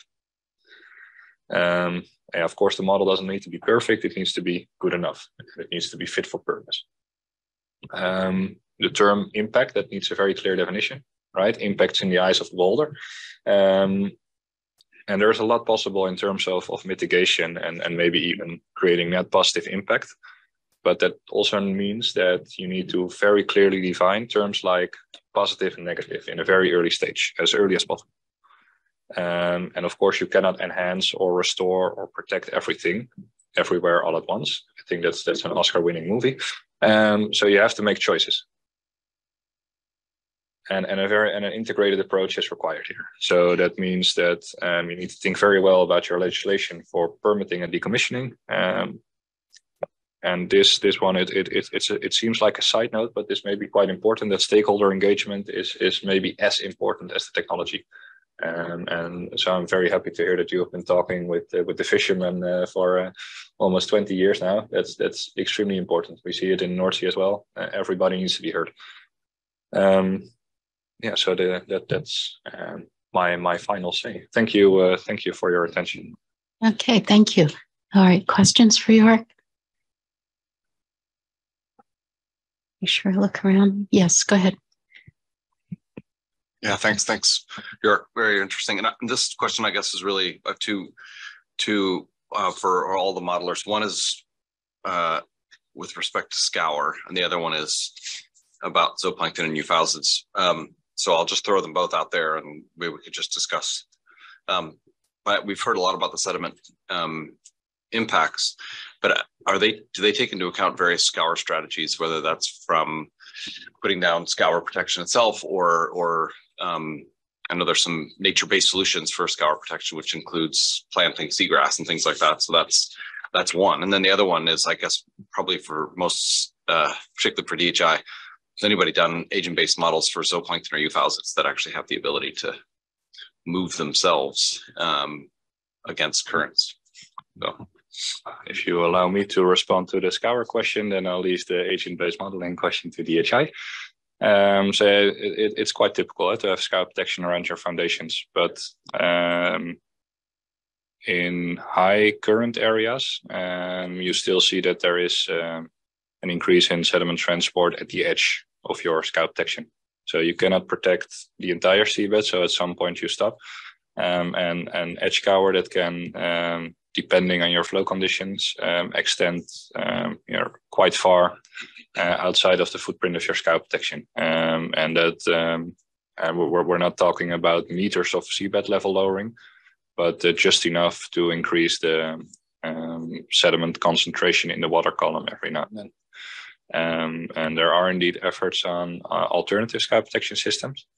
Right, so so now it's just loose rock, um, and and that works quite well because it introduces hard substrate, and and it turns out that marine life likes hard substrate. And with a couple of small adjustments, like choosing larger rock to create more pore space, um, or or introducing calcareous material to to facilitate um, uh, oyster developments, there's a lot of possibilities in in terms of nature inclusive design. Um, artificial protection systems are being developed. And we also see that, um, or what I understood from my uh, ecological colleagues, is that seagrass growth on, on depths of typical offshore wind farms is yeah, rather non-existent because the amount of light that reaches the seabed is not sufficient. So um, there are some alternative scour protection systems that make use of artificial vegetation, but that's plastic. So it's it's it's plastic fronts, and it I mean it, it may also create a a habitat that's suitable for marine life. Um, but I also know that the, not not everywhere in the North Sea you, you can get a permit for those kinds of uh, systems simply because they're plastic. So.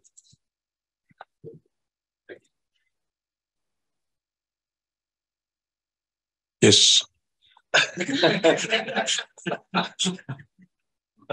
Are they uh, are those results in the report anywhere, or oh, we can I can find something. When you ever talk to the guys, okay. it's not me. But we do whales, for example. Yes, Migration I know. whales. I know. They move. Yes, I know. But they move quite differently than euphausiids and uh, Yeah, yeah, but still, but, but yeah, but, but still the copepods they move still goes up and down. But they okay. They also get affected. Yeah, then it both it's a And, and Mary um, or Brian may want to jump in here. Uh, so all the projects, Doug, have to do sediment transport modeling. So if you look at any of the COPs, you, you can find a modeling that's project specific, as well as a description of the scour protection that each project uh, takes on. So it is it is project specific. And I don't know, Mary, if you want to add any. Yeah. Any other questions or comments? Yeah. When we did the study, the first time we discussed about this, whether we should include the scour protection. I think we actually include scour protection in the resistance calculation for, because they also take up some, but how important they are for the accumulated impact on a larger scale. Um, Mm, right on the hydrodynamics itself. Yeah, maybe a little bit. They, they changed the resistance a little bit. Anything else? Any other comments? Just an observation, it seems like that what we could benefit from would be uh, the equivalent of the uh, community model intercomparison project for the different models that are being developed for offshore wind energy development. But anyway, that would be a pretty in- interesting project, I would think. Yeah. As Jörg said, we, we, we are a little bit twins institutes because we have same history and has competed all our lives. Uh, and uh, we have compared results for different projects. Uh, they have been compared very, very closely. And I think normally we can agree pretty close. That would be. Although I do think that in the North Sea, we were just a little bit better. Here we go. Only, only, And who, with, who- with who's, who's doing Dutch water right now? So maybe with that, we'll take a break. All right. Yeah, yeah, let's not do that. Okay, maybe a, a 10 minute break, um, return in, um, yeah.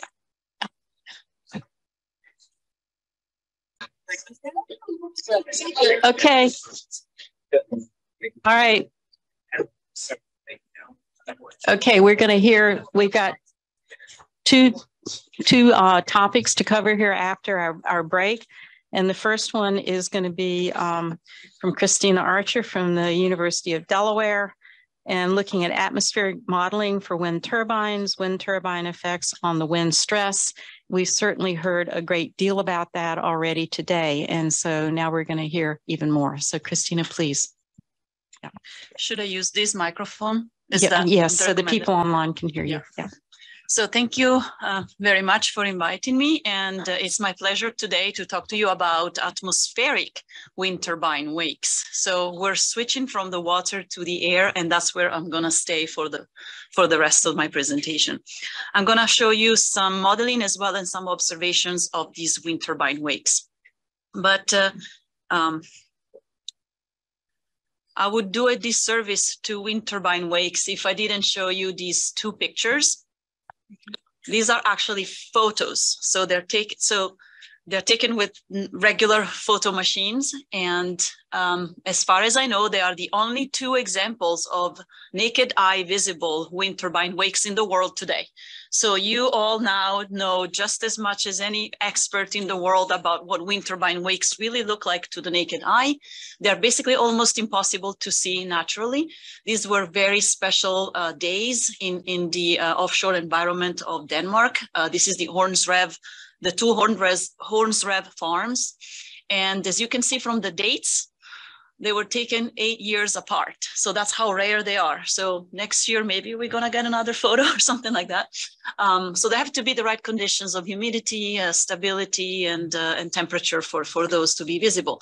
But the main point is that you can see how these wakes are regions or plumes that form downstream of wind turbines. These are not uh, pollution plumes. There's no emissions. There's no pollutant in there. It's just water vapor that's condensing but it kind of shows you the features, the, the cylindrical nature of the wakes. Sometimes they expand and become very, very large, and sometimes they stay kind of tubular. Uh, but this is what we're, we're going to talk about. Where we can observe, uh, we can also observe wind turbine wakes via LiDAR systems. And these are examples of what these wind speed deficits look like. LiDARs are uh, basically electromagnetic waves um, that are safe to the eye that pick up movement of particles and via Doppler kind of effect, they can tell you what the wind speed was. And behind the turbine, you will see this wind speed deficit, meaning that there is reduced wind speed uh, with respect to what the wind speed was upstream. So in the first figure in the middle, you can see a vertical cross section of a wake uh, this is um, uh, the colors are like the more red, the faster the wind speed. So blue is kind of like indicative of a deficit, and the same color scheme is pretty much in the other in the other animations and in the other picture. The picture on the left is taken uh, from the Lewes turbine of the University of Delaware. We own a Gamesa two megawatt turbine on the Marine campus in Lewes. It's been operational for some ten years, and uh, um, the the we sell basically excess electricity to the city of Lewes for a for a profit, I guess. And the funds have to be invested in research on wind, so we can fund some students and initiatives related to research. So it's a very cool uh, initiatives that uh, that was because of the turbine. Another way that I can show you uh, some wakes is via large eddy simulation, uh, which is a form of computational fluid dynamics. And on the left is a single turbine wake, and uh, uh, the, the rotor is where the circle is. And again, the color scheme is such that red is, is fast and blue is, is, is uh, weak.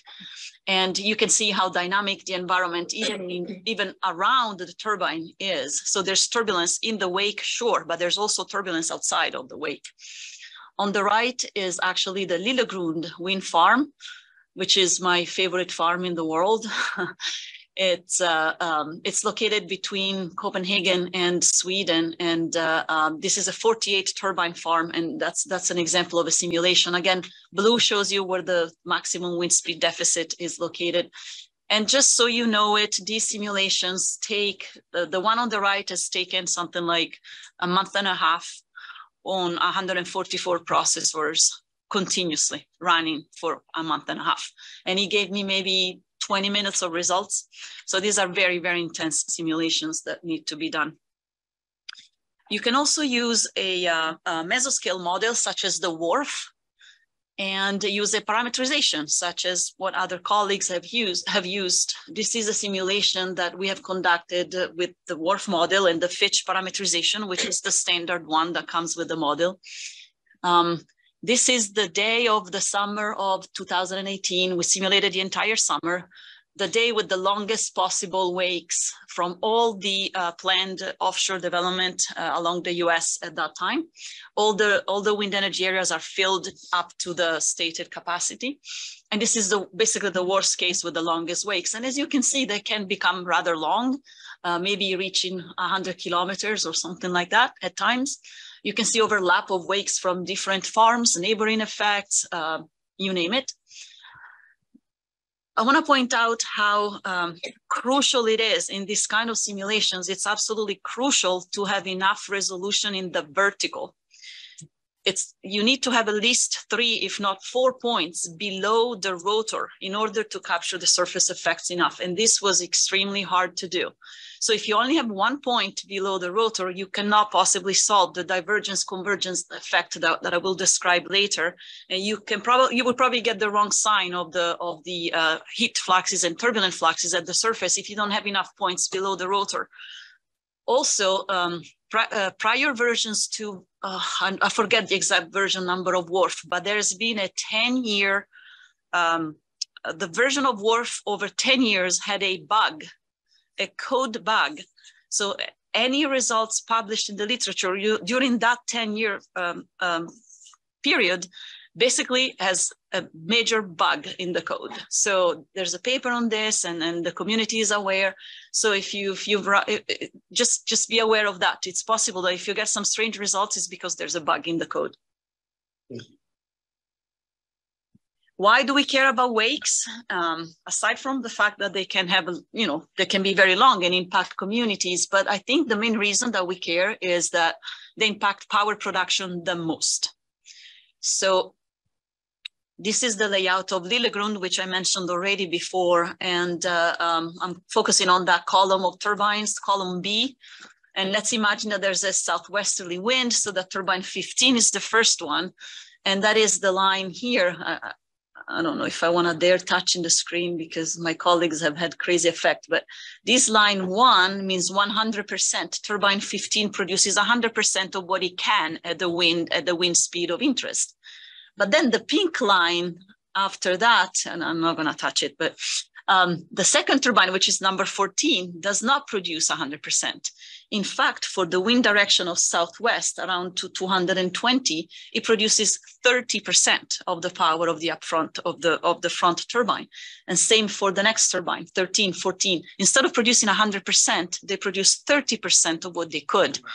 And why is that? Because of that wake. The wake of the front turbine hits the second turbine. The second turbine does not produce as much as the first. And this goes on and on and on in the farm. What is your x-axis? My what? The x-axis. Is the wind direction. Yeah. So yeah. So the the the one with the minimum is exactly you know 217, yeah, yeah, and yeah. then you're around it. Yeah.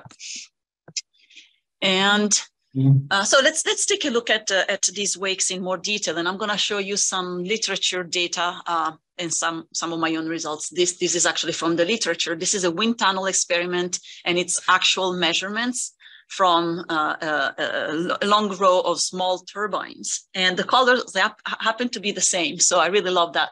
So if you look at the blue, that's the wind speed deficit. And as you can see, it touches the ground basically uh, relatively quickly. So the wake of the turbines in terms of wind speed deficit indeed reaches the ground pretty much at any after every turbine. You see that blue shade uh, where there was a higher wind speed before upstream. The second issue that I want to point out is something that came up today about how the wind speed deficit is not cumulative. And this actually illustrates what I mean the you can see that between the first and the second turbine, there is more of that blue, the dark blue. That means that the, the but the shade is still he doesn't get any darker in the second turbine than in the first one. And then if you actually continue and look if uh, you focus on the dark blue, you can see that it doesn't get any darker at the third, or the fourth, or at the fifth. The maximum wind speed deficit kind of like remains the same. And if anything, the further you go in a wind farm, the less of the, that deficit is. So it's not only non-cumulative, it's very nonlinear and very hard to actually predict. Um, you can use also large simulations to look at uh, the wind speed deficit. These are three cases for three stabilities, stable, neutral, and unstable. And now the color is reversed. So you have to look at red for, for a stronger uh, deficit, but it reaches the ground between four, three to five, six diameter. So the wind speed deficit reaches the ground translated offshore for the oceanic community, it means that the wakes do reach the, the water, uh, the surface, which we, we suspected already before. You can also use WRF again. Uh, this is a mesoscale model with a parameterization. And if your parameterization is correctly done, you should see the same effect. And in fact, we do.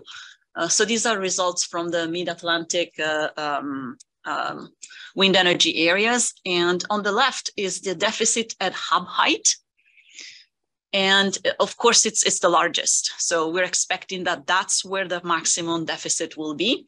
But when we focus at the surface, and again, you need to have enough vertical levels to really see that there is still an impact at the surface. So the wind speed deficit does indeed reach the surface, but it's very modest compared to hub height. I have the line, the dashed line with 0.5 meters per second.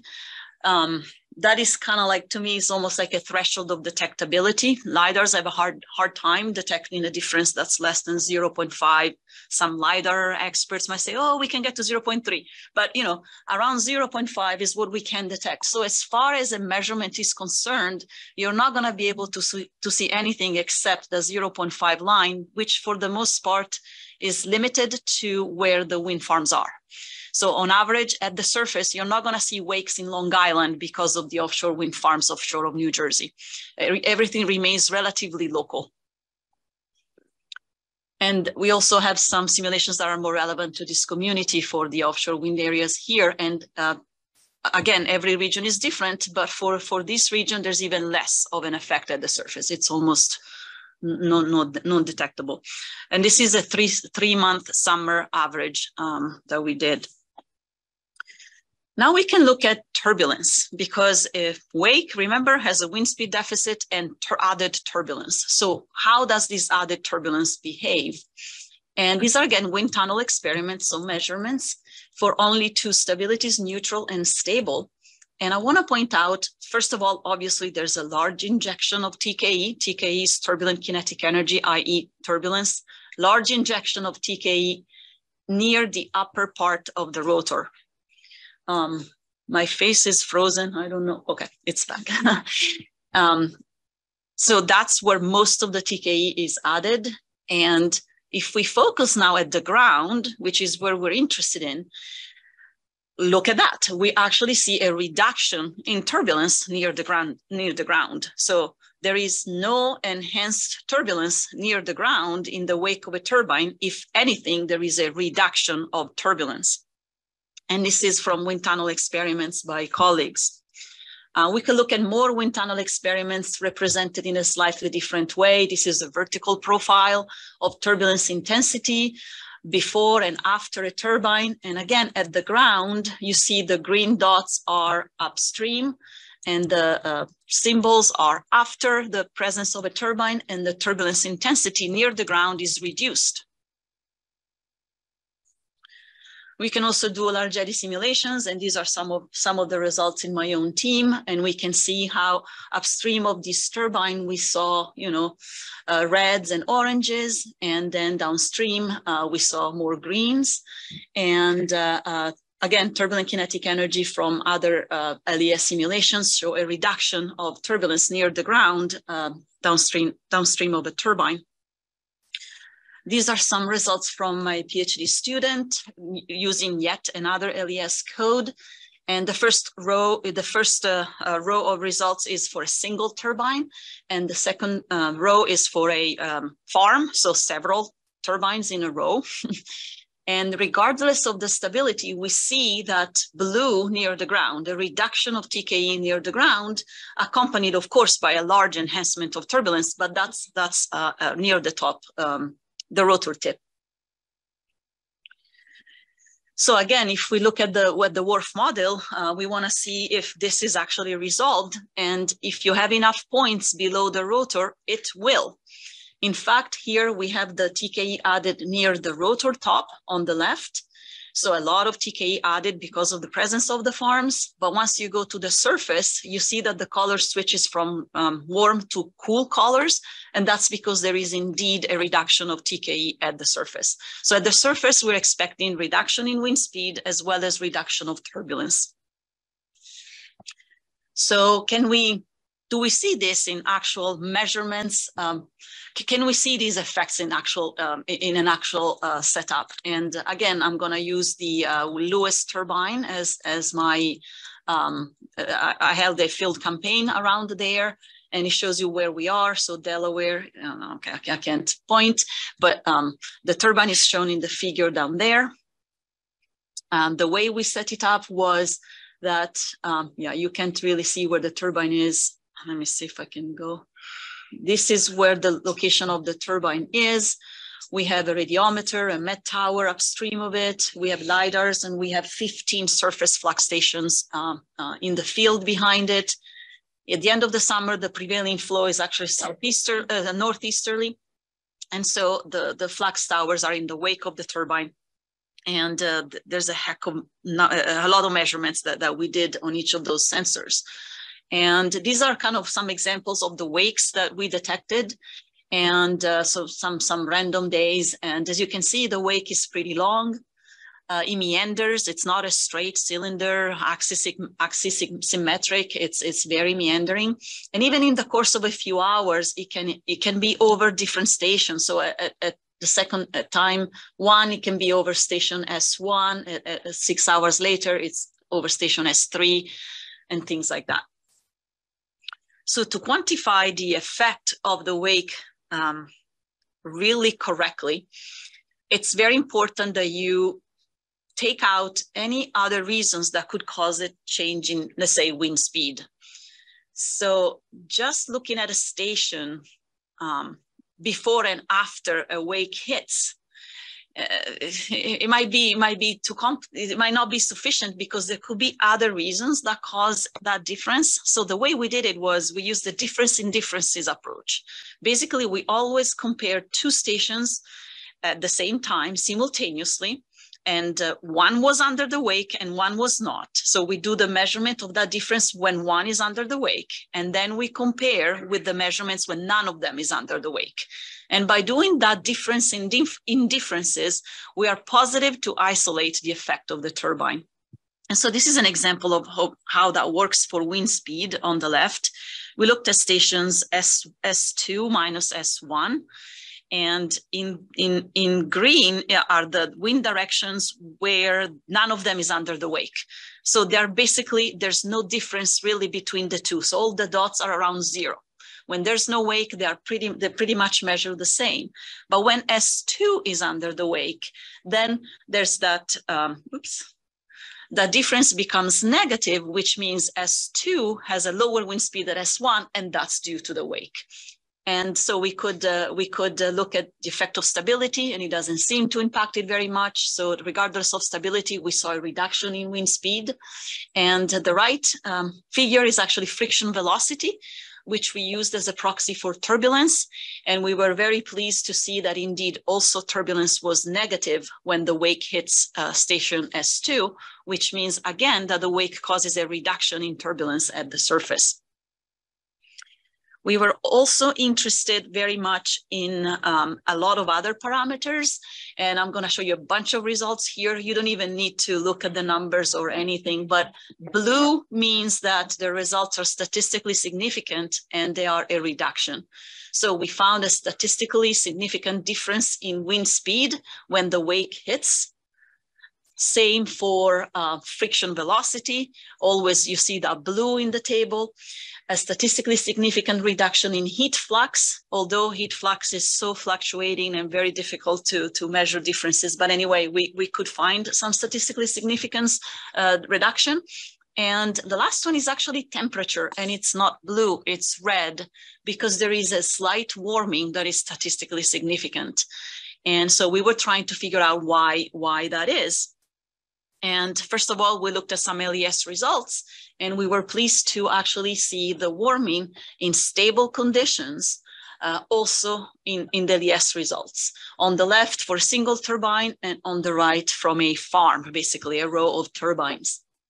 And I'm almost emotional when I look at these results because it took so long to, to get them. But first of all, it's very important that you notice how there's a um, uh, bipolar distribution, basically. So wind turbines do not um, heat the atmosphere by any kind, they, they don't do that. So they just mix and move air masses up and down. So if you get warm in somewhere, it's because you get cool in somewhere else. You're taking warm air up or down. And so you're bringing it down, you're warming here, but you've got to cool it somewhere else. So it's very nice to see that we did see that.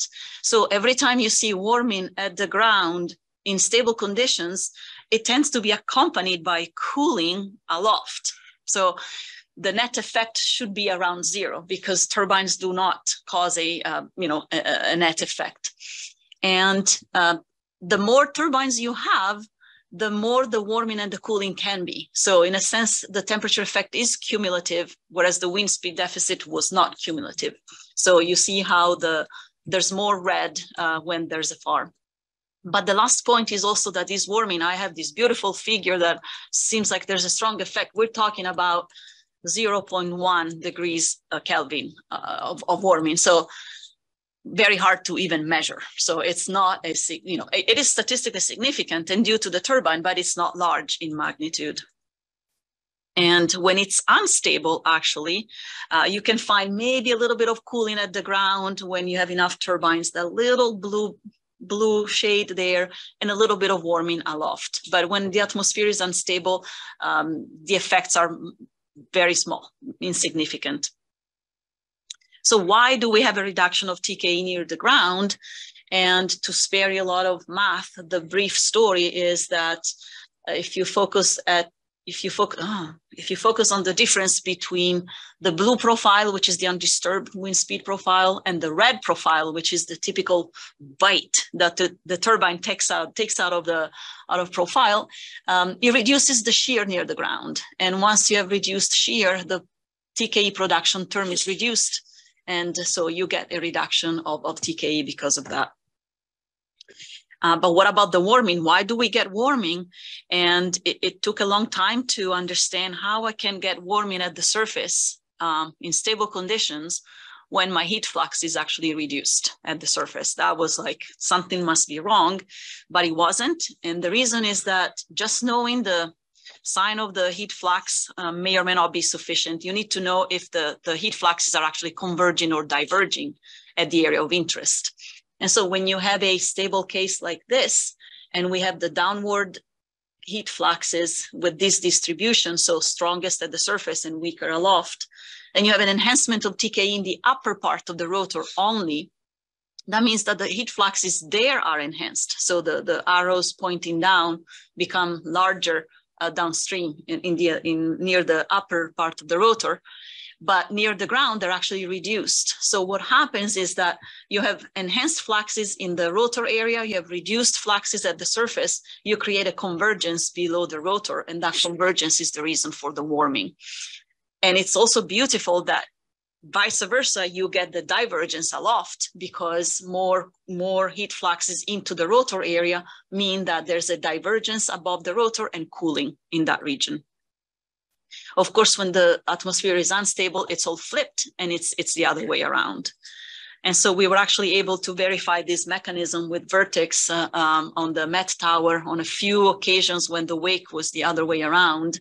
And it was interesting to see that uh, the black line represents the divergence and convergence. And you know, it's it's it's a positive uh, positive divergence before the wake hits, and then in that gray area is when the wake comes and whoop, it flips signs, it becomes negative. So there's convergence and light warming. And then the wake leaves and the uh, uh, convergence becomes positive again.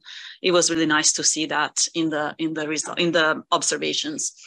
We looked at LES results, of course, to look for this, and I'm going to spare you the equation. Um, but the line that you need to look at is that red line, which is the change in the um, convergence. So a positive change in the convergence means more warming and a negative change means cooling. And for the one turbine case and the row, we see exactly the maximum of that warming and cooling at the locations where we saw the warming and cooling indeed. So it looks like this divergence convergence mechanism is, is, is really key. And it also happens, but on a much smaller, of much smaller magnitude uh, for unstable cases. And then the big surprise, we looked at the results from the WRF simulations and it's the summertime, the atmosphere is stable. I'm expecting warming at the surface after 10 years of studying wakes. Everything was good. And I look at the results and it's like, what? That's slight cooling caused by the wind farms offshore. I was like, you've got to be kidding me.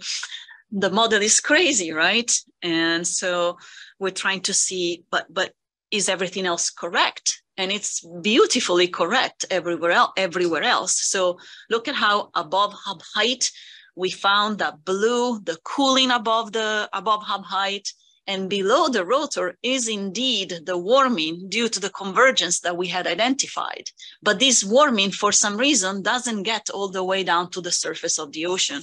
And we were struggling with understanding why that was until, oh, and, and by the way, there is a direct correlation between the, the, and again this cooling i'm talking about is very very small it is like a tenth of a degree but nonetheless it's cooling but it is clearly associated with location locations where the heat flux is actually being reduced so a reduced in a reduction in magnitude of the heat flux at the surface indeed should cause cooling. So that is a correct mechanism. The point is, why doesn't the convergence and divergence doesn't it dominate over mm-hmm. this? And the reason is that basically these are ginormous, very tall wind turbines, taller than anything we have ever looked at before. And so on the left are the results from the simulations that I showed you, which are for the extreme size turbines that are planned for future development. They have a hub height of 120 meters. Actually, I think this is already too old. They're very, very tall, right? And you can see a cross section here in the vertical with the cooling aloft, the warming starting below hub hub and, and, below the rotor, but it doesn't get all the way to the surface. So basically this divergence or convergence area remains elevated and at the surface we remain dominated by the reduction of the heat flux. By contrast, if you we redid the simulation for a conventional turbine with a hub height of 80 meters, which is what we've always been simulating, and at, in that case, we do see the warming reach the surface. So I guess this is good news that if the turbines are getting even taller, then maybe this warming and this cool this cooling is even further away from the surface, and everything is going to be dominated by the heat fluxes being reduced at the surface. So in conclusion, I, I would like to emphasize the three impacts or effects that occur more or less all the time in order of, of certainty. Absolute certainty that the reduced, there will be reduced wind speed at the surface, which has already been taken for granted in many of the simulations of ocean processes and wind stresses from wind farms. That's check reduced turbulence in, in, in, in my experience is in 90% of the cases. So sometimes in unstable conditions, you might not see this because it's already so turbulent. But reduced turbulence at the surface should be expected. And reduced heat fluxes uh, most of the times. This is the hardest one to actually quantify in the field. And if you're looking at surface temperature effects, which have not really been discussed much today, um, there are many factors that matter. As you hopefully were convinced, stability literally flips the sign of your temperature effect. So you can expect warming in stable conditions and actually cooling in unstable. So I cannot give you an answer, a definite answer. It really depends on the stability. And uh, the divergence of the heat fluxes is the mechanism that seems to be very important to understand surface, surface effects. And turbine hub height has an, has an impact as well and the turbines getting taller and taller probably is good news for effects on the ocean surface. I try to go as fast as I can to make up for the time, but that's it. No, thank you. That's thank you. that's that's very interesting. Yeah, please. Hey, uh, so uh, I, I, guess my, I have two questions. Uh, first one uh, about your last last slide where, where you, where you uh, about the differences in size. Uh, were, were, you were you only changing the hub height, or were you also changing the changing the, the, uh, the diameter of the rotor? Uh, also, the diameter. It was a completely different turbine. I know what you mean. Yes. Okay, and then the second one uh, is uh, in your simulations over over the ocean. Uh, have you considered the effects of, of the of the ocean lower boundary layer feedback of that on, on your WRF? Boundary no. layer? So the the sea surface temperature, anything about the ocean was held constant as actually not constant. It was we we got the uh, initial conditions and the boundary conditions from whatever I don't remember exactly, but uh, yeah, it was we there was no interaction, no feedback, no one way or two way, nothing. Okay, thank you. Um, uh, Cristina. Eileen, are you doing the Okay. Yep. Was it me? Yeah. I don't. Uh, two related questions. Um, does the uh, wind deficit at the surface scale with wind speed? Meaning, is it like a percent of the wind speed, or do you see that it's a constant deficit? And then my other question was, um, what was the other question? Well, let's go with that one first, yeah. and I'll remember the yeah. Everything it, it scales pretty much everything scales with, with wind speed.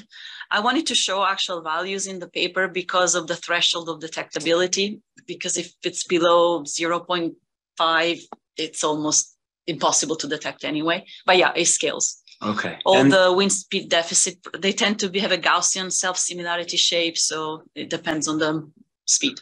And I remember my second question. So good. Uh, yeah, right. Thanks, Doug. Um, the as the turbines get bigger, mm-hmm. do you expect you you presented that number of like four turbine lengths downstream where the where the surface deficit and winds happens? Is that something you would expect to be scaled based on turbine size, or as the turbines get bigger and the rotors get further from the ocean surface, are there other processes at play that might impact that? No, I expect that parameter to remain the same, but keep in mind, don't memorize four to five D because that's correct for a single turbine. When you're getting to a farm, it's actually even, even closer. And if you're thinking about how far downwind would a wake last, um, if you have a single turbine, it can be 20 diameters. A single turbine wake can be 20 diameters. But when you have a farm, and I don't know what the diameter of a farm is, but you might have some kind of, kind of typical length, maybe the, the width of the farm or the length of the farm. That wake is not going to go 20 times that length. It's more mm-hmm. going to be like three to four times that length. Mm-hmm. There's some very bizarre nonlinear processes that go on.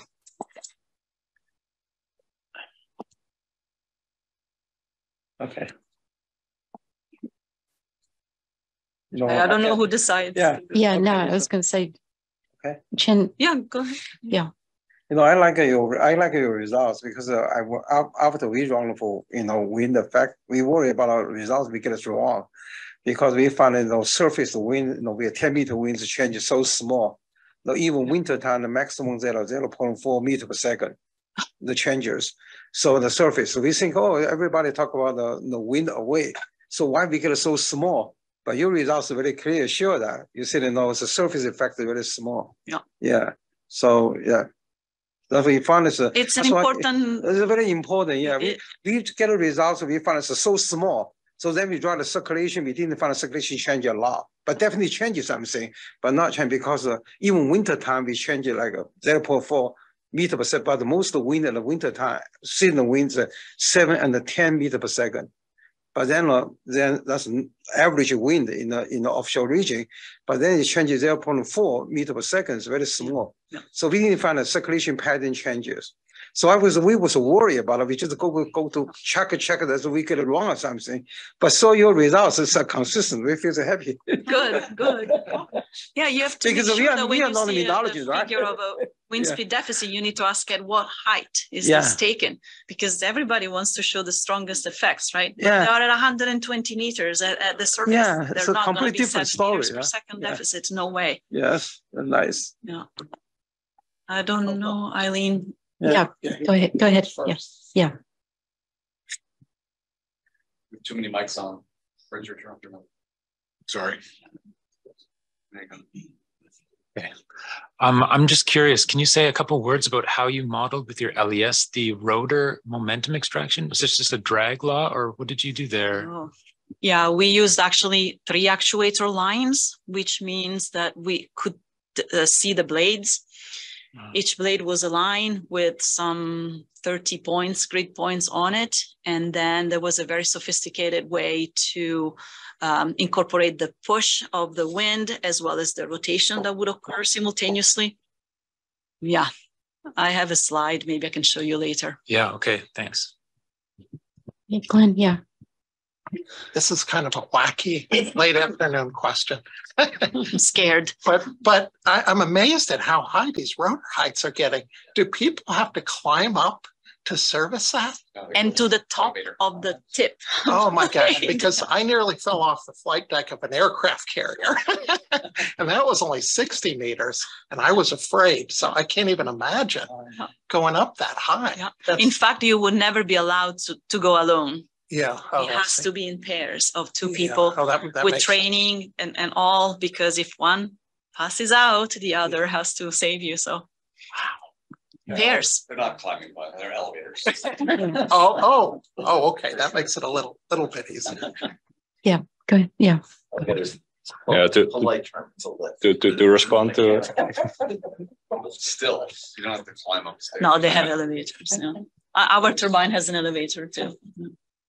Uh, to, to, respond to that remark, that, that, that that's also a good argument why there is now a lot of discussion on standardization um, and, and simply limiting uh, dimensions of the rotors and that, that also um, it facilitates um, upscaling much better.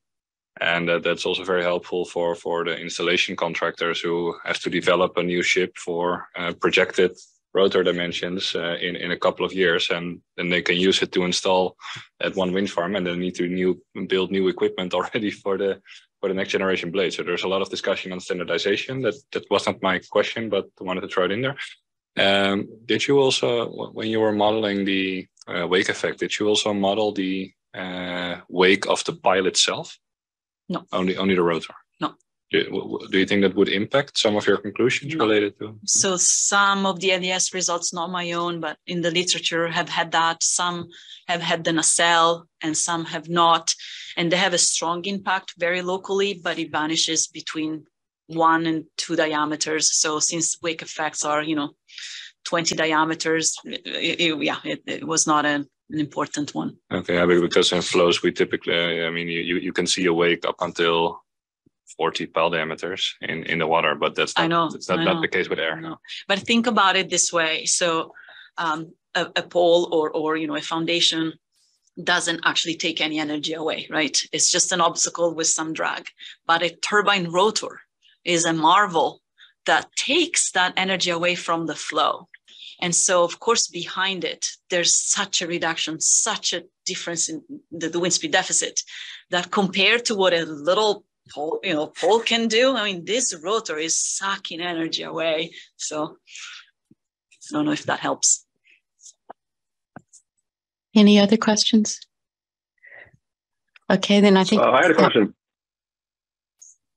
Uh, hi, this is Tom Patrick from BOEM. I was wondering um, about the, you showed some observational results about the wind wakes from the wind tunnel and so forth that my understanding is most of that is over the land surface. So I was wondering how much do you think, or to what extent can you just extrapolate that to the marine uh, environment?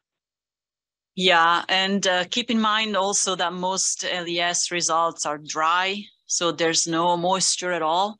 So I, I expect that there would be some some impacts from the fact that there's humidity and maybe even a phase condensation and things like that.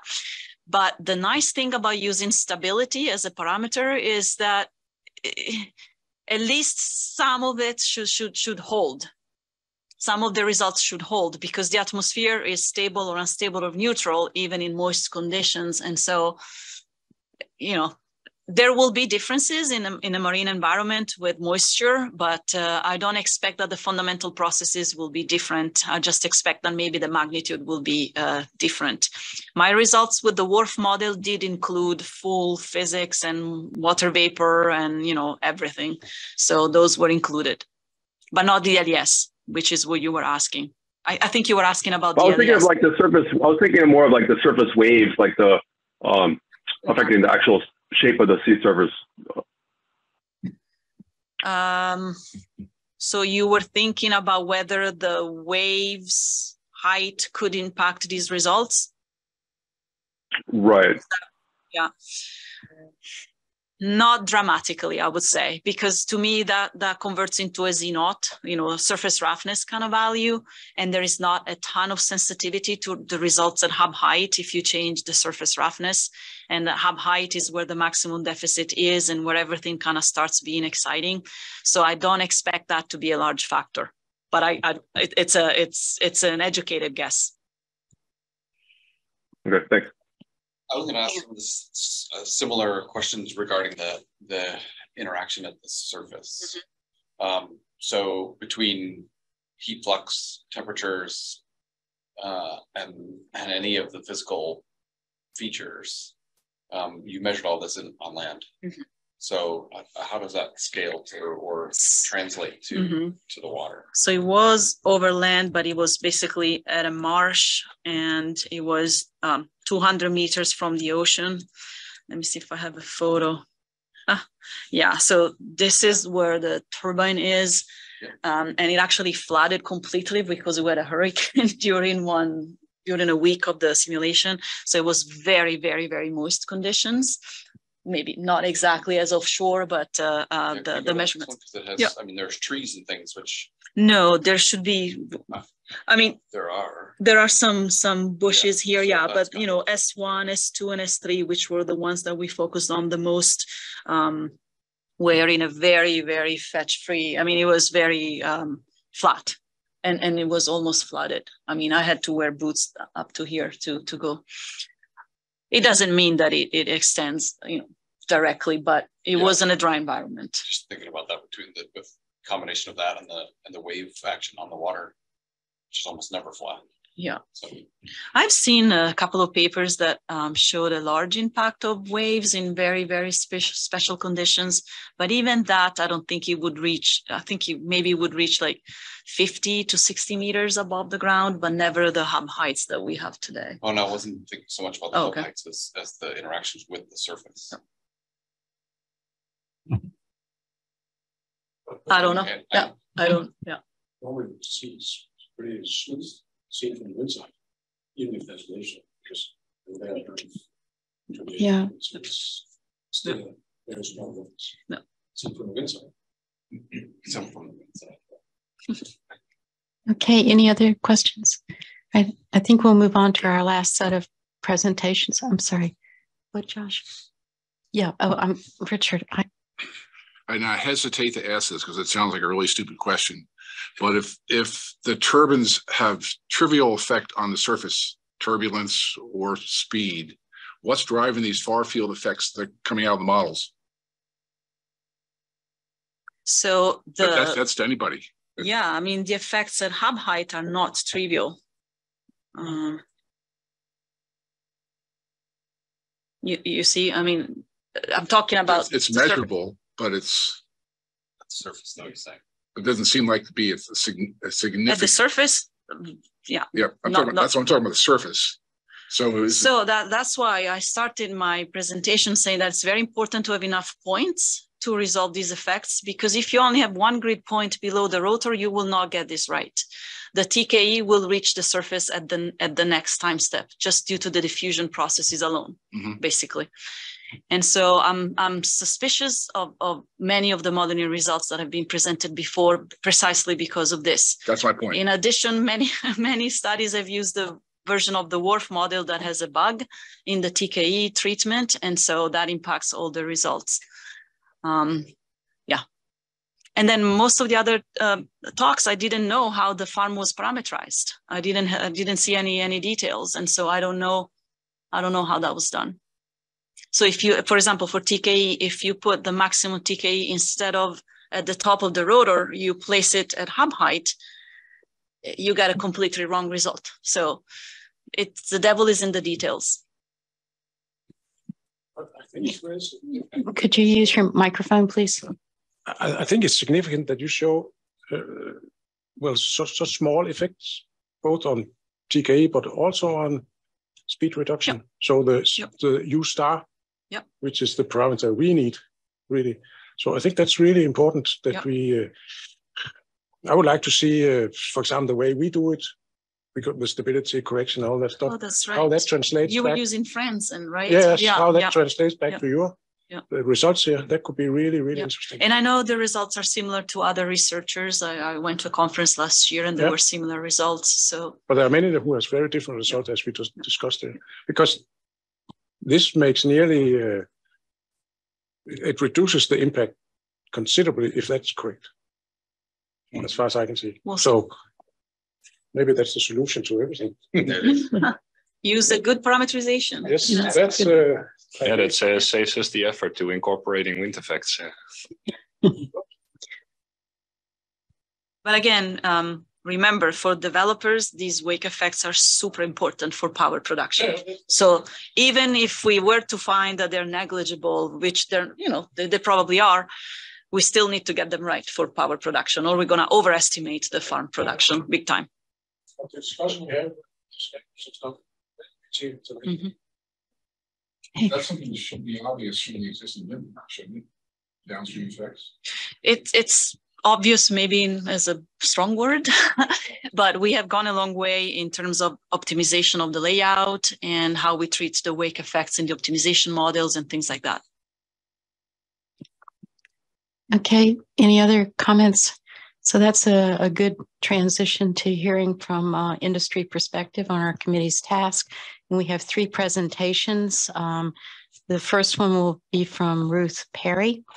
And um, she is uh, head of regulatory affairs for offshore wind Americas at Shell. So she joining online or yeah, okay.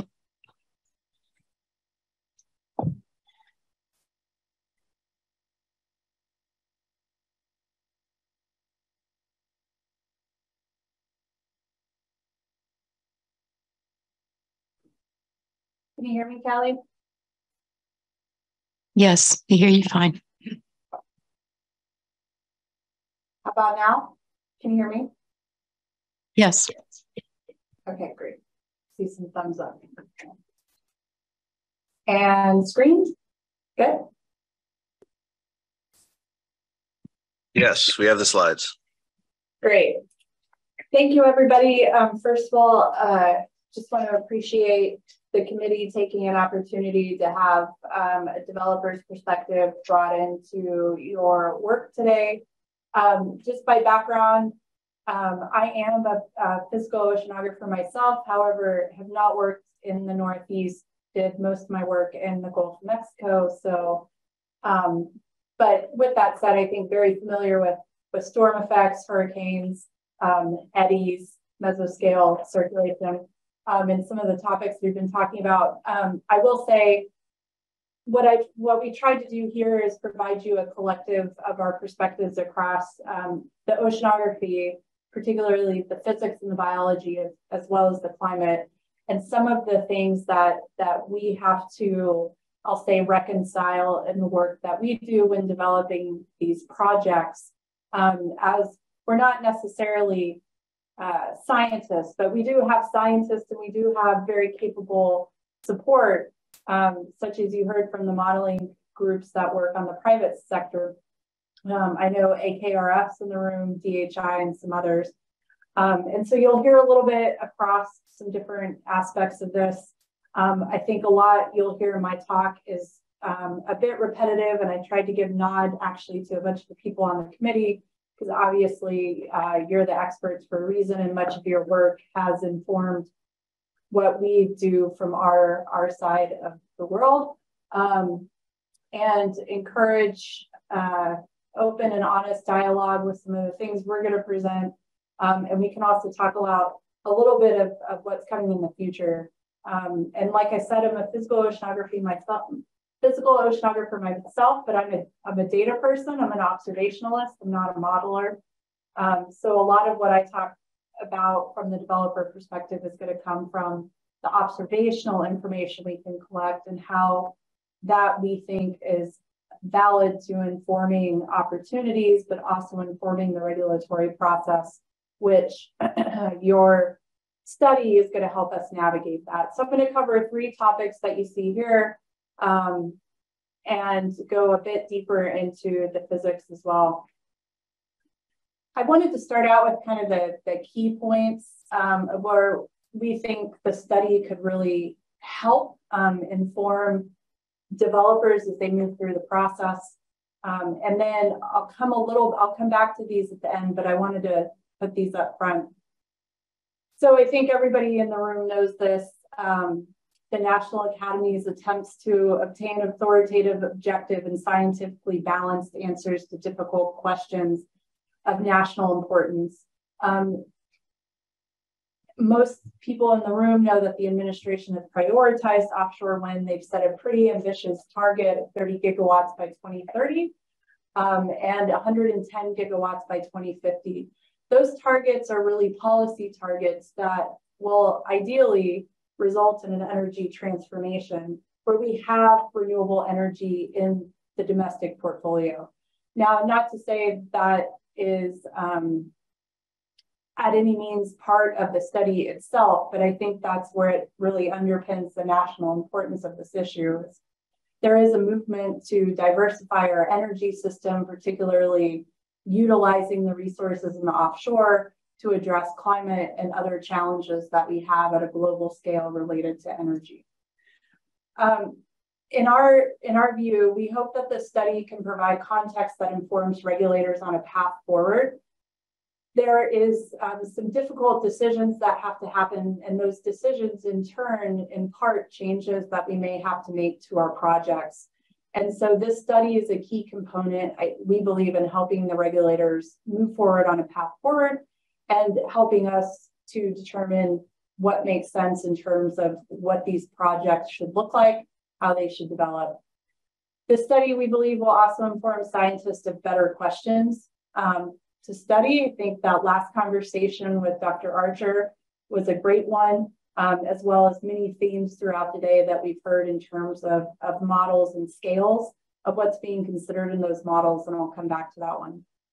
And then lastly, inform developers how to improve our local modeling efforts. You heard from the modeling panel that we have to do assessments, um, both that are project designed assessments. Those are intentionally constructed by the US regulatory framework. So it's not that we don't want to extend that science beyond what we're looking at, but we have very clear mandates and regulatory requirements of what we have to provide to agencies so that they can meet their uh, requirements as regulators.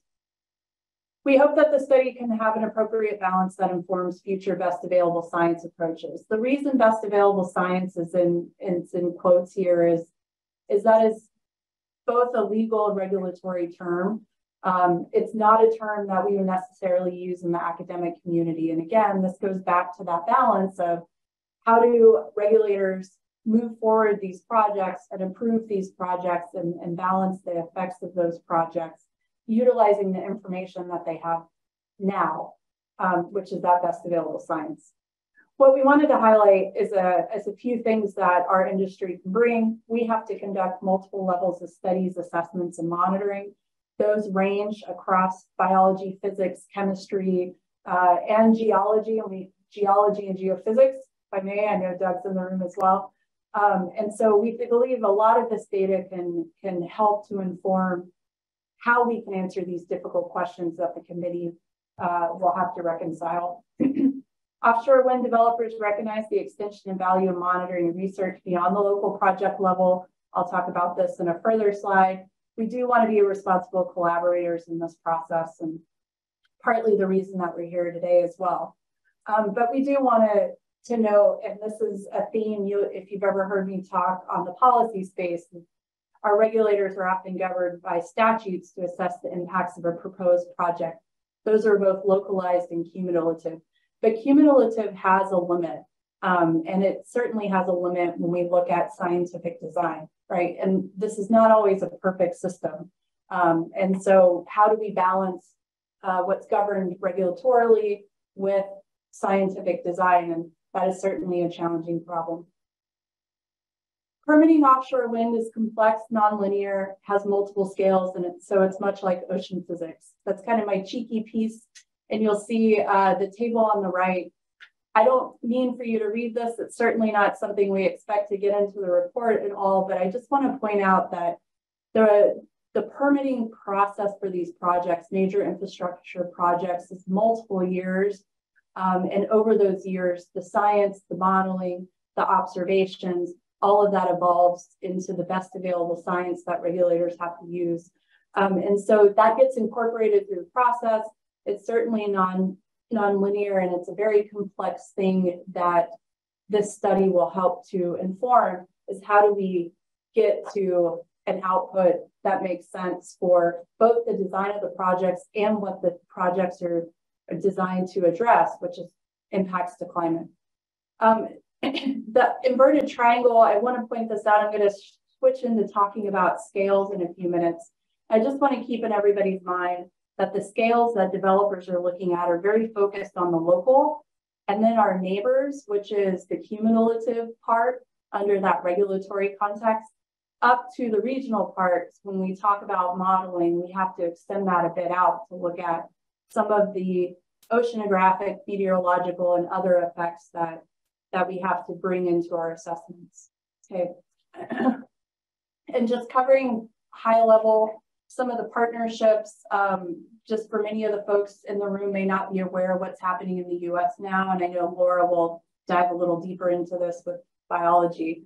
We are doing quite a bit of data sharing all of these projects are deploying oceanographic buoys. Most of those projects are, are feeding their, their oceanographic data through the IOOS regional systems.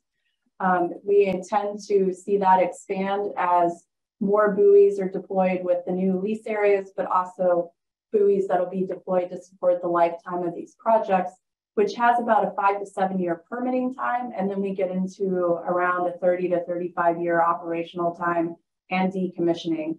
And we need those observations not only to support the assessments we're talking about, but to support the safety of our operations. So the data has utility um, both from supporting the projects, also the work that the regulators have to do, and the scientific community at large. We want to uh, honor that the best we can. Monitoring, um, we have to do what I'll call it applied monitoring, um, and this is really looking at uh, the conditions before we build these projects, what happens as we're building the project during construction, operations, and eventually decommissioning. Um, so there is a lot of baseline data collection, but also more systematic routine data collection that happens in and around these farms.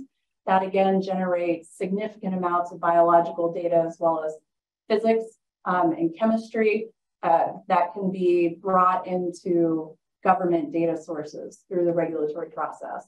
And lastly, um, part of our good stewardship and where we're operating is we know that there's critical species, critical environments, and other ocean uses in those areas. So we do understand that, you know, contributing to the research base, understanding what's happening in the systems are important. In turn, identifying what happens in the systems helps us inform how to build better projects. And so there is a feedback loop there, and many of the developers contribute to a wide variety of research across the spectrum considerations, um, just the last thing I want to go, you know, before we overview the science from the physical perspective is the current state of hydrodynamics and a regional and local level. I added regional and local because, you know, listening today, um, following the work that the committee is doing, we've hit quite heavily on the regional scales and the global scales. So it'll sound a little repetitive when I when I give our overview. But I think what's really missing is those local scales. Um, and I know there's a few of the scientists in the room that we've worked with over the years. And what we're seeing from our industry data that we're collecting is the local variability, the perturbations, and just the dynamics, seasonal, interannual, day to day, on the shelf where we're operating, where these projects are going to be built, change pretty significantly. So, um, you know, we hope to see that the committee address this, address those scales, um, and what we know about the current body of science respective to those scales.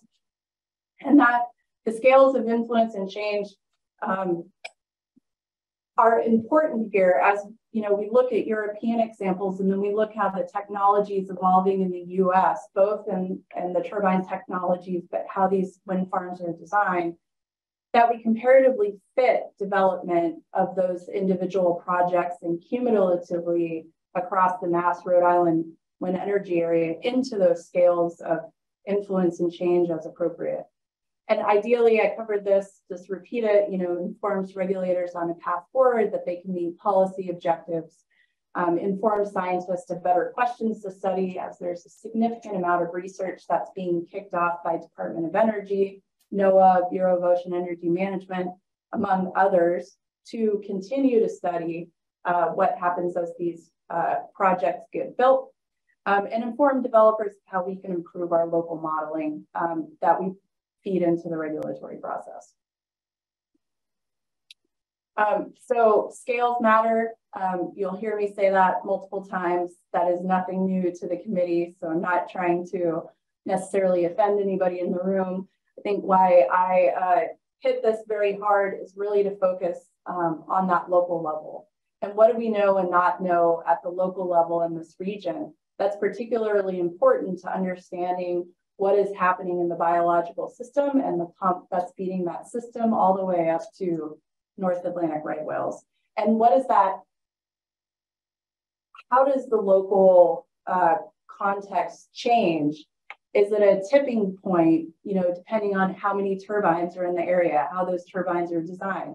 For instance, um, we have a unique case study with Mass Rhode Island where all of those leases have a one by one nautical mile grid pattern. That's um, unique in this particular area compared to other areas. As we heard earlier, the technology in the US is also much different. But then again, the dynamics in the area is much different as well. And so thinking, you know, global down to local is what's being discussed here today. But just want to remind everybody from a developer's perspective, we're really looking local up to regional and global. And so how the two, you know, directions intertwine, we think is a really important component of, of what the committee can provide to study sponsors. Uh, basin circulation and currents, uh, nothing new here. We know if we're talking about a global level that there is a weakening of the Atlantic meridional overturning circulation. We heard this morning um, very well, strong presentation and data on the warming that's happening at the area, um, how those regional currents and circulation is changing, as well as ascending warmer currents returning to the Atlantic um, and warmer waters intruding on the slopes of into Gulf of Maine and the Western Shelf region, as you see here. And what I want to point out when we get down here on my cursor, I can move it, in our study area, which doesn't look like there is. When we get down here, we're actually seeing some of that warming too. And so overall, the uh, the bigger global regional picture is really that much of the forcing that's impacting the farms in this location is coming from the north and it's coming from the east. And we know the warming's there, don't have to repeat that, um, just put up different graphics. When we break down into the regional circulation and currents, I wanna note to everybody, you know, just follow this little yellow box. It's approximate to where the locations and sizes of the Mass Rhode Island wind energy areas are because we think as we're looking at this from the developer's perspective at a project level, we're trying to put our project in perspective of working upwards in those scales, not downwards. Um, and so the shoals is a hydrodynamic system that's part of a larger regional circulation pattern, which we know is, has many changes in it. Um, and the regional net flow is expected towards um, the west, southwest of the study area. Bathymetry has a strong influence on the hydrodynamics, um, and you can see the physical features and how all of those interplay. So as we start to drill down from a science modeling perspective, then we know that we have to include um, these factors and, and what we're considering is happening in this boxed area. From our perspective, what we're starting to see in local circulation um, from our buoys that are in the lease areas, and I just want to remind uh, the committee that each lease developer deploys typically one to two buoys in their lease area. These buoys are designed to collect information about the lease area and not necessarily much wider than that. So usually the placement of those buoys is dependent on uh, the wind resource and what they're trying to assess from the wind resource. So again, it's not, it has a different application that the, the physics that's coming from that data is very valuable to when we're looking at the area. That data is still preliminary and being worked up and um, Daniel Mendelson, who couldn't uh, be here today, but I believe is we're working with Kelly is potentially to bring him in so he can present some of the early data to the committee that you're seeing in the buoys. But um, there are other data that's available on Nereus from the Equinor project, Beacon Wind, and some of that is in the early stages of being processed. Um, and so you won't see it today, but what I wanted to just cover is that we're seeing consistent patterns to what local studies for the area are showing, especially around tides and currents. Um, so tides are the predominant force for driving currents on the surface and the depth of these lease areas. What's interesting about this is um, if you compare some of the traditional knowledge from the sailing community or fishing community, they see this as well. And we also see a we see the rotary nature of tidal currents in the particular areas where these leases are, which you can see down at the bottom of this graphic.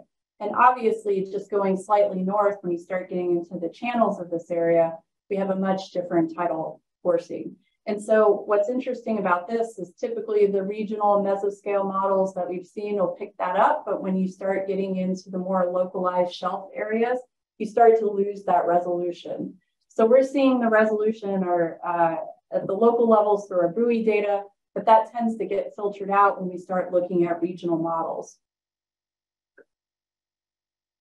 This again just shows the dynamics of what's happening in the area. And all I wanted to do was point a couple of examples of showing that rotary nature of the currents um, and just to orient, my mouse keeps disappearing, Kelly, um, is we're looking at this area up there. So as you follow the evolution of it, you see that forcing that's coming from the directions that we heard about all of the, the off-shelf deeper dynamics, especially the models you're picking up but you can see that that rotary nature is pretty persistent on the shelf where these lease areas are. This just shows um, a zoomed in diagram of that. And this essentially is exactly what we're seeing. The circular features lower um, is what we're seeing in our buoy data. And we hope to have that available um, at a time that can help inform the committee study because it is one of the only sources of localized data that's in this region. Um, and I just put the colors up there. This model doesn't cover it, but you can start, you can also see that same tidal uh, current rotary trend um, in the bottom of these figures if you follow it through of what a day looks like. Um, and then I don't want to spend too much time on this, but uh, it was discussed today, but we also look at the local hydrodynamics around our particular structures. So the types of structures that we're providing in our project design envelopes are what is modeled. And so while different developers may look at different technologies, there's a pretty consistent overlap in the size of our technologies. And we are doing and investigating the same amount of work that's happening, um, as you've heard in the lit review, where we're looking at the turbulence and the flow and the changes around our particular structures. We're not only looking at this from the physics and the, and the biology of what's in the water column, but how the sediment dispersal and benthic habitats may be affected as well. Um, and I think many of the points around these two slides were raised. I won't read those. And the same here in terms of what happens when you have a stratified system um, and looking at the overall effect when we look at a range of impact. And that's what I really want to highlight here is when we're looking at uh, specifically individual projects, but then looking cumulatively at a local level, particularly across, across the wind energy area that BOEM has designated. We know that we're going to have um, the turbulent flow, we're going to have these changes on our individual turbines. But what is that kind of tipping balance of the impact against a broader ecosystem that is more forced by what's happening globally and regionally than what is happening at a local level? So we're trying to reconcile that as well through quite a bit of our monitoring and research. Um, but we want to be partners in doing that with the scientific community as well as how can we collect the data and observations to really understand what that change in the system is but based on the literature review and the comparative analysis to the technology that we're deploying, uh, we believe that there's an overall minor impact at a project local level when you look at effects on hydrodynamics. Um, so I'll leave this uh, back up as, as the closing just to kind of come back to what we hope the study can do um, and really provide further insight on how we can improve the local modeling efforts, how the study can help define what we know in terms of best available science. And when I say the we, talking about the collective developer community, the academic community, and, and government community, as well as other ocean users of the area, like I highlighted, you know, the sailing community, for instance, that knows what happens out at a local level, where we can really understand is what happening at a local level cumulatively going to impact what's happening at a regional level, where we know that the regional forces that you've heard about today are really um, potentially more impactful to the biology, as well as some of the global changes that are happening, potentially more impactful to the biology than the structures themselves. So we are trying to reconcile that question as well. We want to be partners in, in moving that forward. And we look forward to what the committee can help provide to the community on where the current state of knowledge and science is on that particular topic. Okay, thank you. Um, questions? And we're happy to take questions all at the end too, Eileen, if that's helpful to hear from everyone. Okay, if there's no questions right now, maybe make sure I don't miss anybody. Okay.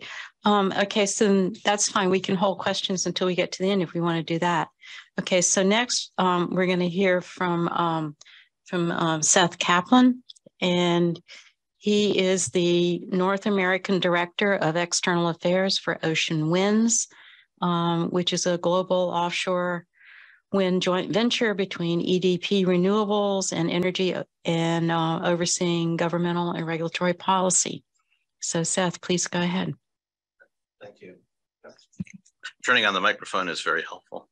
Um, so let me just toss this up and start my video and kick it into uh, slideshow mode. There we go. Uh, thank you very much. And I'm who you want speaking towards the end, uh, in that I'm going to be brief and uh, really trying to be responsive to what's been said uh, more than sort of presenting fresh material. Uh, I, I, mean, I do have to say that initially that having a first presentation, hitting on some of the, of the day, hitting on some of the same points that I intended to about the question of the putting uh, things into context in terms of the climate impact better than I could have presented it sort of uh, was a, a bracing and very positive experience in general. Um, so uh, my context for you know what I'm going to be talking about here is that I spent 16 years at Conservation Law Foundation, run and eventually running um, client, clean energy and climate change there. Um, started off working more on the transportation and land use side, moving into energy and climate. I always say climate on the label. Um, so uh, I, uh, you know, include and uh, collaborating with the oceans program there uh, on ocean protection. Um, and my goal here is indeed to kind of put things into context and talk about the big picture um, and tie it back to some of the, the, the excellent points that have been presented here. Uh, you know, listen, there are obviously enormous topics of great importance that require lots of further study. And the, the purpose of this panel is indeed to dig into one of them. Um, and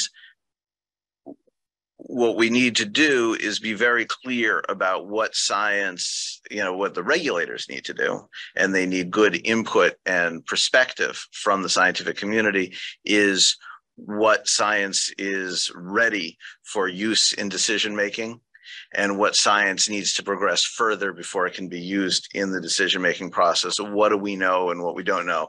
And I was deeply heartened that that was sort of a theme of so many of the slides uh, from so many of the presenters about what we know, what we need to know, what we don't know yet. And that's a humility that is rare in our society these days. And, uh, and I think it's a perspective from the scientific community that is, is greatly admirable. Um, you know, my perspective as somebody who worked, who has spent my career as an environmental advocate and then working in renewable energy and basically viewing it as implementing science you know, I spent 10 years of my life beating my head against um, coal fired power plants in New England, and they're gone, and I'm still here, so I guess I won. Um, but, you know, when I think about the, uh, the, the plant at Brayton Point, which used to, on, when it was running full tilt, uh, put about a million gallons of heated water into Mount Hope Bay every day, which is a body of water consisting of about 30 million gallons. Um, you know, it is not surprising that there was an enormous impact on the fish population there, which was very well documented by some great folks at Rhode Island Department of Environmental Management. One thing I would note is that I heard an echo of that this morning, frankly, the discussion of the bluefish being in the wrong place at the wrong time. Um, the company that operated the Brayton Point power plant used to have a very successful fishing derby because all sorts of exotic species uh, could be found around the thermal outfalls from that power plant. And understanding that these projects, and we need to understand what are the context and what is the impact of our projects. and uh, you know we are not discharging you know wind farms do not discharge heated water but of course we need to be mindful of our impacts both positive and negative now of course the ultimate example of something we know a lot about is climate um, you know I, I just can't help but note that you know very few people remember eunice foote who in 1856 uh, published what is believed to be probably the first scientific note uh, about what we would now regard as climate science.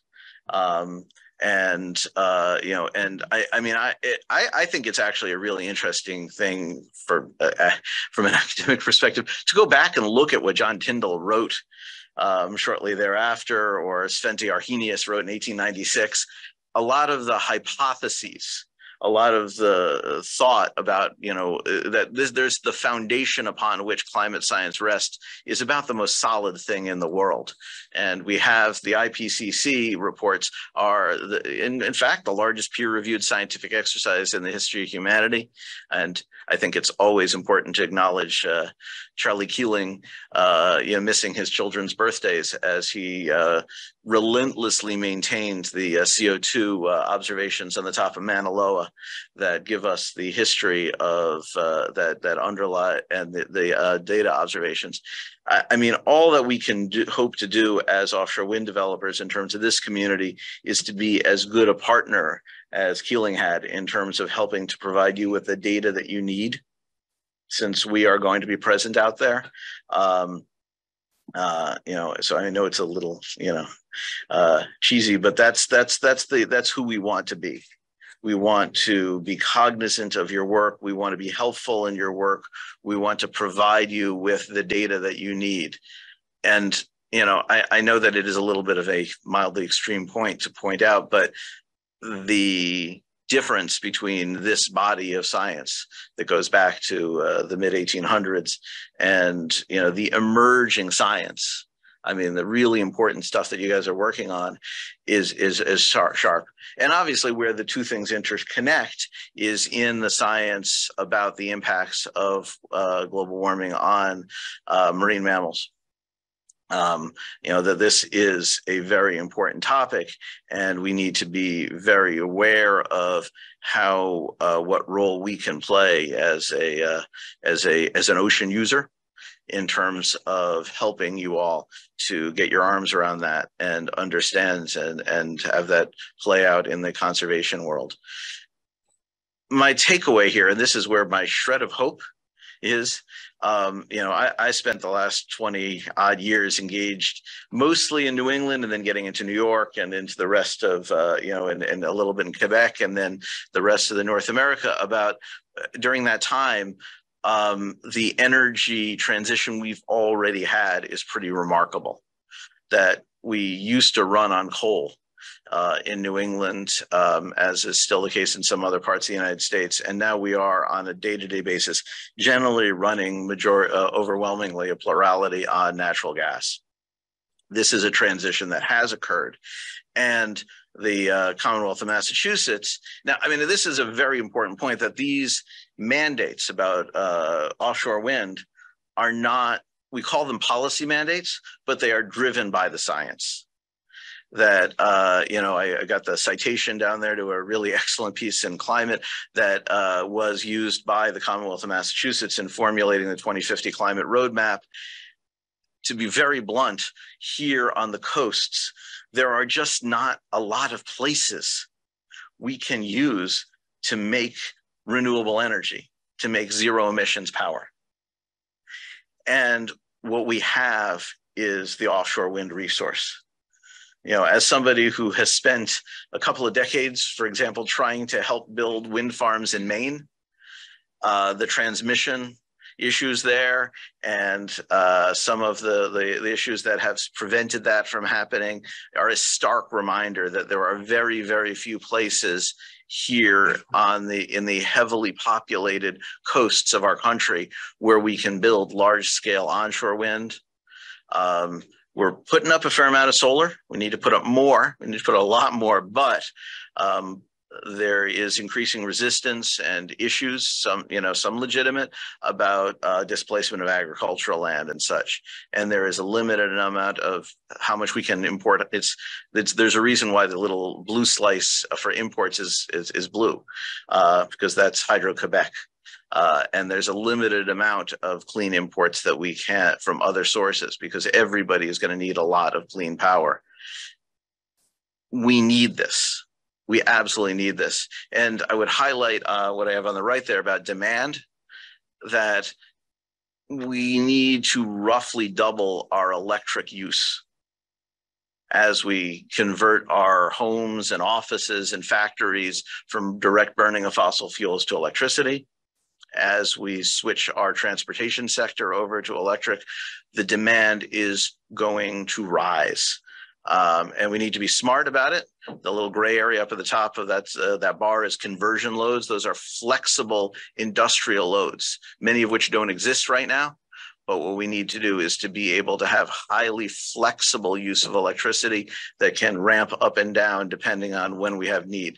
But at the end of the day, in order to reach our climate goals that are an output from that rigorous scientific enterprise that has been in progress since 1896 or so, in order to meet our goals, we need an enormous quantity of clean zero emissions generation. And the resource we have here on the coasts is overwhelmingly offshore wind.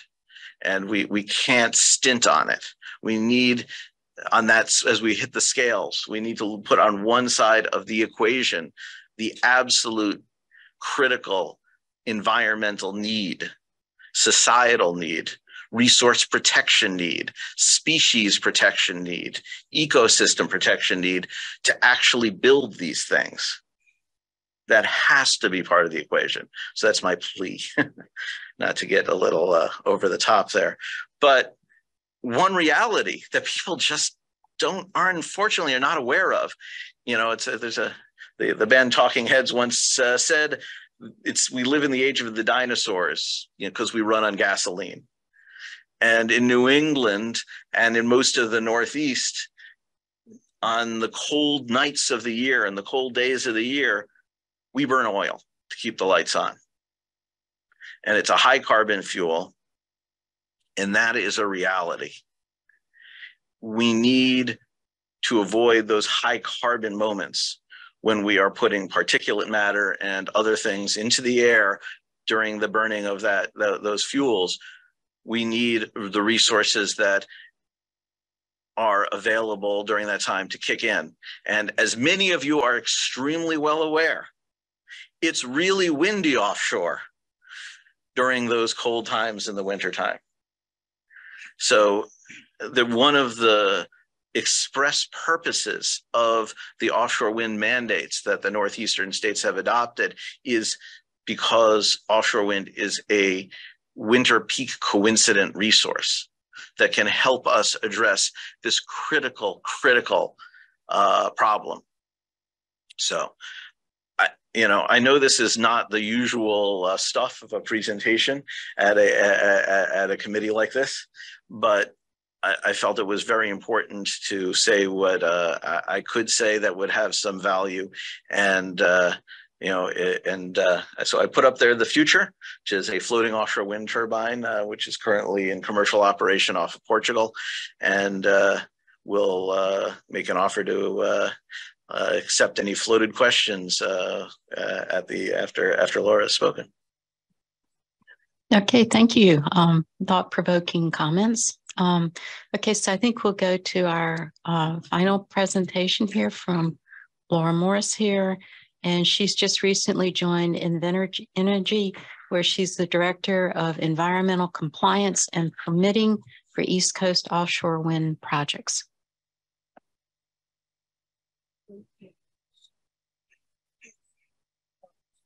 Runner microphone.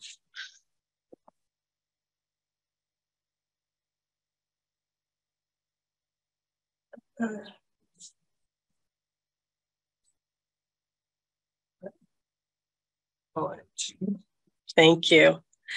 Um, hi, everyone. Um, I want to thank the Academy and the committee for um, inviting us today to, to speak. It's a pleasure to be here and it's been uh, quite a learning uh, learning curve today and really enjoyed the presentations. So uh, my name is Laura Morris. I recently joined um, Invenergy actually on Tuesday. Um, and a little bit about Invenergy for folks who may not be familiar with Invenergy. They are a, a world-leading um, renewable energy company. Um, they've developed uh, over 30 gigawatts of uh, renewable energy uh, through 200 projects, and there's uh, significantly more in the pipeline. We, um, as a company, have secured two offshore wind uh, lease areas, one on the East Coast, and it's um, you may have heard of Leading Light Wind, which is in the Mid-Atlantic Bight, and then um, a lease area on the West Coast in Morro Bay. so a bit about myself. Some of the folks here um, know me well, but I, for those that, you, that don't, I'm actually a marine mammal biologist by training and spent several decades uh, working for NOAA and other organizations um, supporting stock assessment surveys and various directed marine mammal surveys throughout U.S. and U.S. waters and uh, internationally, and spent um, a good 10 years doing aerial and shipboard surveys for North Atlantic right whales. And um, I remember the one year when there actually was zero calves uh, that we sighted down in the southeast, and that was probably sad to say almost 20 years ago. So um, right whales certainly have, I've seen them go through a lot of change as have all biologists that have been studying the species. In 2012, I uh, joined the energy industry, uh, first with Shell and, and then shifted to Ørsted. Uh, work since, and I've been in the offshore wind industry since 2017 and supporting multiple projects that are um, in development, um, including South Fork Wind, which is actually approaching build um, in the next uh, month or so. Um, I've been heavily involved in, in advancing um, data sharing agreements between the between industry um, and NOAA and other federal agencies, tearing off some of the work that Shell um, did when I actually uh, was working at Shell and Ruth um, has discussed and have been involved in initiating um, uh, quite a few million dollars in uh, marine research, including EcoPAM project that was um, involved Rutgers and, and, several other institutions. I sit on um, several um, research advisory uh, uh committees, including um, the RWSC and the Maine Offshore Wind uh, Research uh, Committee, and, and, and many developers are heavily involved in these organizations. And so, as, as Seth and Ruth has have indicated, you know, we take take our stewardship quite seriously. Um, I think it's worthwhile to highlight some of the investment that the offshore wind industry has made to date um, in right whale research. Um, this is an estimate of, of, investment. It's likely a much larger number. And then if you consider investment in uh, the larger marine science field, we're probably talking a number that's already in excess of $100 million across the, the offshore wind um, industry. It's, it's pretty significant, and, and this number will continue to grow. Um, there's a range of studies that we have voluntarily funded to date, and then there's additional studies that Ruth has talked about, and, and we'd be happy to take questions on, on any of this um, in the Q&A period. And um, I think there's been some questions about data sharing, and I think there's there's this this this sense that there isn't data being shared by offshore wind, but there certainly is. And I think it's just there's so much happening so quickly that it's hard to identify where the where the where those data are. Um, and we're happy to to try and uh, steer you to to where some of that information is. Um, this can't be done alone, and we have been building as an industry collaborations with many institutions. Uh, we have seen uh, the formation of two really key organizations, the Regional Wildlife Science Collaborative, as well as the Responsible Offshore Science Alliance, which respectively deal with wildlife and fishery science, and as well as oceanographic um, and, and, and other other marine science topics, um, and they work uh, quite collaboratively. Um, and developers are, are, heavily involved with that. Um, we are seeing significant state investments. I haven't listed, but there's millions of dollars that the states themselves are investing in, in directed research that probably many of you are familiar with or have benefited from. Um, and of course, you know, you're seeing a, a, significant range of academic institutions that are um, becoming involved or have been involved in uh, directed research, and we certainly uh, intend and expect to see um, this list grow. This, by, this is by no means a comprehensive list. So for the task at hand, you know, one of one of the tasks that you're tackling is to evaluate the potential of the perturbations from uh, WTGs, wind turbine generators, to potentially change ecosystem dynamics and how those could affect North Atlantic right whale prey availability near Nantucket Shoals. So the next few slides is nothing new. Um, I don't profess to be an expert expert on this. I'm a biologist, I'm a mammal field biologist, um, but you know, this is just a you know a, re, a refresh of, of um, what we we have our what you have already talked about um, quite extensively um, today, but just revisiting um, some of these things. So obviously, you know, as we think about it as developers, you know, we recognize it's a very complex uh, biological and, and, hydrodynamic system um, that we're trying to tease out. And as, as Ruth very um, uh, very well explained and we're trying to look as well at, at the local level for for our permits and regulatory processes that we're we're going through. I'm not going to go into detail because obviously you're all uh, well familiar with this this information already. Um, this is just a slide. You'll you'll get this slide pack. Um, it was um, uh, South Coast Wind was was kind enough to to share uh, some slides that their team is putting together, and I think this is just a nice simple uh, um, model of um, what leads to successful foraging conditions for North Atlantic right whales. And you can look at it uh, more closely when you get, get the slides. Very, very simple uh, flow chart on, on the process, but I think very handy as well. Um, and then same here, you know, this is just a conceptual model of the annual cycle of co copepods. And as you're advancing the report, you know, I think it's a way to, to think about how is um, impacts from the wind farm leading to potential impacts to this, this cycle of, of copepods and aggregation on Nantucket shoals. From our understanding and, and our review of the literature to date, the best available science is that there is advection onto the Nantucket shoals, which seems to be driven primarily from regional currents and tides, and that climate change has been well described today. It has may have a significant effect on the regional circulation and current systems. And what we ask is, is that as you're progressing the report is to you know, please consider the strength of the relative forces of the existing, you know, area specific conditions and stressors that you've been describing versus any stressor that may result from a wind, wind farm that you also have, have talked in brief about today. Um, I, you know, I, I want to take a higher level review, and I really want to call out Erin because um, to, you know, to to I, I, find the work that Erin and her co-authors have done has been really seminal work and really important to right whale conservation and really highlighting what's happening to the populations over, over the last several decades. I personally have witnessed it in my years of, of doing right whale work, seeing that, that shift of right whales from the Bay of Fundy up until the Gulf of St. Lawrence. And I, I remember 2017 very clearly when all those deaths started rolling in because right whale suddenly showed up in the Gulf of St. Lawrence. And it was a really difficult summer for biologists studying right whales because there was no, there didn't seem to be a way to stop it. But Canada ha has definitely responded. But I think the work that's done here to me really drives home that there are larger forces at play um, affecting the right whale population. And, and I hope as you're progressing the report that you can consider these. And of course, Erin obviously is here to on the committee and can elaborate in detail about the great work that, that her and her co-authors have done.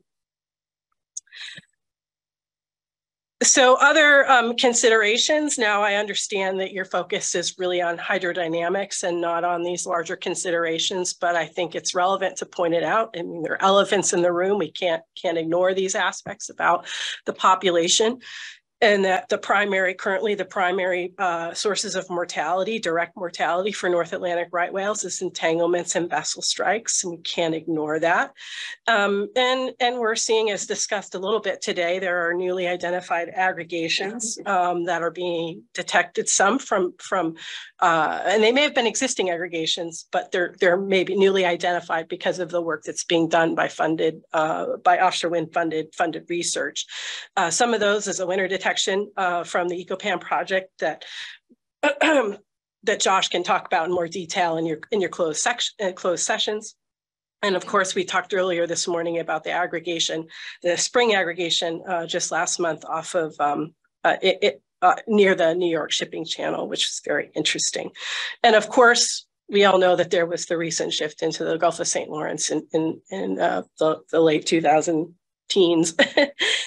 and so what is the relative importance of these areas? Um, and that leads to um, thoughts about the population consequence of disturbance models. And, and you have Doug uh, on, on the committee who can who has been heavily involved over the years in advancing these models. And I think it's really important to consider this because ultimately I think the, the question that, that is looking at is, is does perturbations at the local level to Nantucket Shoals ultimately affect the population? That's not the question you're here to answer, but um, but I do think it's something uh, to, to think about.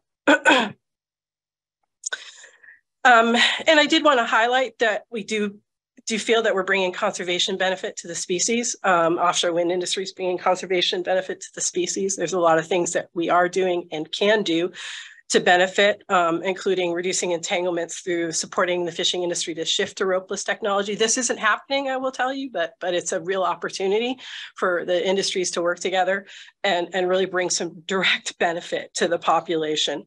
Um, but what we are doing is a significant investment in addressing vessel strike risk uh, through um, advancing a real-time listening network that uh, frankly wasn't there. Um, there. There there was maybe one or two buoys and now we have a chain of buoys along the eastern seaboard, largely funded um, by offshore wind developers.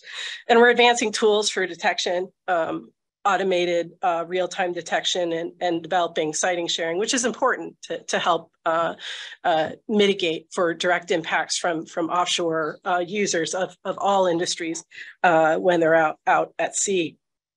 Of course, um, we've had uh, Seth went into detail about climate change and, and why the renewable energy transition is happening. So I need not say more about that but um, it is really important for us to, to get these wind farms built so we can at least try to abate the rate of, of climate change. And then, um, as Ruth uh, detailed, um, you know, we we are advancing a lot of um, a lot of good science, and and then offshore wind industry is going to continue to trigger millions of dollars in, in research investments, including bringing you all to, together to have this deep dive. I mean, this is very exciting to to see. I think this is a real benefit, um, ulti- and ultimately a benefit to to the right whale population. so uh, finally, um, I leave you with these thoughts and, and um, our request to the committee as you are advancing the report. And I think these are things you are, are already going to do, but I did want to reiterate these, is to please consider interannual variability in the ecosystem, um, the influence of storm events, and, and of course, their yeah, potential increasing strengths where there's some indication, as you described, Glenn, earlier today. Um, and of course, the influence of climate change, which of course Glenn described in detail this morning.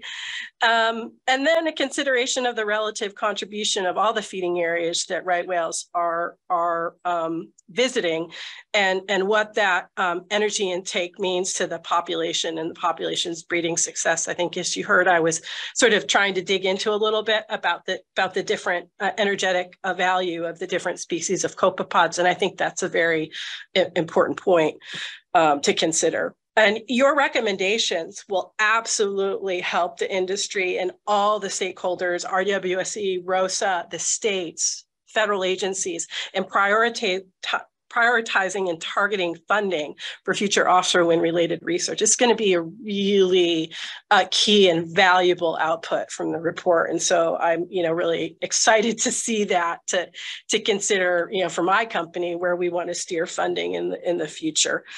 And um, as developers, we're committed to this process. Um, as Ruth really eloquently uh, described, you know, we want to advance best available science. We support science-based decision-making, including this group and contributing um, as best we can to your efforts.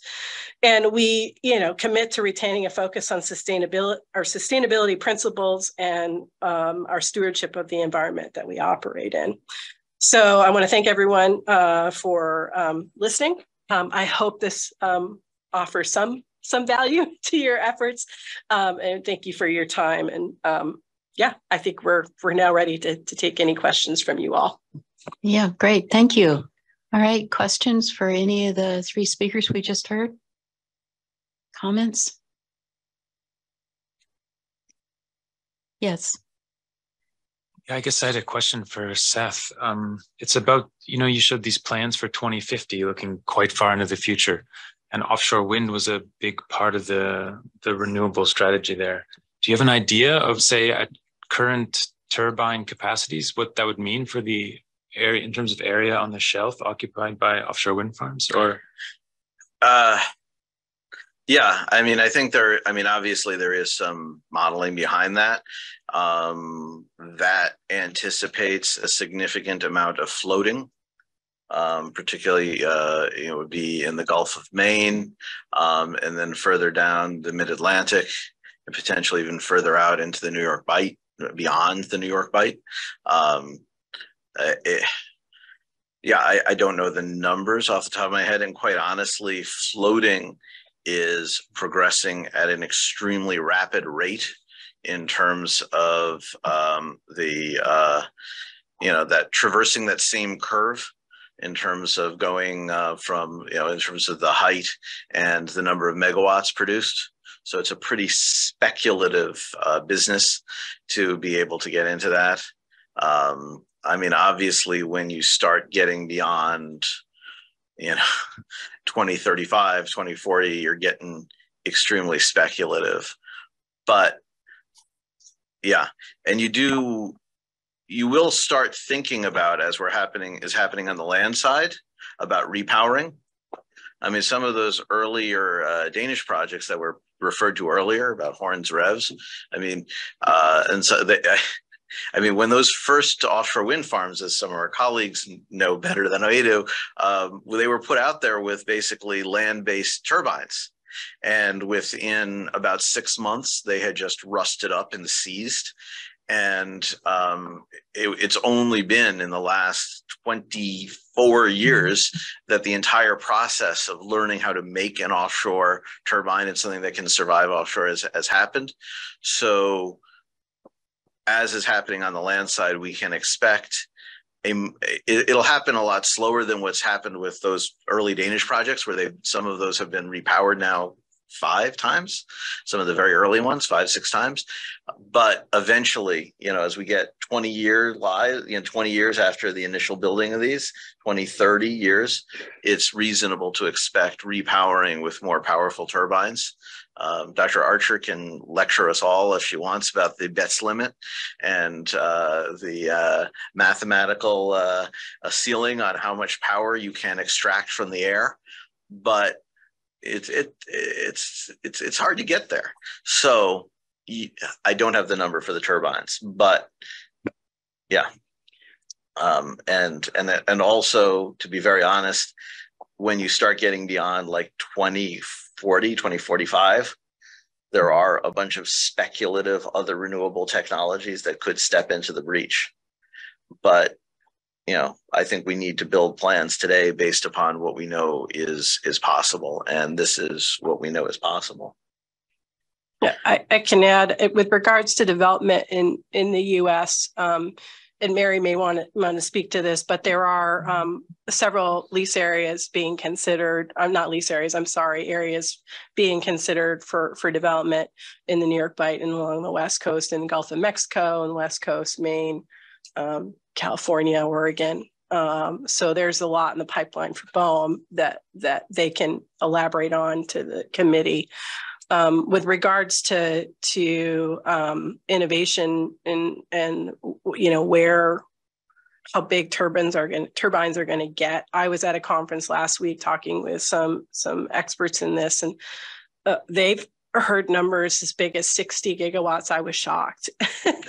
I thought it was in the 20 to 25 range, you know, um, and but 60 gigawatts is now now being discussed. So it's it's amazing. 60, 60 megawatts. So it's a 60 megawatt turbine. Yeah, you said gigawatts. I'm sorry, megawatt. Sorry, megawatts. Apologies.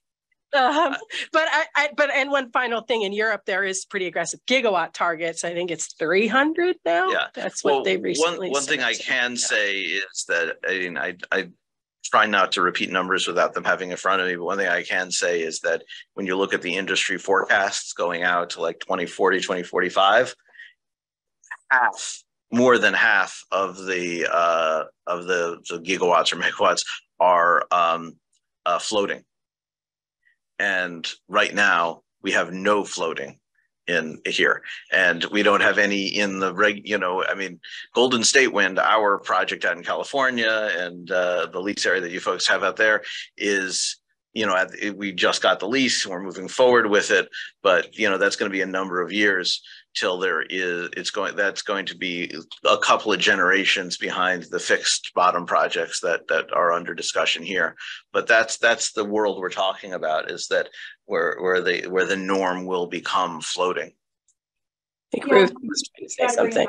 to a US context. So I mean if we just consider I think about 17 projects. I kind of see Mary behind there. I can't add them up. Let's just say 15 to 17 they can get about an average of two gigawatts um, with the current state of technology based on what NREL and, and, and BOEM have calculated. That, of course, has some variability across the projects and technology, like Laura said and, and Seth said. But if you assume 17 projects, two gigawatts, right, uh, we're only at 34 gigawatts if we're talking about that 50 gigawatt uh, target you know, if we're taking best available science that's here today.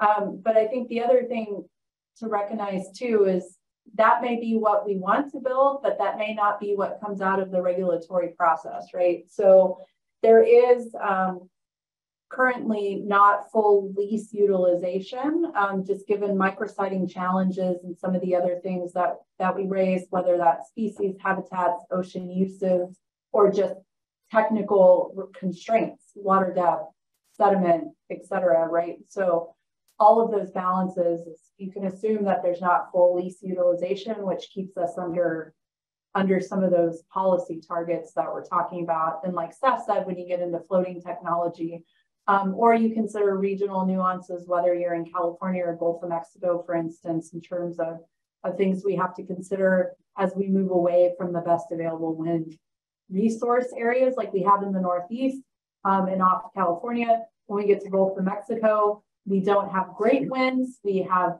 good winds. Um, and so the technology has to change to utilize wind yields that may not be optimal where we have it in certain areas of US.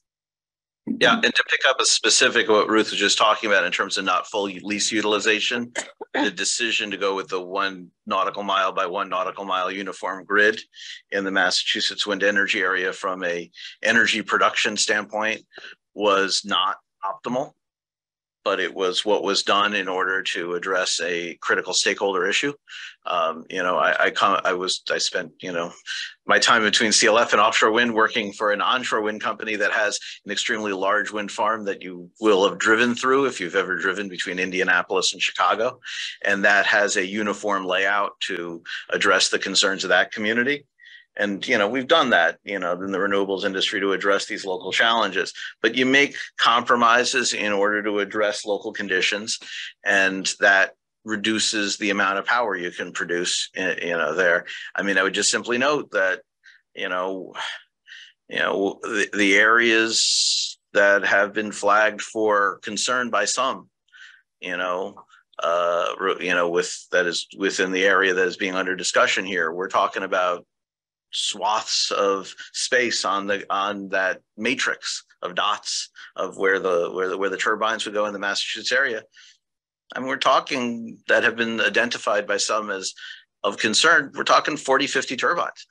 And taking those out would make projects uneconomically viable and you know make a and take a real bite out of the the climate benefits of these projects. So it's absolutely critical that the the work of a body like this and the, and the committee like this you know really help inform the regulators to make decisions based on as Ruth said, the best available science, and which is more of a legal standard than an academic one, I understand, and you know, really helping them to meet the legal standards about taking a hard look at impacts, but again, looking at the overall net environmental impact of projects and understanding that there are trade-offs you know, and it's not commercial trade-offs, it's environmental trade-offs for shrinking, uh, you know, projects in response to, um, you know, concerns that have been expressed. Doug, yeah. Yeah, thanks, Eileen. Um, great to have uh, the developers here. I think it's it's really good to keep the discussion um, well rounded. I have uh, two things. One is with respect to what Cristina um, presented, and maybe this isn't necessary, but is there any need to have data from the development side and the industrial production side in terms of the cascading effects throughout the wind farm to help us think about what that does to the surface of the ocean or do we have everything we need? Um, just thinking about data that the industry could provide that could help us um, either recommend modeling that or actually in, uh, you know enveloping that into what we do. Do we need more data?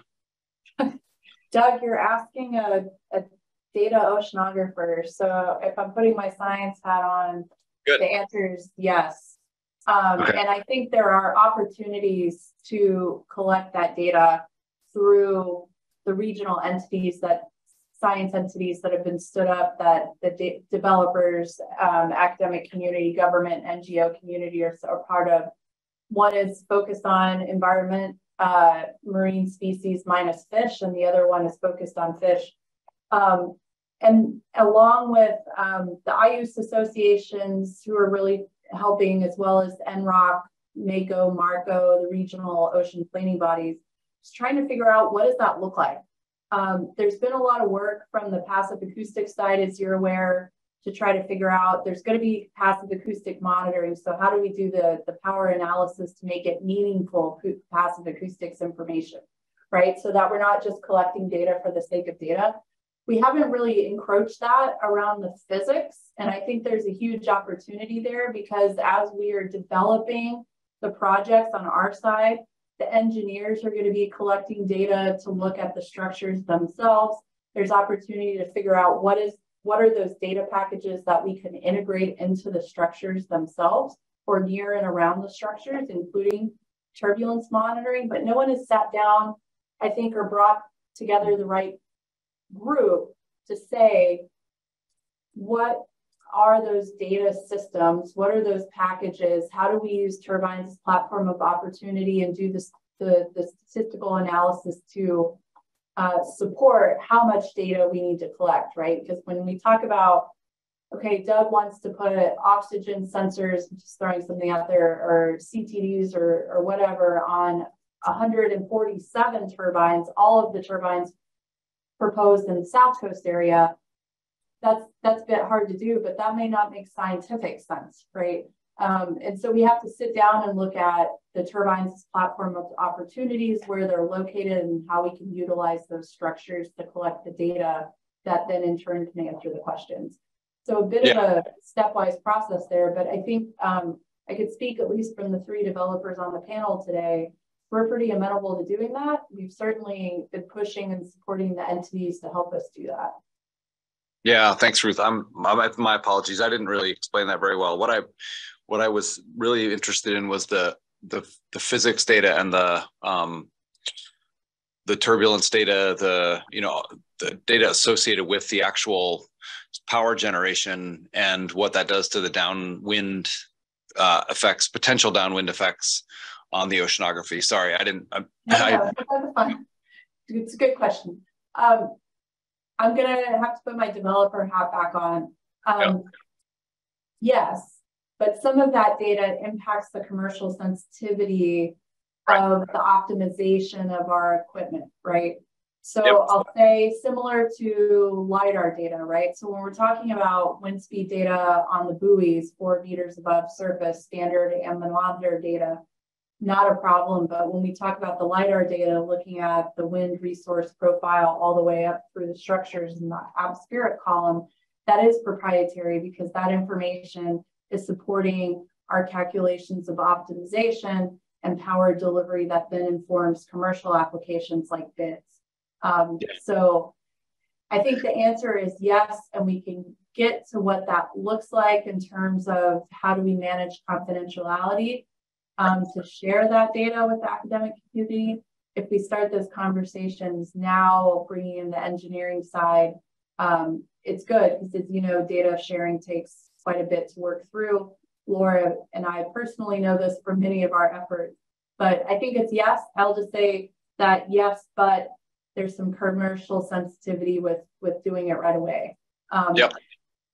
And yeah, that was a conversation to have with Block Island and uh, CVOW as well, who do have structures out, right? So we can start collecting local localized data and, and build out test test the application, the data sharing, test it out before we get to commercial scale in the water. Yeah, and I, I, I mean, part of it, it should have been maybe I should have phrased it even differently again, and that is, you know, are there uh, data from from Europe, right, that mm-hmm. could used, brought to bear on this question of what does that look like, you know, halfway through the wind farm and then you know beyond and then downstream. I guess that's a, a, a, different question. And as you're going through the next few months of advancing the report, mm. you know, if you if you come up with a, a question or request for data, then yep. developers can t- take it back and see if they can get it. There's no no guarantees, but that is uh, all, all we can do is take what your request and, yep. and, and, carry that forward. Um, but I again I want to highlight what you all put in in recommendations in the end of this report for data gaps is is really critical. I mean, we're going to look really closely at this to identify uh, funding uh, for voluntary funding. States will be looking at it, and you know, and how we you know collect data to fill in the gaps for future projects.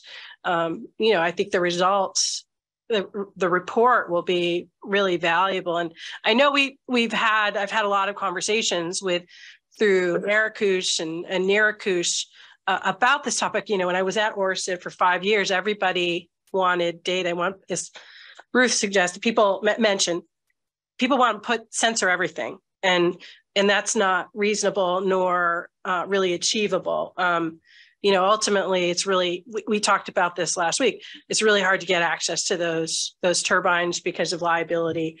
And and there's just not comfortable uh, engineers are just not comfortable. They're they're their energy generating devices that are critical to our to our energy energy infrastructure and there's going to be sensitivities there. But that doesn't mean there isn't desire to to find ways to collect data that's that's of value. And um, and I think the wind farms, personally, I think the wind farms can contribute significantly to advancing climate models, weather forecasting models, you know, obviously other environmental um, impact assessments. Um, but I think we have to think really carefully and strategically, as Ruth just described, like doing an analysis to figure out what what sensors are needed, how many are needed, and you know what what what is that what does that study look like? And I think we should think about that. I I agree with what Ruth just suggested. Okay. Eileen, I had one other yeah. thing if I can, and that yeah. is, uh, I, I assume the answer to this is no, but if they're with the development of paired technology like hydrogen producing on on wind turbines, which I know is being contemplated, is does that change what we're trying to do at all? And the answer is probably no, but I just wanted to, as long as we have the developers here, because that's going to change what's happening on the platforms and um, things like that. So I'm not sure if that's a question for us. I don't know, Ruby. I, am not sure what you're asking. Yeah, I don't think anybody's that, actually yeah. really gotten to the design phase in terms of that. Yeah. I, I, I, mean, just the raw guess would be that I think that uh, Dr. Archer's answer to the question about nacelles and towers having an impact on um, uh, the the modeling of wake probably figures into this that like a great bulbous shape on the side of the thing to um, yeah, you're the expert uh, on the side of it to help convert to hydrogen. Theoretically, probably. Let me put a plug in. Um, there is uh, a turbine research entity um, that's looking at blade technologies for hurricane and, and typhoon standards, Gulf wind technology. Um, shameless plug, Shell is the corporate partner, developer partner into that. They're out of Louisiana, Doug.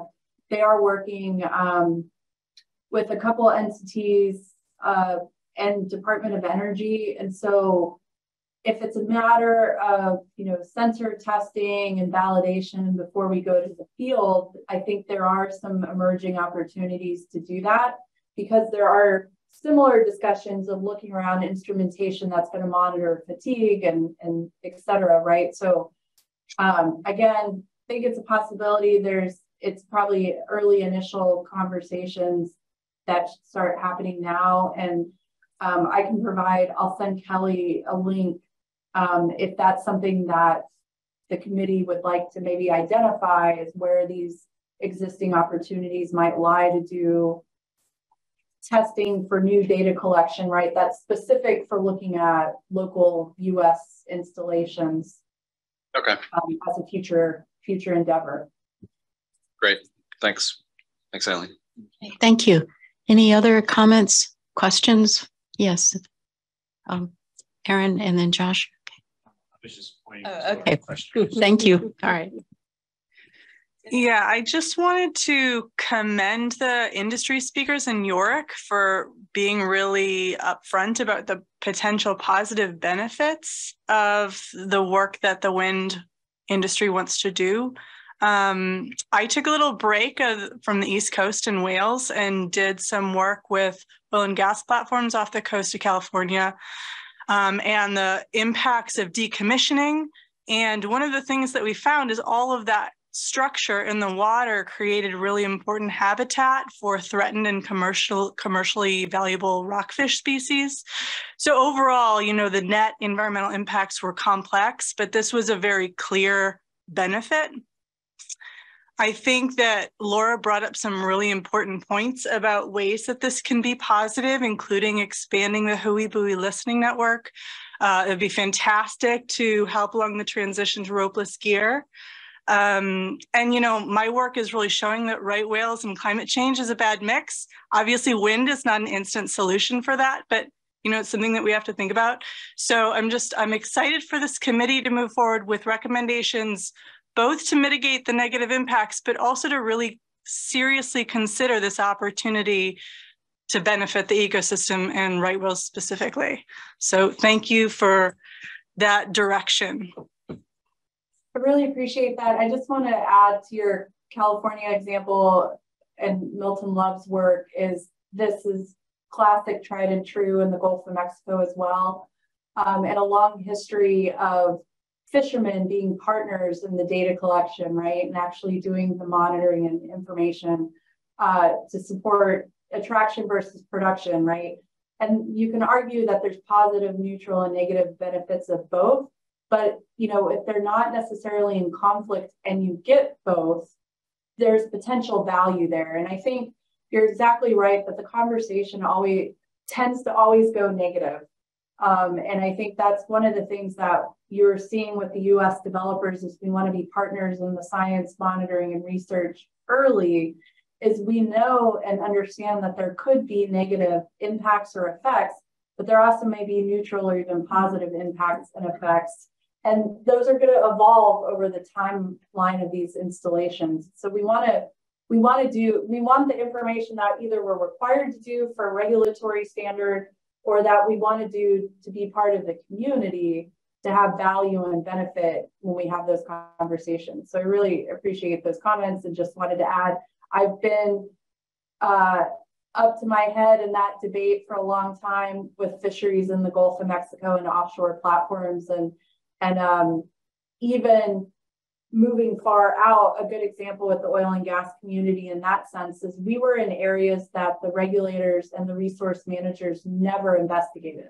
And we're able to provide the information and utilize fishermen who go out there 80, 100 miles offshore to bring that assemblage of information in to look at a very complex problem when you were talking about impacts and effects. And and I just like to add that you know, we've we have a really grand opportunity here. I put up some dollar figures. This will be the biggest infusion of dollars for scientific research on the East Coast that the East Coast has probably ever seen. Um, and this will occur again in the Gulf and again um, on the West Coast. Maybe the Navy's invested more, but it's huge. It's a huge opportunity. And I don't want to see it wasted. And I, when I worked for Shell in Alaska, um, we saw this rapid uptick and there was a lot of um, you know poor use of dollars. And and um, and I think there were there's been some you know myopic focus on particular things like developing a passive acoustic monitoring network, and no discussion about oceanographic sampling, um, and we're developing an industry to respond to climate change. How can we ignore that? So I, I again, I really look forward to your recommendations um, to help steer the industry to broader sampling that will optimize the significant influx of dollars. That's encouraging. Yeah. Um, you have a response to this or? Actually, I, I did want to follow up on Aaron's comment. Okay. I wanted to say something very similar. that, uh, Microphone. I, I, I just wanted to follow up on, on Aaron's comment because I wanted to say something very similar uh, as one of my last recommendations was. I just didn't have the sensitivity about uh, the data sharing there, you know, and I was really, uh, you know, I certainly learned something very positive that, you know, there is a positive uh, attitude towards sharing that subsurface oceanographic data. And I just appreciate all three talks because I want to take them back to my students this summer. And understanding this larger scale context with offshore wind, we tend to look at it in the narrow sense of the problems, you know, but I certainly want to show, you know, several of those slides if they're shared with non-committee members uh, uh, to, you know, our informal seminar in the summer, because I think it's important for students in particular, uh, uh, you know, to see this larger context. Uh, a lot of times they're mostly reading newspaper articles, which are not always the most balanced uh, approaches to problems there. But no, I, I just want to appreciate uh, your perspectives on this. Yeah, uh, thank you, and we're happy to talk to your students. Um, there's an old expression in project development: "Never miss your flight home," is the true bottom line. So uh, I, I may quietly slip away here. Yeah, we do traveling roadshow. Doug knows this well. He's always done a policy class um, and come in and, and given talks. I think Laura and I've done this quite a bit on the, the nexus between regulation, policy, and science, um, and, and how industry is kind of in the middle, right, balancing all of those things as well as folks in the room from the agency side. So happy to do it. And I think, you know, we often get caught within the tags that follow our names. Um, and so, like Laura said, huge influx of dollars. It shouldn't matter where those dollars are coming from.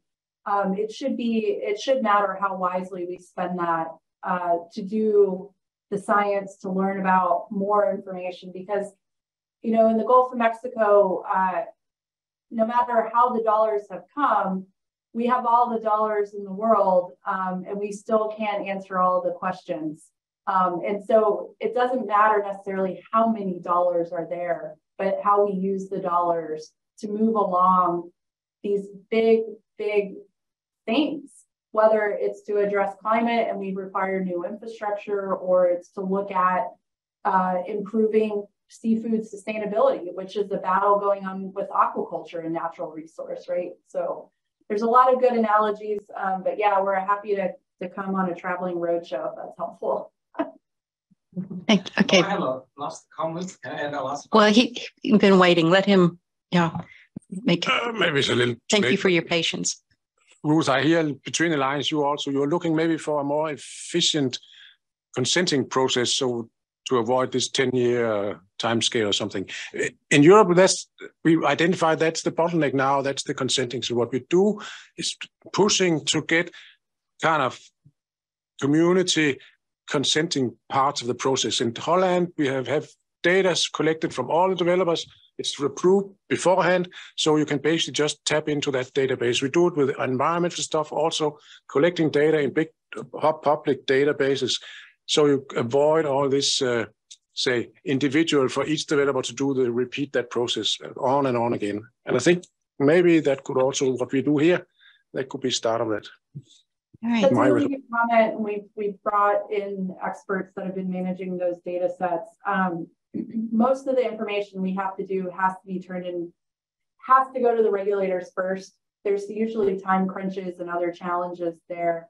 Um, however, since I'm not in the room, BOEM and NOAA colleagues um, can't glare at me, but Um, we have been working with BOEM and NOAA, who both have extensive science and data management sides, right?